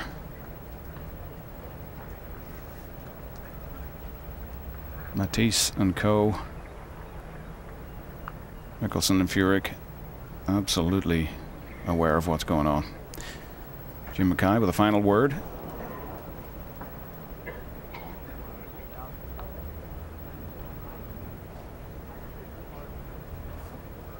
Really not much in this, maybe inside left.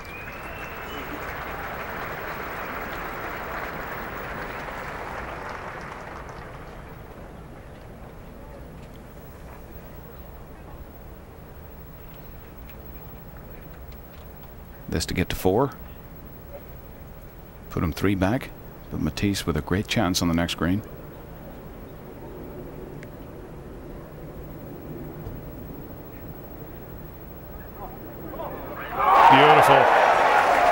Still there.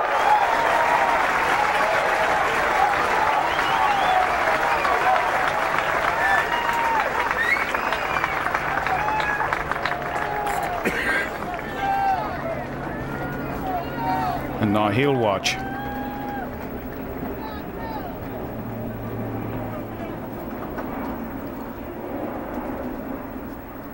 Yep, a little furtive glance to the right, and this is what he sees. Len Mattiace to go to eight under.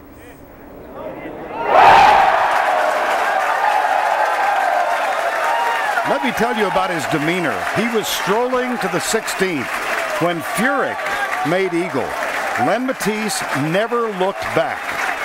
He was standing over his putt when Phil Mickelson made four. He never looked back. And he's now at 8 under par through the 16th hole. Well, Mike Weir here at 13 has heard all of the roars. He doesn't quite know yet to whom to assign those roars, but he has his own problems. He selected to use a putter. And if this has too much speed going up and over the fringe, this could easily end up in the hazard.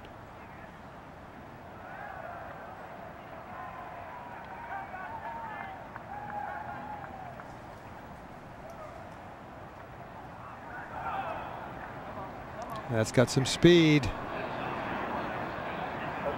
That's got some speed.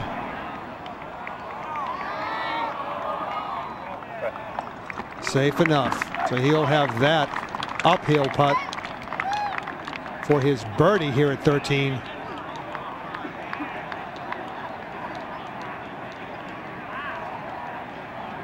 Mike Weir has not changed one iota from Friday morning when he teed it up. He just looks the same. On the outside, you cannot see his concerns. You cannot see his stress. But I can assure you there are plenty on the inside.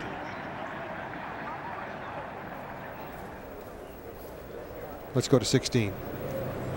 Jim Furyk, six iron.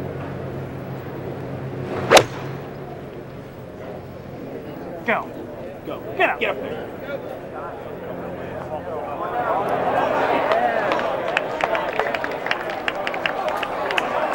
Now watch.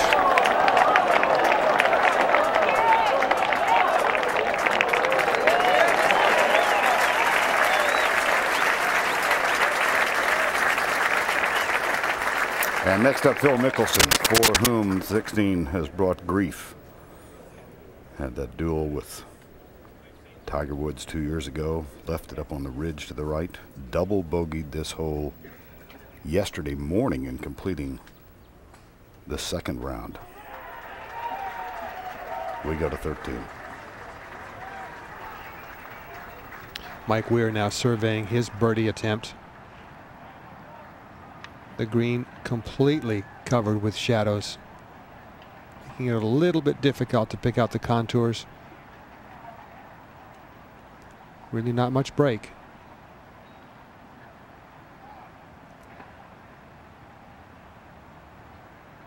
It's a putt that's a little bit slower than the ones he's been facing the last few holes.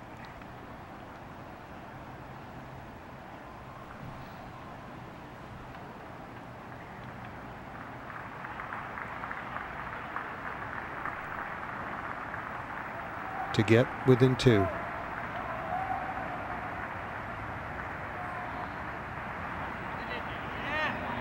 Oh, what a marvelous up and down for Mike Weir.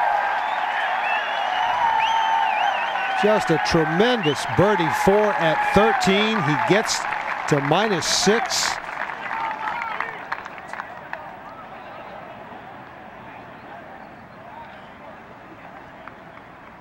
Jeff Maggert found the hazard with his second shot, but was able to play it out. That for his par.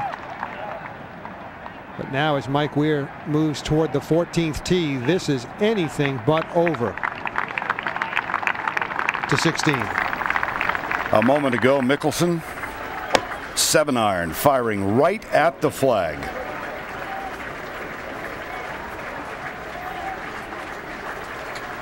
And just does go in to the rough, about an inch.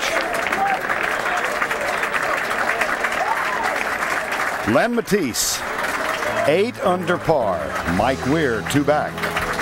Mickelson in third again.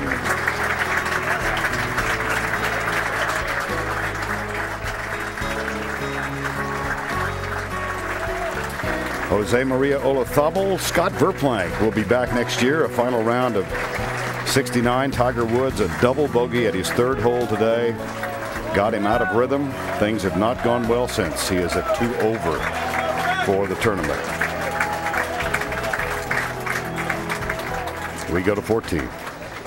And Mike Weir, who will not leave the conversation. Three under today, two shots back.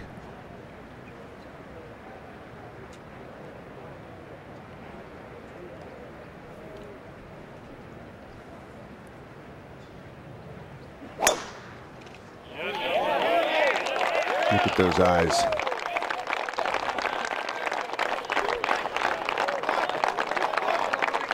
Fairway for Weir.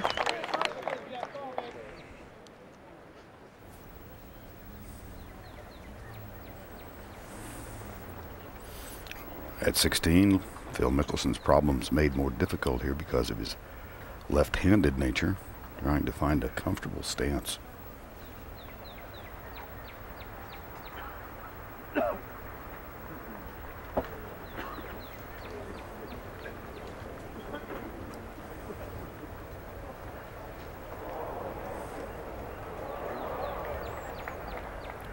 His quest for a green jacket at Augusta, three third place finishes, including each of the past two years. And how ironic that here on the 70th hole of the event, he finds himself in third place again.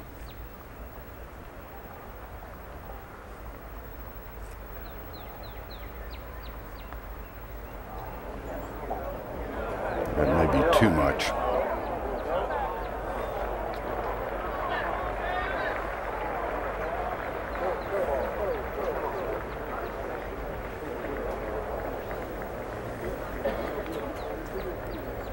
Now 15 feet, 4 3. To 17. Well, we find Len Mattiace has split the fairway. He's avoided the Eisenhower tree down the left. Finding the fairway allows him some options. The pin tucked just a couple of yards behind the front right bunker. And taking his time. 156 yards. Plenty of green beyond the cup, but very slippery putting from there.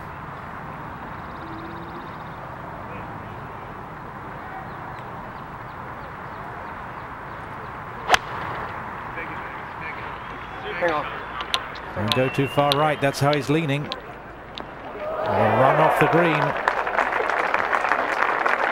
Very close to running off the green. There it comes. Really not bad spot from where to chip or putt.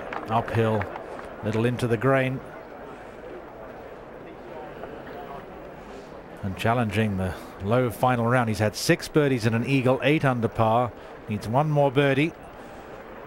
Of course, making a birdie at that 18th hole, the length and 18th hole, that's going to be a challenge. This might have been his opportunity to break that last round record and tie the course record held by Greg Norman and Nick Price back to 16. And Phil Mickelson.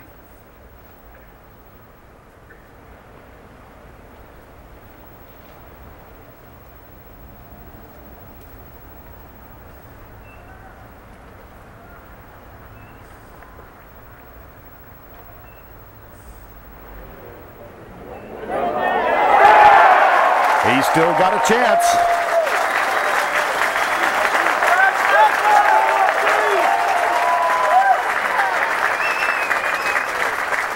Deft touch above the hole for a three. And Mickelson stays four back. Now Jim Furyk.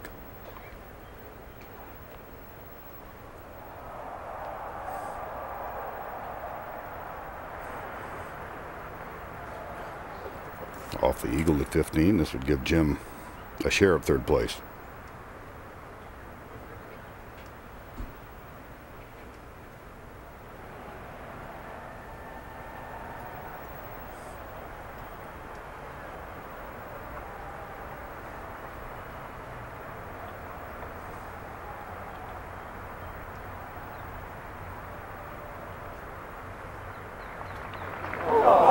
So quick.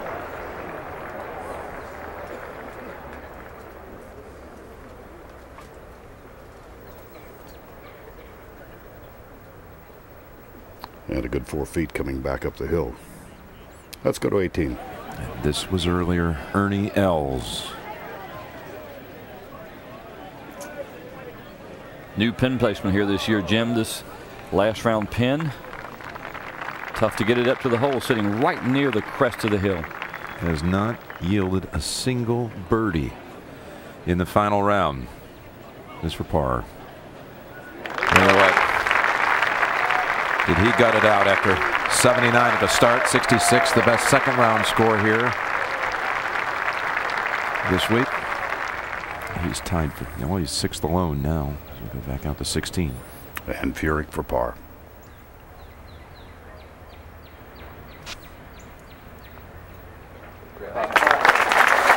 Three under for Jim Furyk. Two holes remaining in the final round of the Masters. Three under on today's round. Mickelson manages a three. And we go to 17.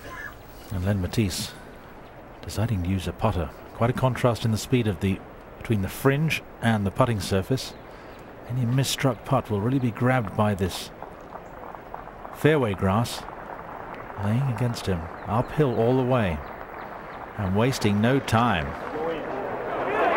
wasting no time thank you very much it's inside a foot no worries there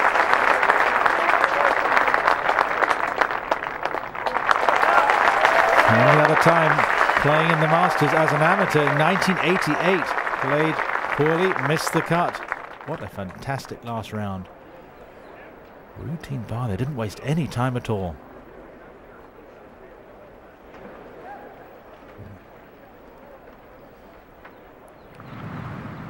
Oh, Mattiace was playing his putt. Mike Weir at 14th. From 169. Good one!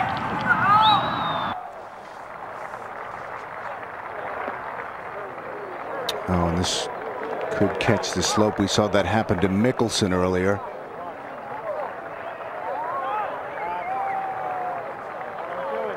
Still moving. So cruel.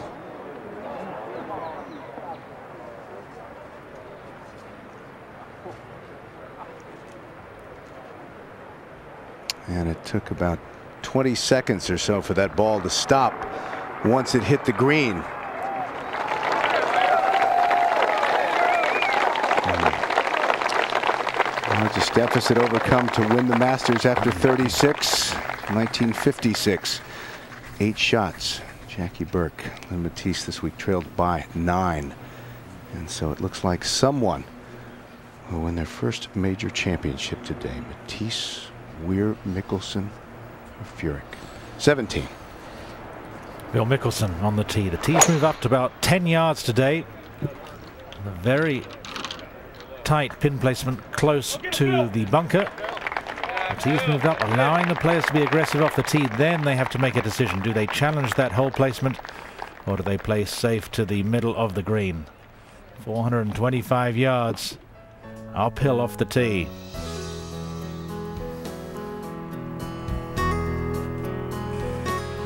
So Phil Mickelson, four behind Len Mattiace, a name at the beginning of the day no one picked as a likely tournament winner.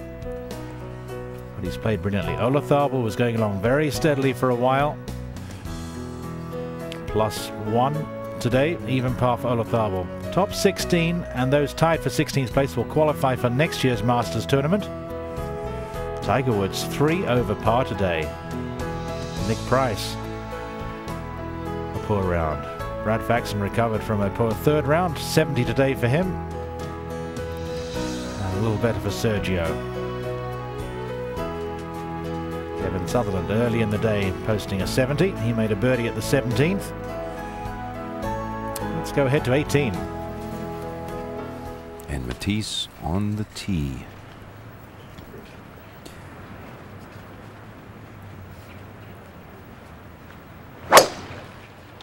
Tee moves slightly up to date. Lenny's trying to take it right at the bunker and works it slightly from left to right. Oh, and he's found the pine straw. Three wood might not have been a bad play there today. He's been driving it awfully well. 14. Mike Weir, on the other side of the Green. Long try for birdie. And I would think Lanny's just trying to get this one close. Down there, Bill, no question. You just cannot come up short on your second shot. We've seen it happen several times today, and where that ball ends up is just too difficult. You're right. Still about five, six feet remaining for Weir. Trying to stay close enough with the par five ahead. Shared the 54 hole lead at the PGA Championship at Medinah four years ago with Tiger. Shot that final round 80, but uh, three weeks later won his first PGA Tour event. And what a wonderful scene that is at the 18th. It's a scene Mark O'Meara is familiar with. He has this for the day's first birdie in 18. And to move into eighth.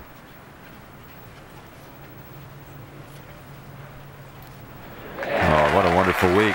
46-year-old Mark O'Meara with his best performance in a major since finishing fourth at Sahalee in the 98 PGA.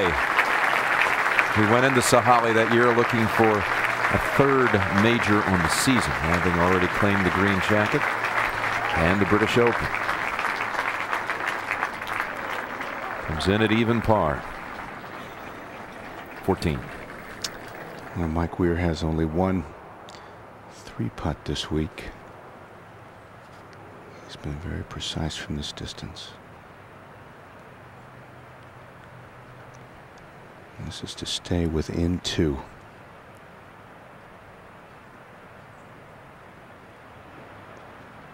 Yes.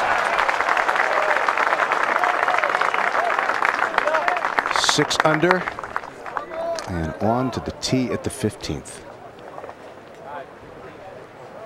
Ahead to 18. And here comes Lenny Mattiace, raised down on Long Island, New York, Mineola. Five minutes from Bethpage.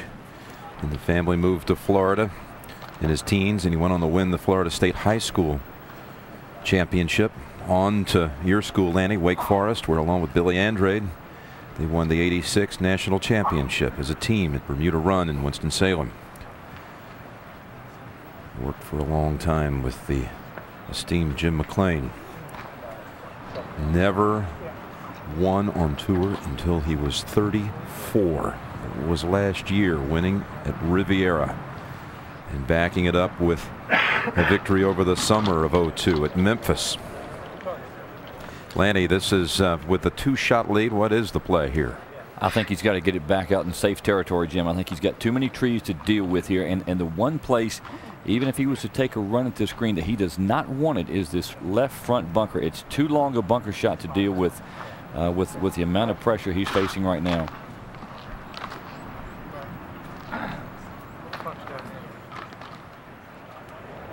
Get it back out on the fairway. Maybe get wedge in your hand. Get it up on the top level. Trust his putter. Putting's always been the strongest part of Len's game. He has really worked and developed his swing the last few years. Made himself a very complete player. Very meticulous player.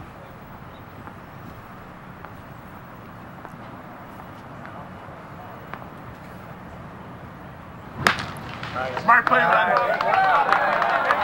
Just played it out, and I still think that play off the tee today, Jim, was probably three wood. Just take it right at the bunkers with three wood. That makes the second bunker out of play. He has not made a bogey, Lanny, since his 14th hole yesterday. It started, in fact, because uh, he was three over through 36, so he began his third round over on 10. Bogey number five on the way in has been a long, spectacular stretch. Who could have ever imagined it? Well, if he makes par here, the 64, you saw low rounds, final rounds in Masters history, but only one of those that you saw was a champion. That was Gary Player 78. So Mattiace could match Player's winning performance. Of course, Weir had something to say about that too, out at 15. And he's setting up for a little draw.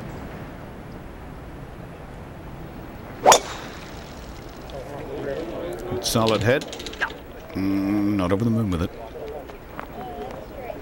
And that will require a little artistry, and you can see how that sat down in the second cut. That will make it very difficult for him to cut it enough to get it around those trees. Firethorn, the 15th, second of the par fives in the inward half, and you can see how the fairway's pinched in now. You've got to put it in that gap.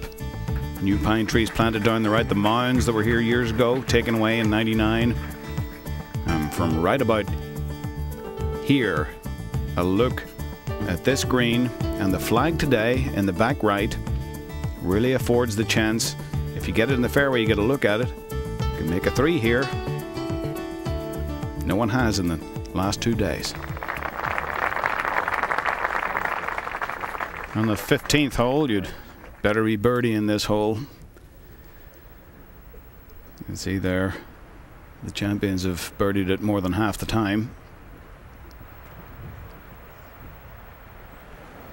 We'll go to 18. The lead is two over Weir. He's four in front of Mickelson. For Mickelson to hang on to any chance here, Phil would have to go birdie birdie, and Mattiace needs six here on the Phil angle. But Mattiace has been, as Vern described so eloquently, he has really not paid attention to what anyone else is doing, just zoning it in, needing somehow to make par here for 64. 120 yards up the hill. Probably pitching wedge for Lenny. Needs to, I think he needs to carry this all the way on top, Jim. I don't think he really wants to come up short here and then have the most difficult two putt for his five. Even if he puts it over the green, I think it's better than being short.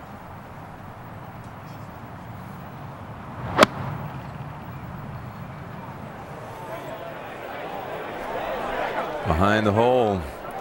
And that's okay. That is a very level putt from there, not particularly quick. A must for Phil at 17. And he hit a huge drive from 120 yards. He was well past the cup, and this will slip away down the slope. Didn't take advantage of a superb drive. Back to 18. You should have heard the reactions throughout the afternoon as Mattiace and those numbers he's been posting have been left everybody here just a buzz.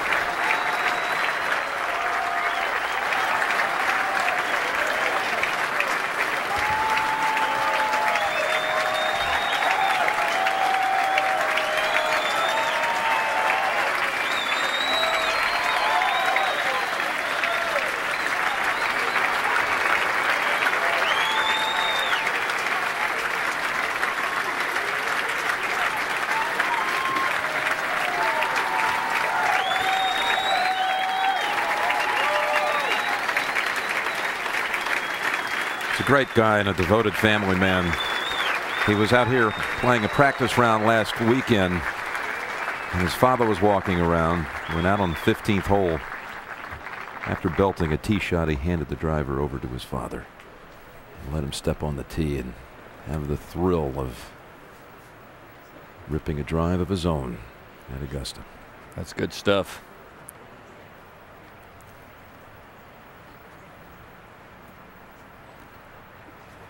15. And back up the hill. Behind the pine trees there on the right of your screen, Mike Weir in the first cut, 221 yards, and look at that lie. That's Brennan Little stepping out of the way. And that looks like a short iron.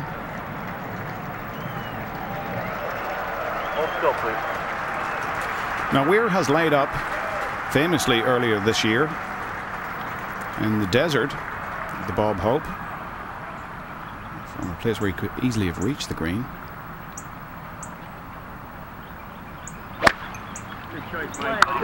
Takes it right up and over those trees.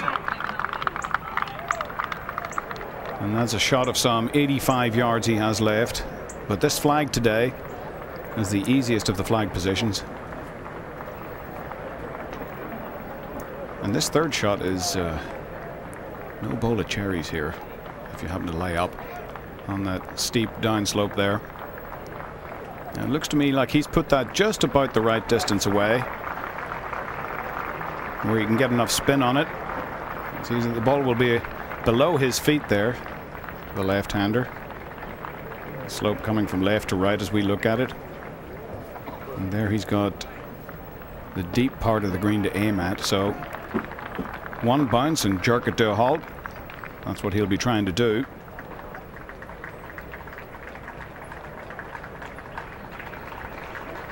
The pride of Canada. There with Brennan Little, fellow Canuck.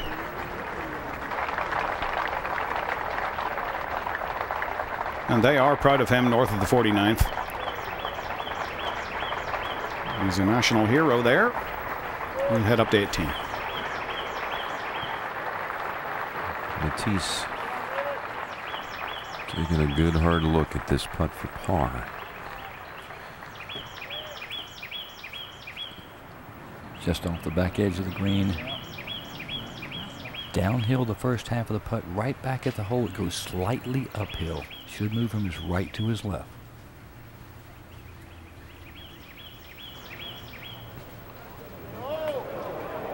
Hit it, Lenny. A little bit of nerves right there. I bet a whole lot of nerves. I've got a little bit of nerves myself.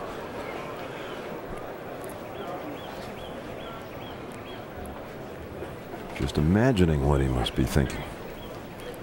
It's hard to come into this surrounding and not get excited, Jim. I mean, you look at this big leaderboard and all of a sudden, look where I am.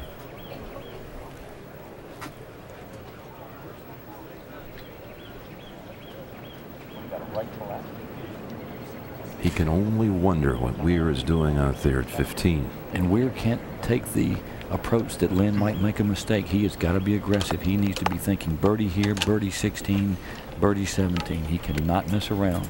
He must stay very, very aggressive. I think David Feherty, 15. Just a little over 90 yards.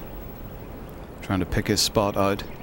Just right of the flag, maybe 15 or 20 feet short, one bounce, skid to halt.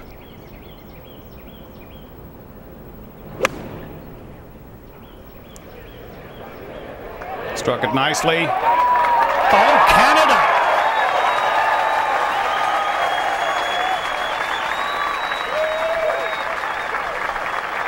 Mike Weir has given himself a huge chance here at 15. As yet unaware of what's going on at the 18th. But he'll know by the time he gets the 16th tee.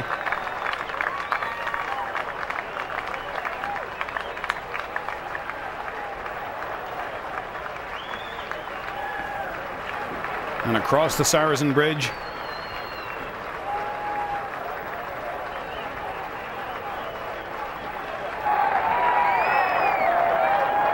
That's a nice feeling. A lot of work to do yet.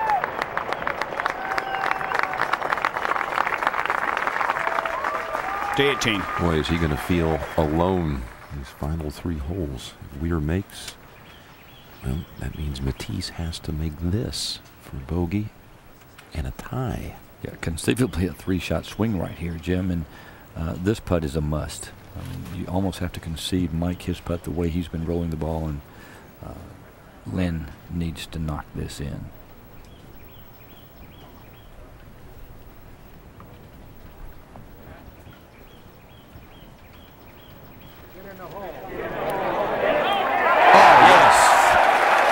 Well done, Len Mattiace. What a round of golf he has played today.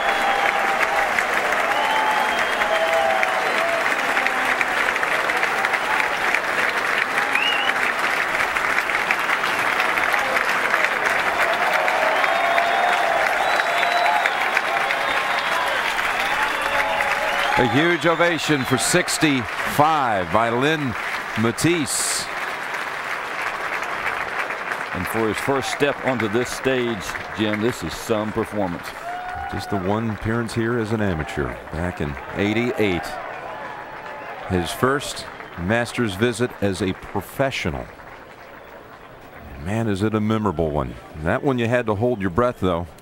That final putt. There was a little begging going on by everyone. I wasn't so sure.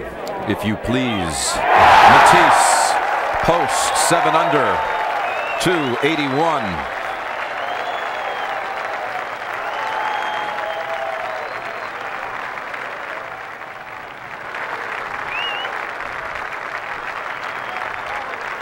And the patrons were right there with him. Waiting, waiting.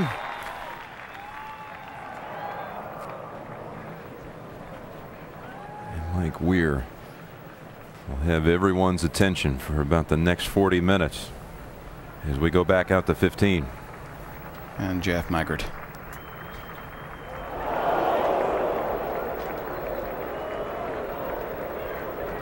This for birdie. And a little consolation. What a day for Jeff Maggert. Back into red figures and a brave fight. A couple of bizarre happenings today, hitting himself with his own ball. And this is an enormous putt. Not much in it. He just inside left, and he has looked very, very solid all day.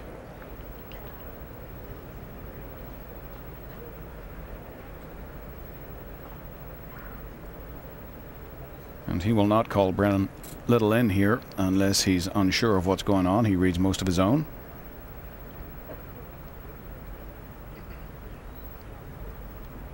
He's made up his mind.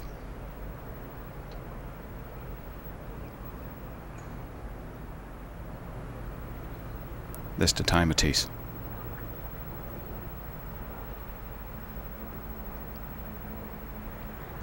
Yes!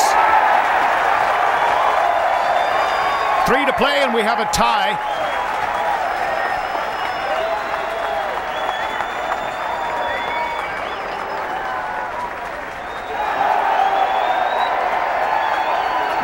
Both of these men just taking care of business.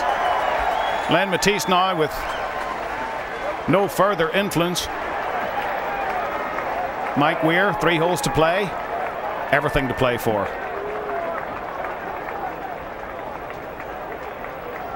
Mike Weir laid up. He could have taken a go at it. Left himself 92 yards and struck this absolutely perfectly.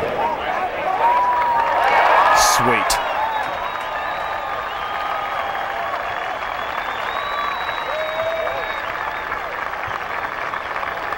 A great little technician and very, very clever. That's the one that tied it.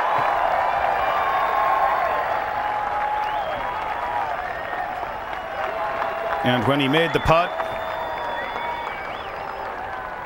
is there a monitor somewhere?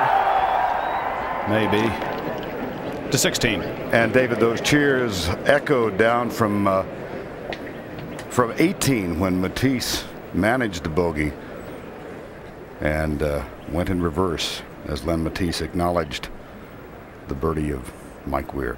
There's a huge scoreboard, but it's some distance away from Mike Weir. It's back to the left-hand side behind the 16th green. I think he's looking at it right now. But it's not an easy glimpse. A tie at the top, 32-year-old Mike Weir playing in his fourth consecutive Masters. 35-year-old Len Mattiace playing in his second, but the two appearances separated by 15 years.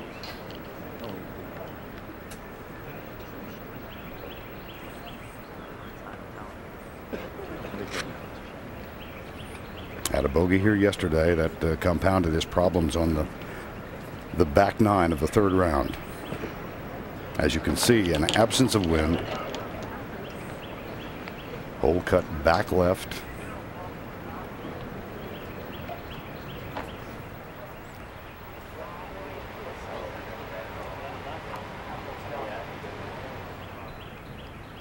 And here's Mike Weir with a six iron.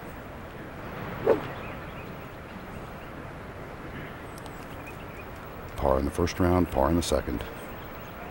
Just mentioned bogey in the third.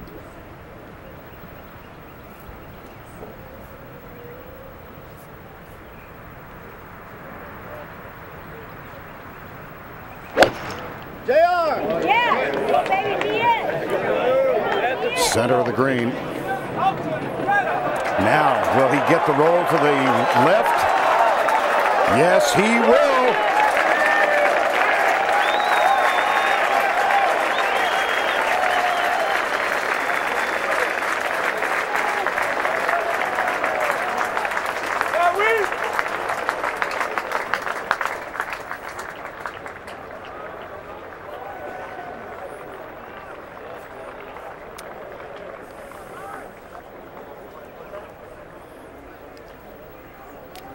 Watch Mike Weir watch the flight of his ball. JR! Yeah! Oh, baby, he is! That's the football.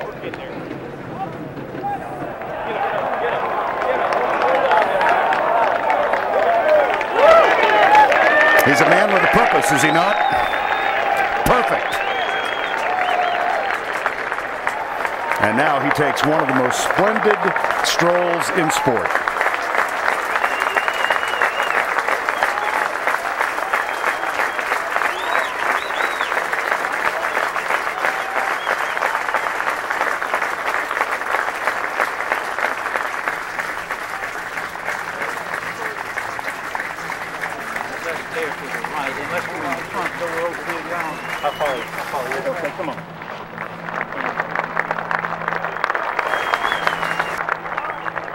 Vern for now.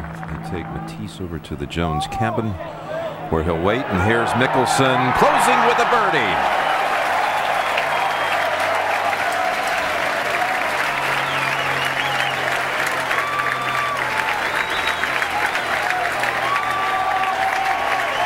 He played a beautiful round of golf today, and I think had you told him 68 before the day, he might have believed that would be good enough to win. It's taken some exceptional golf by some wonderful players today to, to beat Phil Mickelson. He put on a nice performance today, just a little too late with those birdies, particularly the one here at 18. He's going to finish third for the third straight year. Furyk has this putt for par. Pretty much got fourth locked down anyway. It's three clear. Els, Singh, Maggert. All at one under.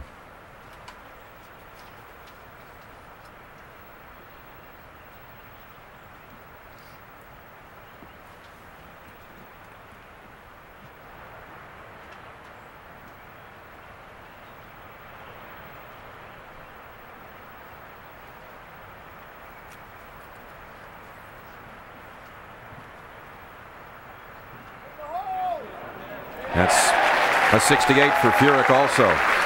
Boy, those two had a delightful afternoon, except for looking up at the scoreboard, seeing what others were doing.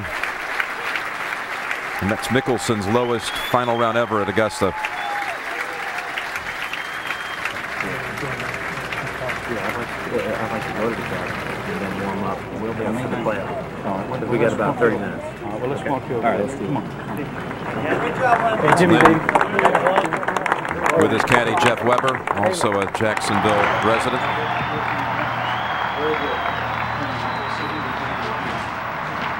Wife Kristen and family here this week, and there have been some agonizing waits through the years in the Jones cabin. Well, they really have. Jim and uh, Len would like to get back out and warm up. If there's a playoff, he would like to go be ready to play because Mike Weir will be coming straight off the golf course and be ready to play, still in his routine. Mattiace shoots 65 on the the anniversary, 17 year anniversary of Jack Nicklaus's final round 65. Back out to you, Vern, 16. All right, Mike Weir has uh, acknowledged the birdie of Jeff Maggert just a moment ago, now gathering his concentration and his thoughts. He's got 10 feet for the lead on Sunday in Augusta.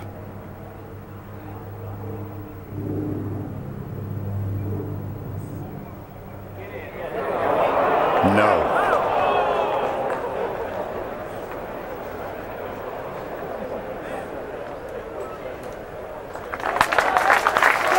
Still tied with two to go.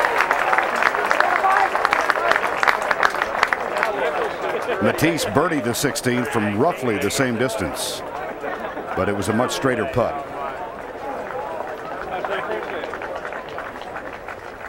This one had a ton of break to it, Lenny. Yes, it did, Vern. And this putt is always slower than it looks. Always. It's much more uphill coming from this angle. Mike Weir, Len Mattiace, seven under par in the final round.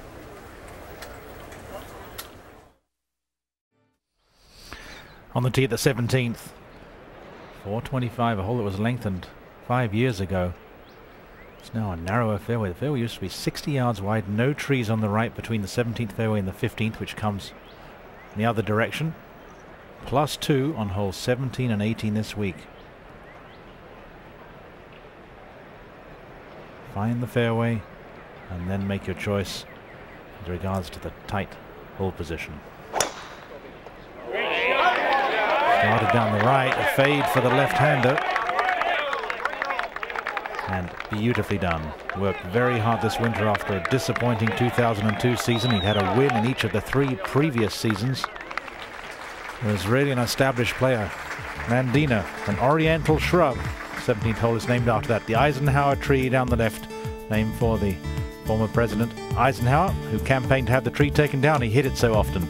Uphill to the landing area here, and then one of the more difficult putting surfaces at Augusta National. Very difficult back right pin placement yesterday, just two birdies. Much more accessible for birdies today, just over the bunker. We go to the 18th.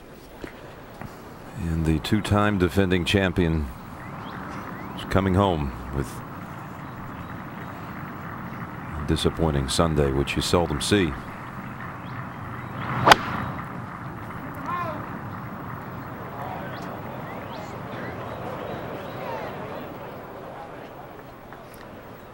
He went out in 39 and came undone with his tee shot at the third hole today and led to a double. Don't often see Tiger make bad decisions, but I think it's definitely a bad decision that cost him day. And Lenny Mattiace wanting to go get ready right now. He's set. He's, he's telling the officials he has sat in the cabin long enough, Jim. He does not want to sit in there and get stiff. Mark, no, we're, we'll ride approach back here. What, yeah. you, what you want to do? I think the only cabin he wants to see right now is the Butler cabin. In about a half hour. We got to go. Well. Yeah, he was going to go over to the practice tee, hit some balls, and take his time. Doesn't want to have to rush. Then he's a routine player. He does things very much in a routine.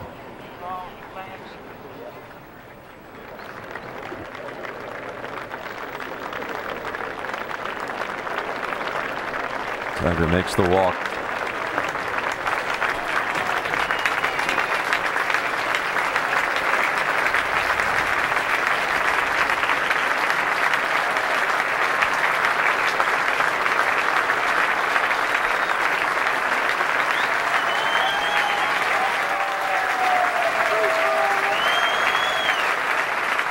Tiger's first ever round in competition at Augusta. He was here as an amateur. A young student at Stanford, coming off his U.S. amateur win, having qualified for Augusta, his first round ever. He played with Jose Maria. Olazabal with two green jackets of his own. Back in that opening round of 95. Chema showed Tiger a little 66.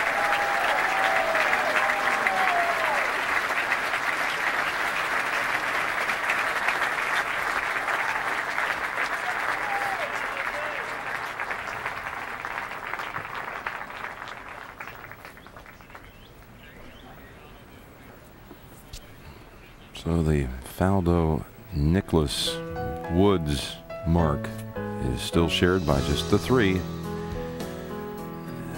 And Tiger trying to take it alone with three straight. Jack back to back 65 66. When he went for three straight in 67, he missed the cut.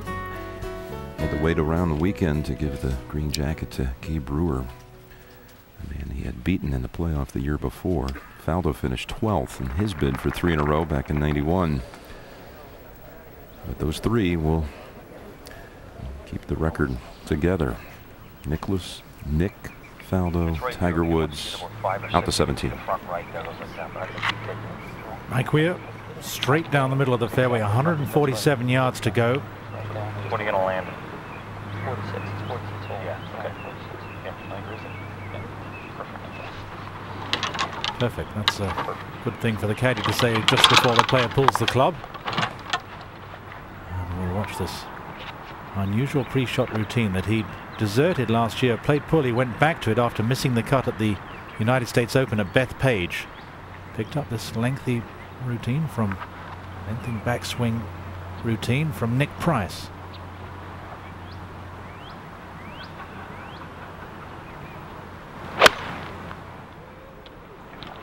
Go hard. Go, baby. Very, very safe. Conscious of anything to the right of the cup running off the green, but that is a very, very fast putt. Any misjudgment, he'll be well past. Not taking advantage of a good tee shot at the 18th. This was earlier. Tiger's third.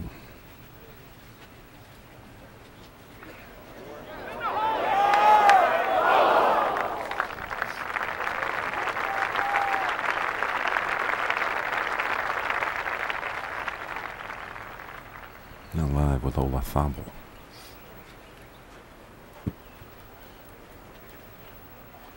Who has had the better of it in this matchup today. This is for birdie to move back into red figures.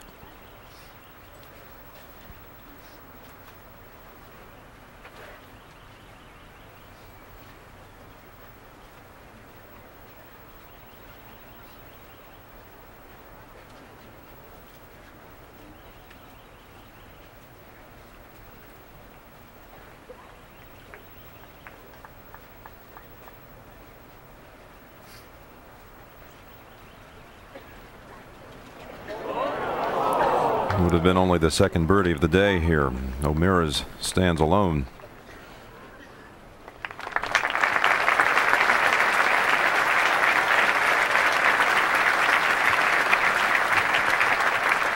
Always a dangerous player here.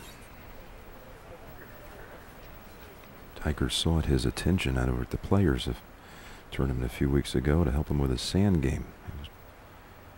Mesmerized by how much spin Jose can get on his sand shots. Closing par, Tiger. 75.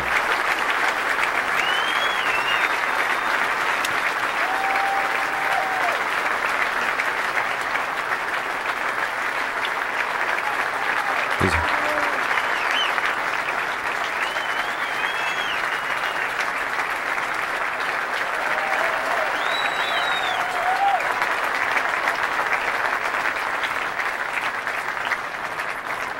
And there's Jim McLean, longtime teacher for Len Mattiace, sitting and observing his student over on the range. Jim, a former University of Houston player whose son will go to Wake Forest next year, Jim. yeah, you had to nudge me with that one, didn't you? On a few championship teams of his own at Houston. Over at 17. Mike Weir has taken a lot of time, looked at this putt from all angles. He had a bogey-free round in the first round.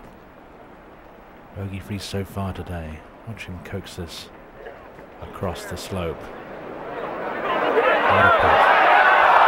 Slow down. Look how fast it's gone by. Just far enough to be a concern. A great effort.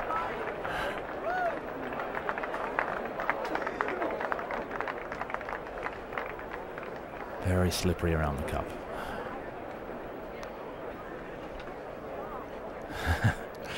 Sense the competitive nature, even though he's got a miserable putt, still making a remark to his caddy, composing himself.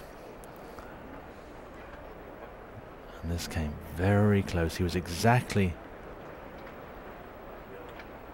pin high, had a chance.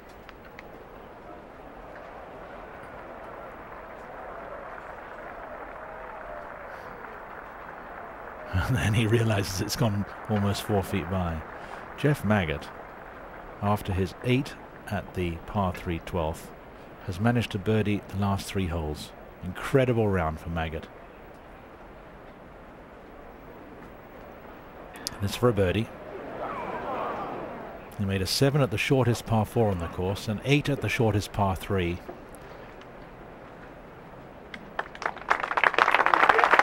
Still is minus two in fifth place. Now Mike Weir.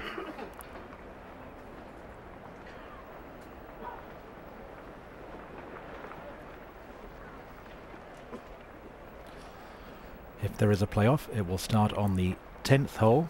Sudden death. As many holes as it takes around the second nine at Augusta National. Two very long par fours to start. Let's take care of business here first, and a 465 yard par 4 coming up.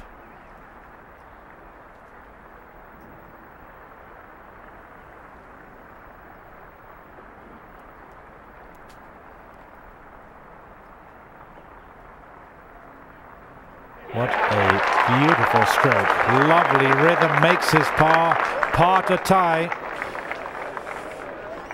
And quickly to Bill McAtee. All right, Peter, thank you very much with Phil Mickelson. And uh, I, I, have to think that was going through your mind when it went into two that maybe, maybe this was the day. Uh, I thought all week that uh, that I'd have a very good chance. I came in very calm and uh, looking forward to this this week's tournament. I felt that uh, I would be in contention on Sunday, and I was pleased with today's round. I, I thought that uh, 68 would give me a really good chance at winning, and obviously uh, Lenny and Mike Weir running away with it. But I was I was pleased with, with, with the way I played this weekend. Was there a moment out there when you said to yourself, "Well, it, it looks like this is is not going to happen for me"? Uh, the only time that I really knew that uh, I wasn't going to win was was walking up to 17 green when uh, Lenny made uh, par there and was eight under heading into the last hole. I felt if I went birdie birdie six under was the best I could do, and so I figured that it was over there. But I was still trying. I still th still thought maybe he could make double, and he almost did, but uh, I didn't birdie the last two, so it wouldn't matter. Does it become increasingly difficult to walk off the 18th green in contention yet again, but still not able to capture that first major championship? Well, you you can't look at success success in winning or losing terms. I felt that uh, I was very successful this weekend. I came out and played a good round today. I putted great on these greens. I feel very comfortable on these greens now, and and I felt it was a successful day, even though in terms of wins and losses, it was it, it was a loss. And, and, you just can't look at success as uh, whether or not you win or lose compared to the other other guys in the field because you can't control what they do. But I felt that uh, I played well uh, for me and, and and played a good final round and and had a shot. I thought 500 would have a legitimate legitimate shot at winning. All right, Phil, thank you very much. Let's send you back to Jim Nantz. And then Mattiace, again under the watchful eye of Jim McLean, who made the cut here. McLean is an amateur in the 72 Masters. And out there trying to get relaxed. I know Jim McLean right now is probably talking about anything but the playoff, anything about other than what went on today. Just how do you feel, Len? Let's see what your swing looks like and really focus on that alone, not trying to get into what may take place in the next hour. There weren't many poor swings out there, except maybe the tee shot at 18. Probably just a poor decision. If there is a playoff, it'll begin, a sudden death playoff, it'll begin at 10. And that means Weir would make four. And this hole sets up extremely well for Mike Weir. He moves it from left to right as his natural shot. He should be able to take it right at that second bunker and hammer it.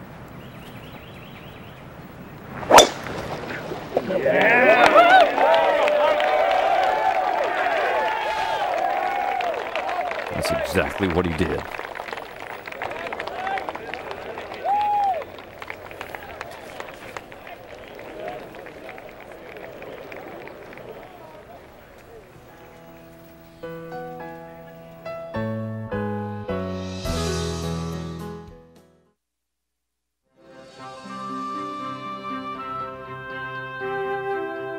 Ultimate masterful performance is to birdie the final hole to win the Masters. The first to accomplish that feat was Arnold Palmer in 1960. It wouldn't happen again for another 28 years when Scotland's Sandy Lyle made birdie to win in 1988. What a comeback! Ten years later, little did Mark O'Meara know he was eyeing that moment of a lifetime, a birdie at the final hole to win the Masters. It's happened only three times in Augusta National history. A birdie to win. That's the scenario for Mr. Weir.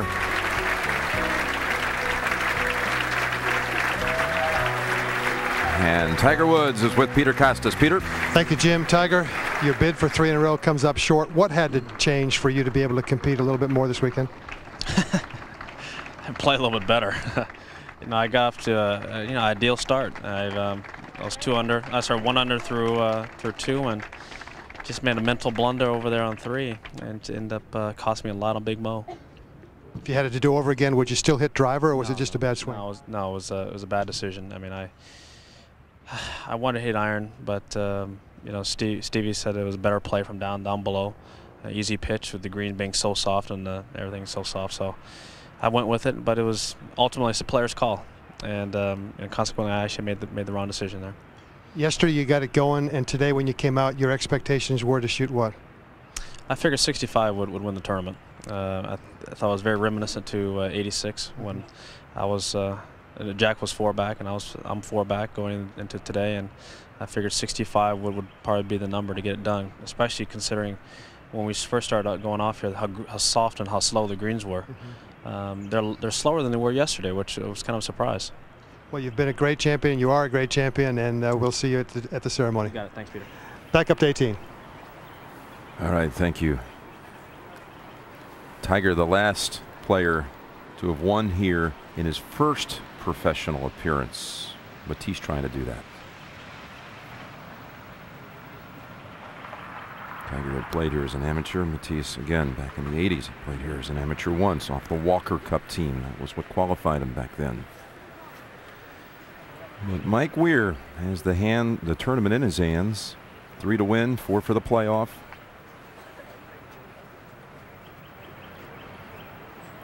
Jeff Maggert is at two under. Fifth alone. He's he's had enough of the warm up. Probably go over and hit a couple of putts actually and just try and get a little bit of feel back. You would like to keep in your routine that you start every round with before you go to the playoff. This is four iron for Jeff Maggert.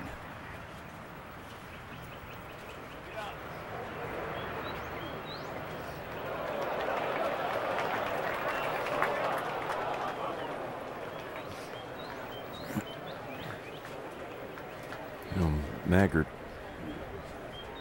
after that disaster over there at 12 has actually come back with three birdies 14 15 and 16 He's going to play 16 wonderful holes today.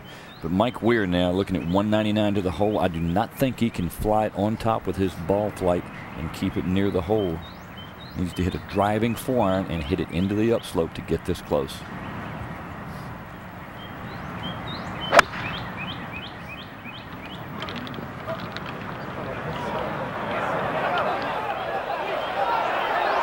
Trying to stay up, but it won't. Got it a little too high and too soft. Got just ahead of it, hitting it up the hill, and it was never the driving flight he needed. How hard is that for two putts? That's very difficult. Number one, Jim, this is a pin placement we have not seen before. The players haven't practiced it. They didn't expect to see a pin here. And I'm not sure that they'll be able to read it correctly. Haven't seen many putts made here at all today. And how difficult has it been to be out there playing 16, 17, now 18, just not able to make a single mistake because you know it'll cost you the tournament.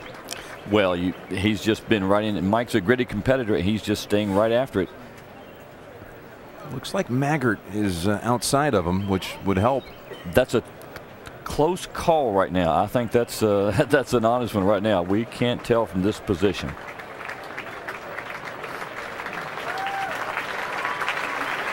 The tournament champion has come out of this final pairing in the last 12 years. Mattiace hopes to end that streak.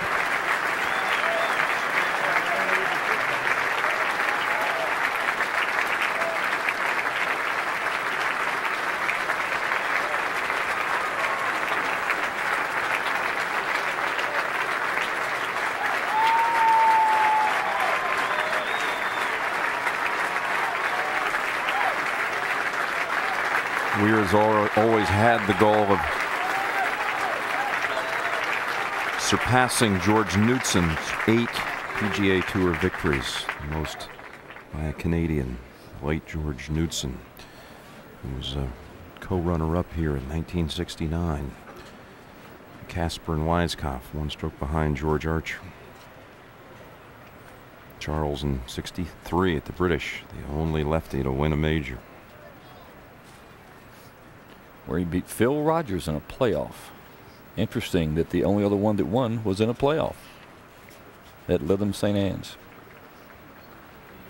You were right about Mattiace, the Eisenhower cabin on your right. Back there, tucked away, is Butler cabin. Where one player will have the coronation of his career. Well, you like to keep things in a routine. Lenny's big into routines, and he is just going through what he would do to get ready to go play a round of golf. So he walks to the 10th tee for the playoff in his normal routine. They looked it over, and it is, in fact, Maggert away. And I would think Mike Weir would really watch the speed of this putt.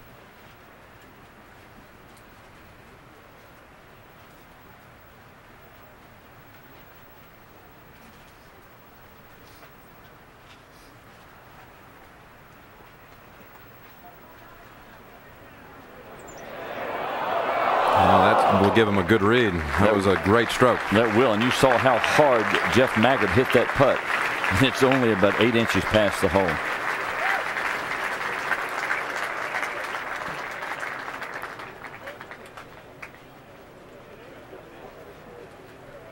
He has this for 75. And to think he lost eight strokes on two holes. A triple and quintuple.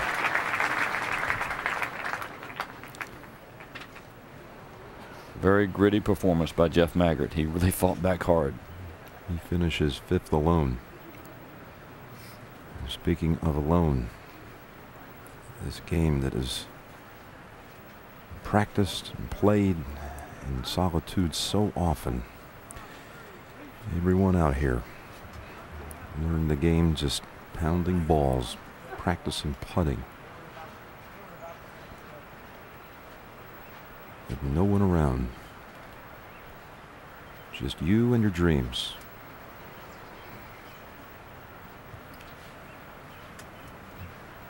Teese knows that he'll get the answer. Just listening.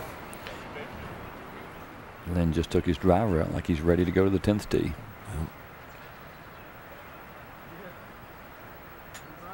Before that happens, Weir can close it right here. Gotta go. It's gotta go. I was really struck by how hard Jeff Maggert hit his putt. I thought he'd hit it six feet past and he only went eight inches past. Mike Weir has a good six feet left for his par.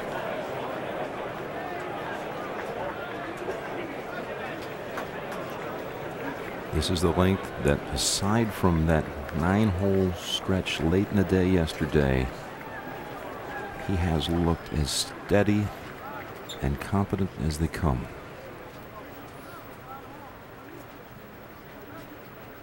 One of the toughest things here is to read this putt correctly. Even for players who've played here a number of years, they've not seen this pin. They haven't had a chance to even practice it, even assume that there would be a pin in this position.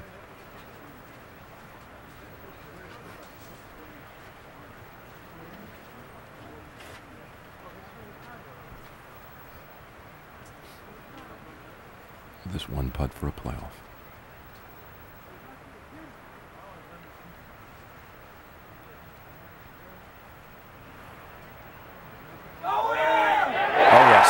What a stroke.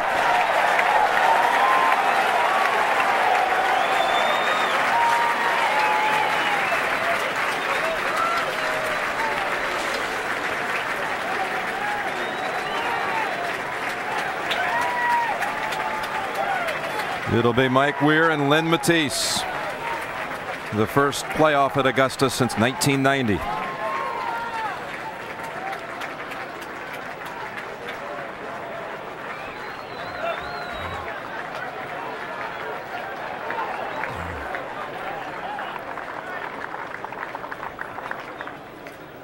Watch how he hits this in the center. And that's as good as you can do it. You just don't need that haunting you the rest of your career. Everyone reminding you that you three putted the 72nd hole at Augusta.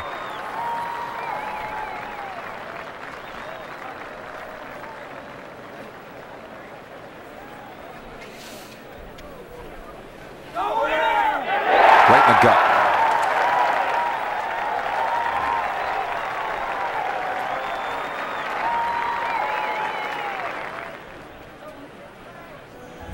First sudden death playoff in Masters history. Sudden death, that is, claimed by Fuzzy in 79. Stadler, who came back from a first round 75, the highest ever by an eventual champion, beat Dan Pohl in 82. The Mize, Norman, and Seve three-way battle that actually ended up with just the two in 87. And then Faldo with the arms in identical fashion raised to the heavens, winning on the 11th green in 89 and 90. Dick Enberg looks back at the history here.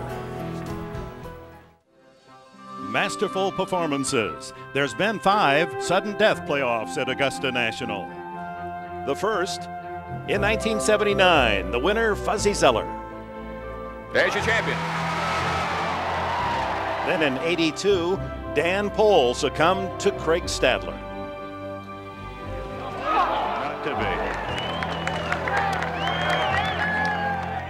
1987, Larry Mize's remarkable chip against Greg Norman. How's that look?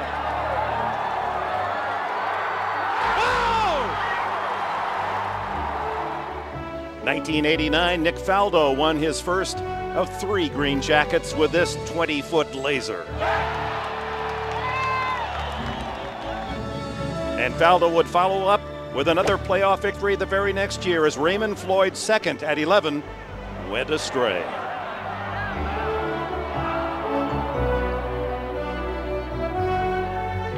Nick Faldo with a Masters to remember in 1990, the last playoff at Augusta.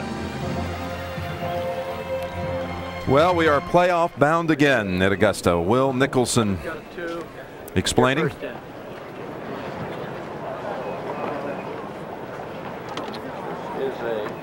They will draw two numbers out of the hat. Actually, only one is needed.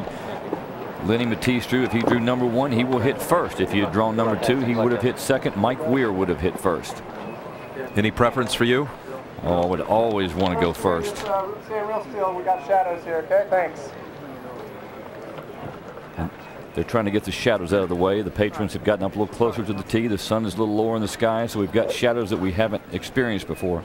That's a good point. Any movement as you stand over it and draw it back can be a, a distraction you don't need. There's a, enough already pressure in the air.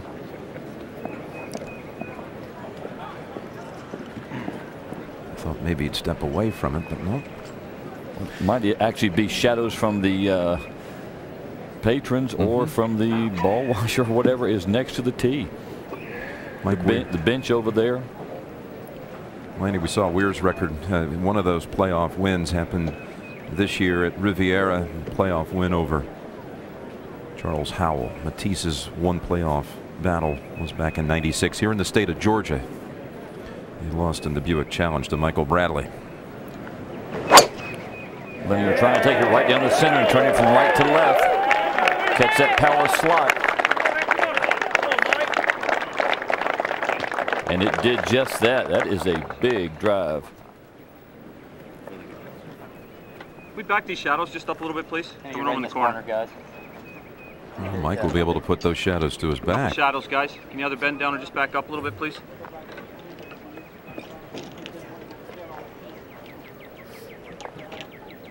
You prefer that right side to set up? Well, it's a severe dogleg left, and especially for a left-hander whose natural shot goes left to right, this is a more difficult shot for Mike Weir. This is not his natural shot. When he came through here the first time today, he uncorked a good one, and you thought this was not a hole that really suited his eye. No, it isn't.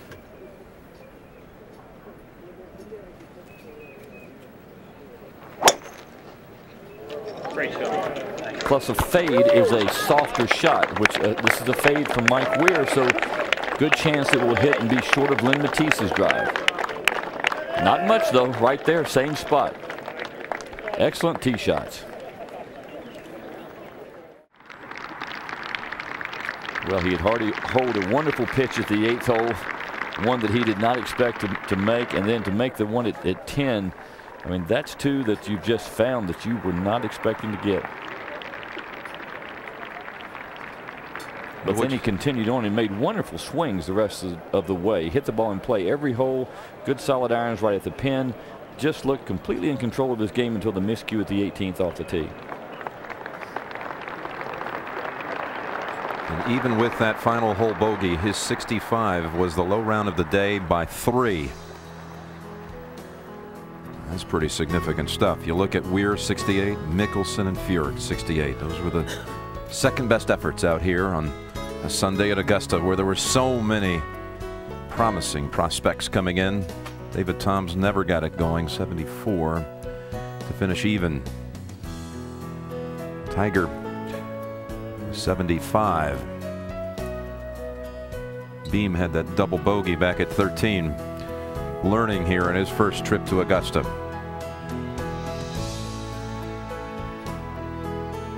Sergio had a spark in that first round, didn't he? Yes, he did, and an excellent performance by Hunter Mahan.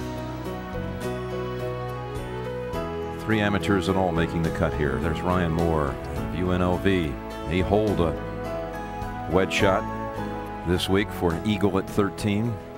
The United States Public Links champion. So back out here at 10. You know, you talk about courses that really expose what kind of player you are. And everyone out here will tell you how much it means to win on some of the classical courses in golf, like Riviera. And we have here the last two winners from LA, the last two to win at Hogan's Alley. And I think it says something about Riviera. Well, Riviera is just a marvelous test of golf, and you must maneuver your ball around Riviera if you're going to win, and you must now maneuver your ball around Augusta National if you expect to win here.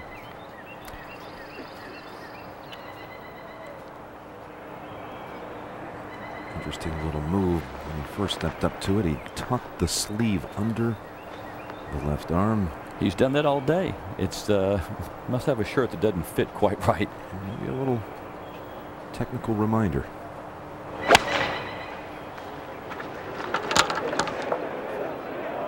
That left. It's well left. Over into the second cut. Might even be right behind the tree. Looks like he might be stymied.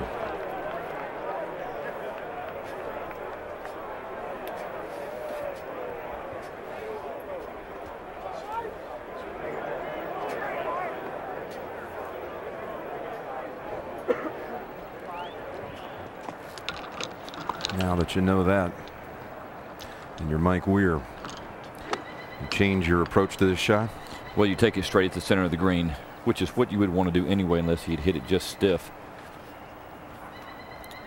He knows the green slopes from the right to the left, so he needs to aim this about 15 to 20 feet just to the right of the hole and try and make a nice solid pass.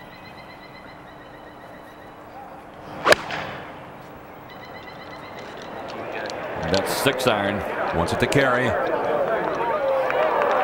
And he's left that a long way short. He's got 45, 50 feet coming up the hill with a significant move from right to left.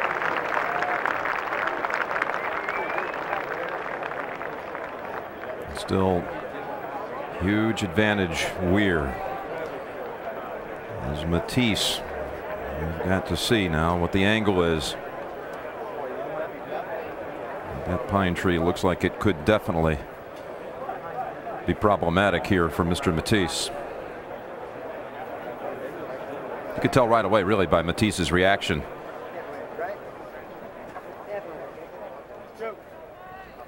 It didn't sound or look like a solid strike.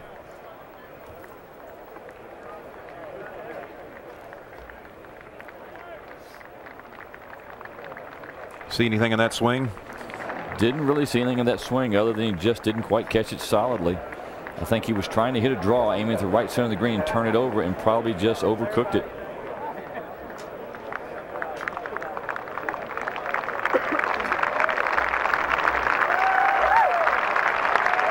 Well, you got to think if Weir can two putt from down below at 18, he can find a way to coax that one up there close, make a four.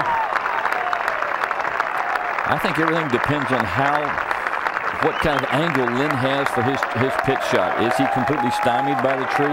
If he can get at the hole, he should be able to get this up around. But as you can see, the tree is right between him and the hole. I think he's got to take this to the right of the tree and leave himself an uphill putt. He's got to get himself in a position and give himself a chance.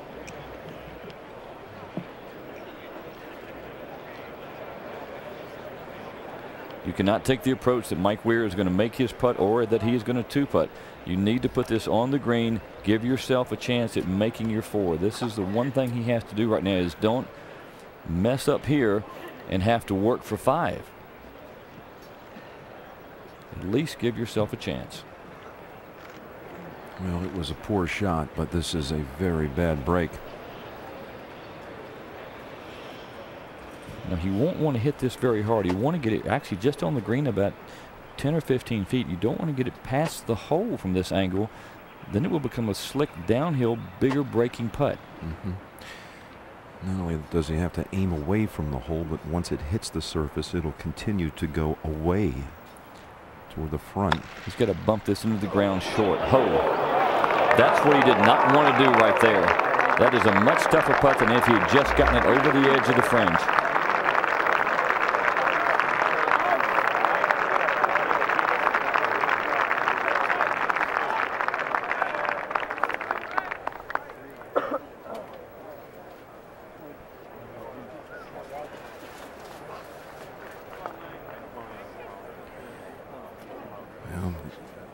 Brennan Little has taken the flagstick out for his man Mike Weir. This team, these two, player and caddy, best of friends since they were teens. And played junior golf together, even played the Canadian Tour together. Brennan has worked for Mike since, since he came through the qualifying school. It's quite a partnership. And now the toughest thing for Mike Weir is to judge the speed. It's coming uphill. It's going to move significantly from his right to his left, putting out of the shadows back into the sunlight. A little bit more uphill than normal. And this green generally is quicker than most on the course. Sits back in the trees and the grass is just a little thinner here than the majority of the other greens.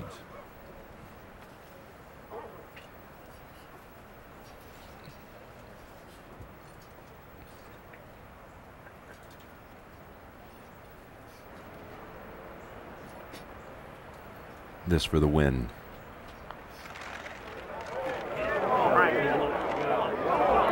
It's a beautiful putt. Oh, my goodness. Look at this. That's what I'm saying. There's speed there that you just don't see on this green. I've always felt this is one of the most difficult greens to judge the pace of any on the golf course.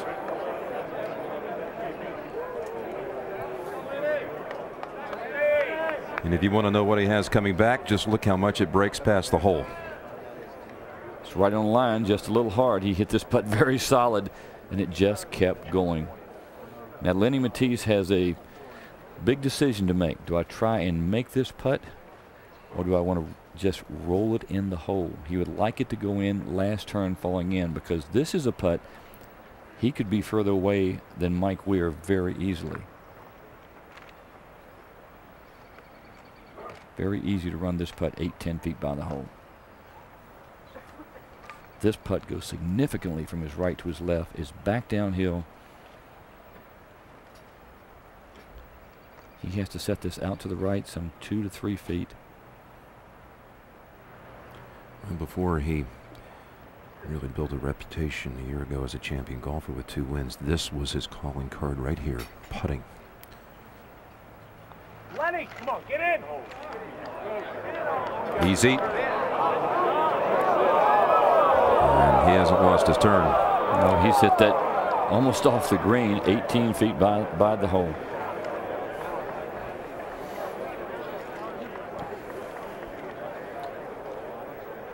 I think Lenny took the approach that he felt like he had to make that putt, and he just uh, it's just not what he wanted. It's just major disappointment for Mattiace right now.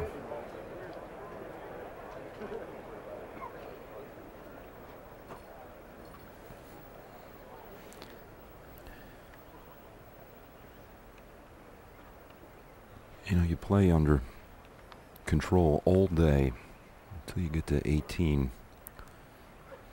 And he had to hole a rather significant size putt at the 18th. But he's out there playing all day, Jim, and then he had to sit and think about what he was actually going to do, that he was going to be in a playoff for the Masters, and it is more than Len has experienced before, and that's it's obviously he has not handled it well to this point yet. So I'm sure that he and Jim McLean were trying to get their mind on something else, but this putt has to go in. If he doesn't make it, Weir only has to two putt to win. This for five.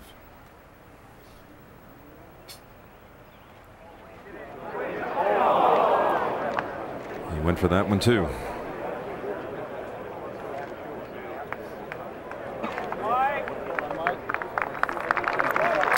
Well, he knows now.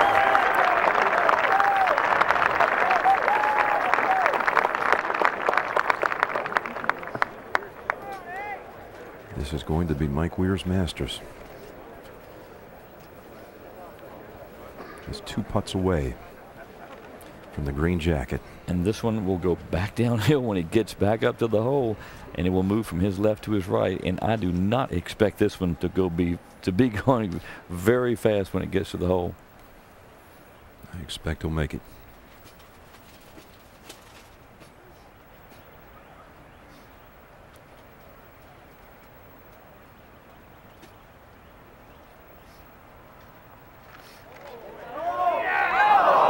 Be good enough. The green jacket is going north of the border. Mike Weir has won the Masters.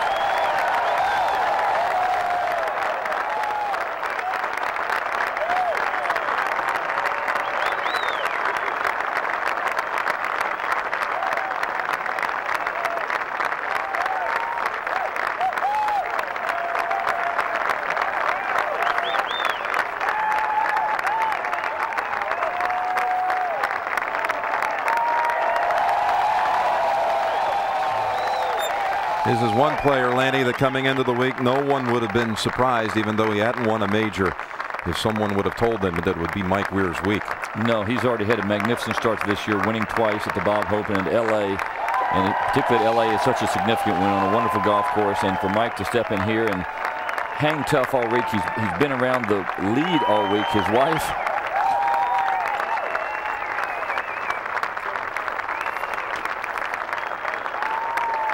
Canada has its first ever major championship.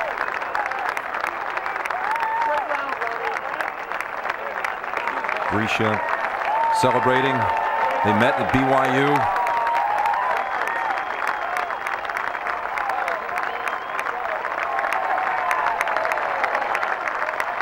Well, he said this week, you know, you learn something a time or two here the week is so exhausting and so many people want to be part of it all.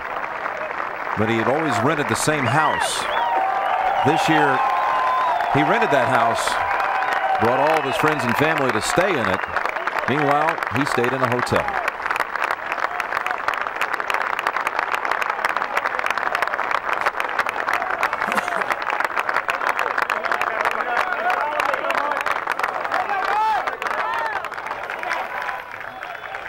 Only took a five to win the playoff.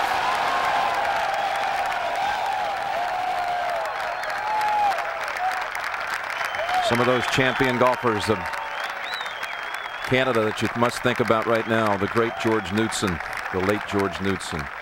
Dave Barr came close. There were others. Yeah, Stan Leonard, Al Balding, all wonderful players. Canada's had some great champions over the years. Gary Cowan won two U.S. amateurs. No one before today from Canada could ever lay claim to a feat this large. By there, you think she would see it, I, I think she would. She just went this way. Mike Weir grew up to trying to play hockey. Where's A little too diminutive. He No, was no, told no, to pursue that sport to its fullest extent. And Mr. Boardman has All right, all right. She is covered. She's covered? Come on,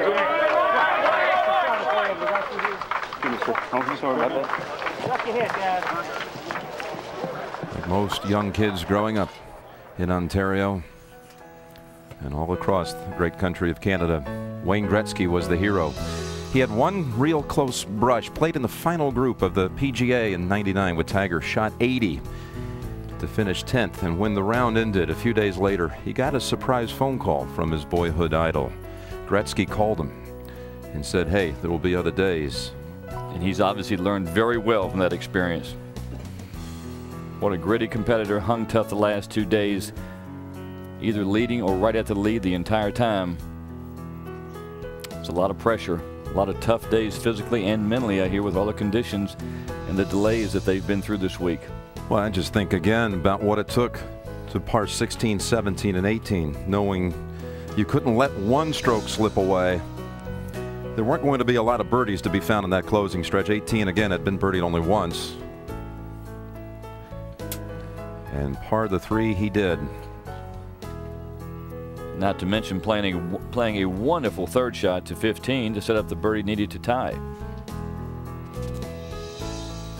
He just looked in complete control all day today, where he got out of his rhythm the second nine yesterday. He was back on, on track today. And we tracked it yesterday how in his five previous wins, they had all been come from behind victories.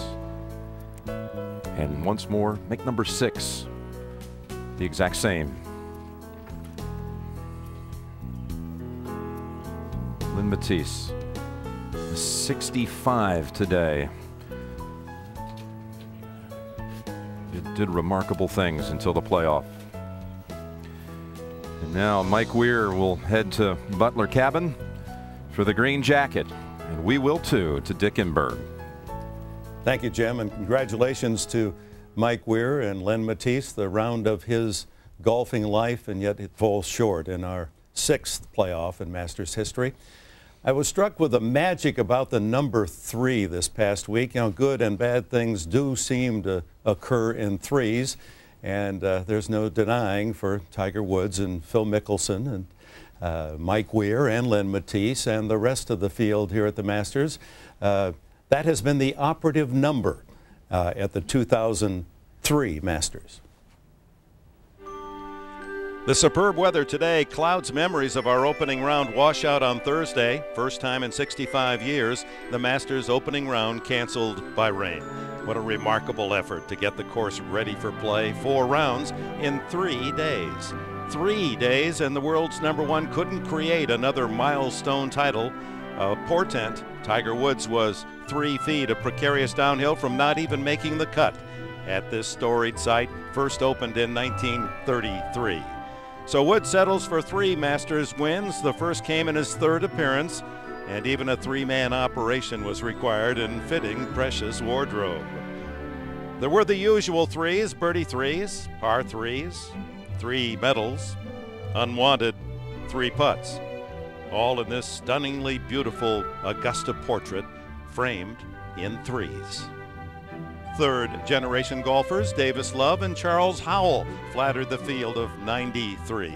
And there was the big three back to compete together in a threesome in the par three event. Even the Golden Bear and the Spirit registering an incomprehensible 500th Masters birdie, yes, a three on Augusta's third. Three amateurs made the cut, and the top amateur, Ricky Barnes, three time Arizona All America, drew style comparisons to a young Arnie with the theatrical touch of a young Burt Lancaster. Hats off to the others. A pair of 20 year old collegians, Ryan Moore, touched by the King, and Hunter Mahan. Their play brightened this Masters. The sentimental favorite, Phil Mickelson, a new father three weeks ago, his third child, still seeking that elusive major, his best Masters, third. Denying Mickelson, Canadian Mike Weir, his third win of the year. First of our friends to the north to win here at Augusta National. Also, the first left hander to win the Masters, a major victory to be shared by all of you with a southpaw swing. So, from Augusta National, three cheers for Mike Weir. And oh, Canada.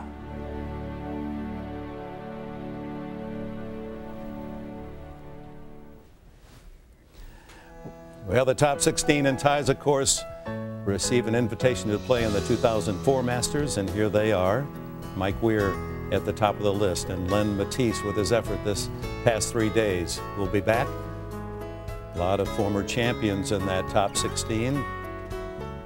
Olazabal, isn't he always there? And O'Meara. Jonathan Byrd, well, a Tiger uh, will be back at the Masters. He was a Clemson Tiger. His first Masters appearance produces a top 16 result. Tiger Woods in the group, along with Davis Love III, who is the world's third player at this. And KJ Choi in his first Masters, the Korean, will be back in 2004.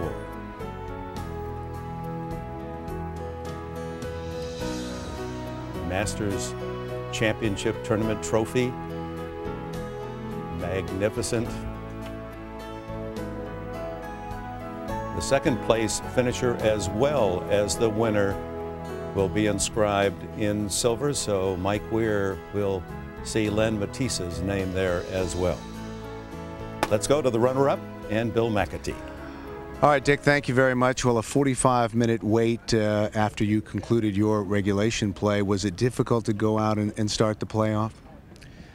No, I didn't think so. I, I, you know, I hit a few balls and waited and uh, warmed up again, and I was ready to go. You played so freely and relaxed all afternoon. Did the did the weight of what you were about to accomplish uh, strike you at the 18th tee? No, I just you know that 18th 18th is a tough hole, and I you know I I struggle with it all week. I I made three bogeys and a par, and it's just a hard hole, and I didn't quite hit the drive solid enough. Uh, but I felt like laying it up, I still had a good chance for four. Try to give us a, sense of what it is like to play for the lead or with the lead on Masters Sunday. Well, Masters Sunday is, I think, uh, unique in itself. There's I don't think there's anything like it. And ever since I was a little kid, I've always grew up watching it. And uh, we saw the great players make all those birdies. So I was, but I, I, was in one of those zones. You know, I was in a very good place. I, I was, I was hitting the shots just the way I was seeing it, and that's all you can. I mean, that's that's all you want to do. I mean, and it was a it was a great feeling doing it. Well, you were a great player today. Thank, Thank you. you. very much, Thank you. Len Mattiace. Thanks. Let's go to Jim Nantz. All right, thank you, Bill McAtee. Can you imagine shooting 65 and then all the emotions you have to be trying to deal with right now? Len Mattiace, the runner-up to Mike Weir, and it's time for the Green Jacket presentation in Butler Cabin. Good evening. I'm Hootie Johnson, chairman of Augusta National Golf Club, and we sure hope that you enjoyed the Masters tournament. First, I want to thank our television viewers from all across America and around the world in 180 countries for their loyal support of the Masters tournament. We're very, very grateful.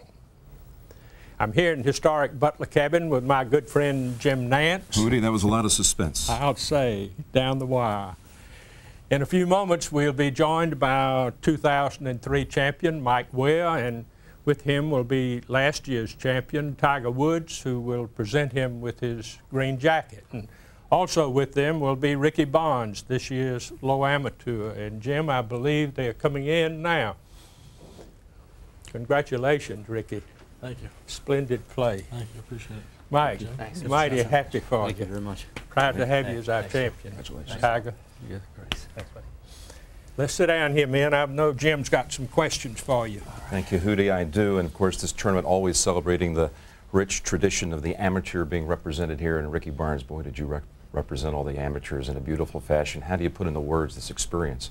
Uh, it was a great experience. Uh, I couldn't, can't even explain it in words. Uh, first two days were great playing with Tiger. Um, and these last two days, I enjoyed every hole, especially today. You knew for, well, for almost nine months you were going to be paired with Tiger. I'm sorry to mention this, Tiger, but you did in fact beat Tiger over the course of 36 holes. Could you ever imagine that? Uh, probably not. You would probably. I would have probably said I would have had the lead after two rounds, but uh, he snuck me out in 72 by one. But um, like I talked to you on Wednesday, uh, you you expected to see me here, and so did I. I told you, you had an appointment right here. Well done. And I know someday you want to sit one chair over. Exactly. I wouldn't be surprised to see that. Great play. Thank you. Wow, Mike, I'll tell you, that was just uh, wrenching watching that stretch. Take us through the leaderboard watching down the way as you knew that Mattiace had already come in, finished at 7 under. When did you realize what you had to do? Probably on uh, 13. I hit a nice drive. Um, I cut a little too much and got a good break that uh, kind of carried the, the corner of the tree there. And um, I knew I needed to make some birdies coming in. Uh, I saw Lenny was really on a good roll. Um, you know, was tucked on the left side there and had a, had a little cut shot into uh, 13 and made a great two putt there.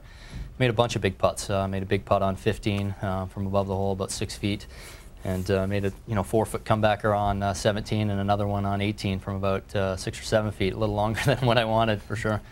You know, we've been talking about how much this means to all your fans in Canada. You do have a home, of course, living in Utah, and you were at the gold medal hockey game up in Salt Lake City a year ago, and watching Canada play for the gold, you once said was the most nervous you've ever been in your life. Did today surpass that?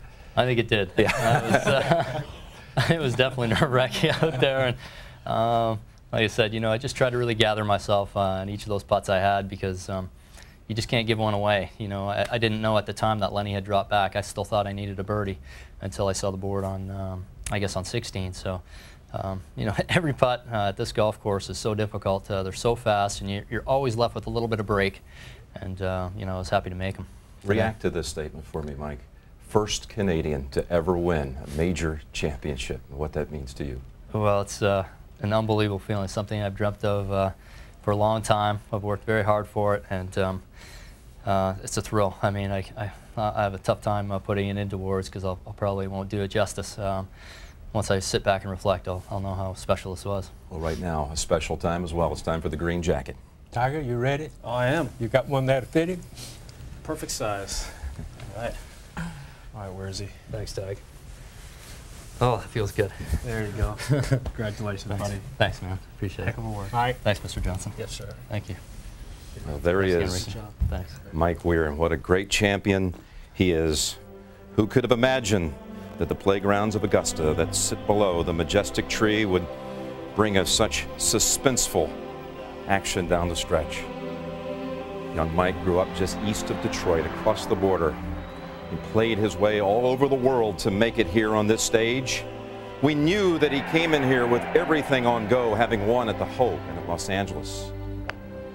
With the name Mike Weir on the board, just watch what he did down the stretch. No better example than his shot in the 16, where he never blinked watching the ball in flight and never did down the stretch to win this playoff over Len Mattiace. Canada celebrates as Mike Weir is the Masters champion.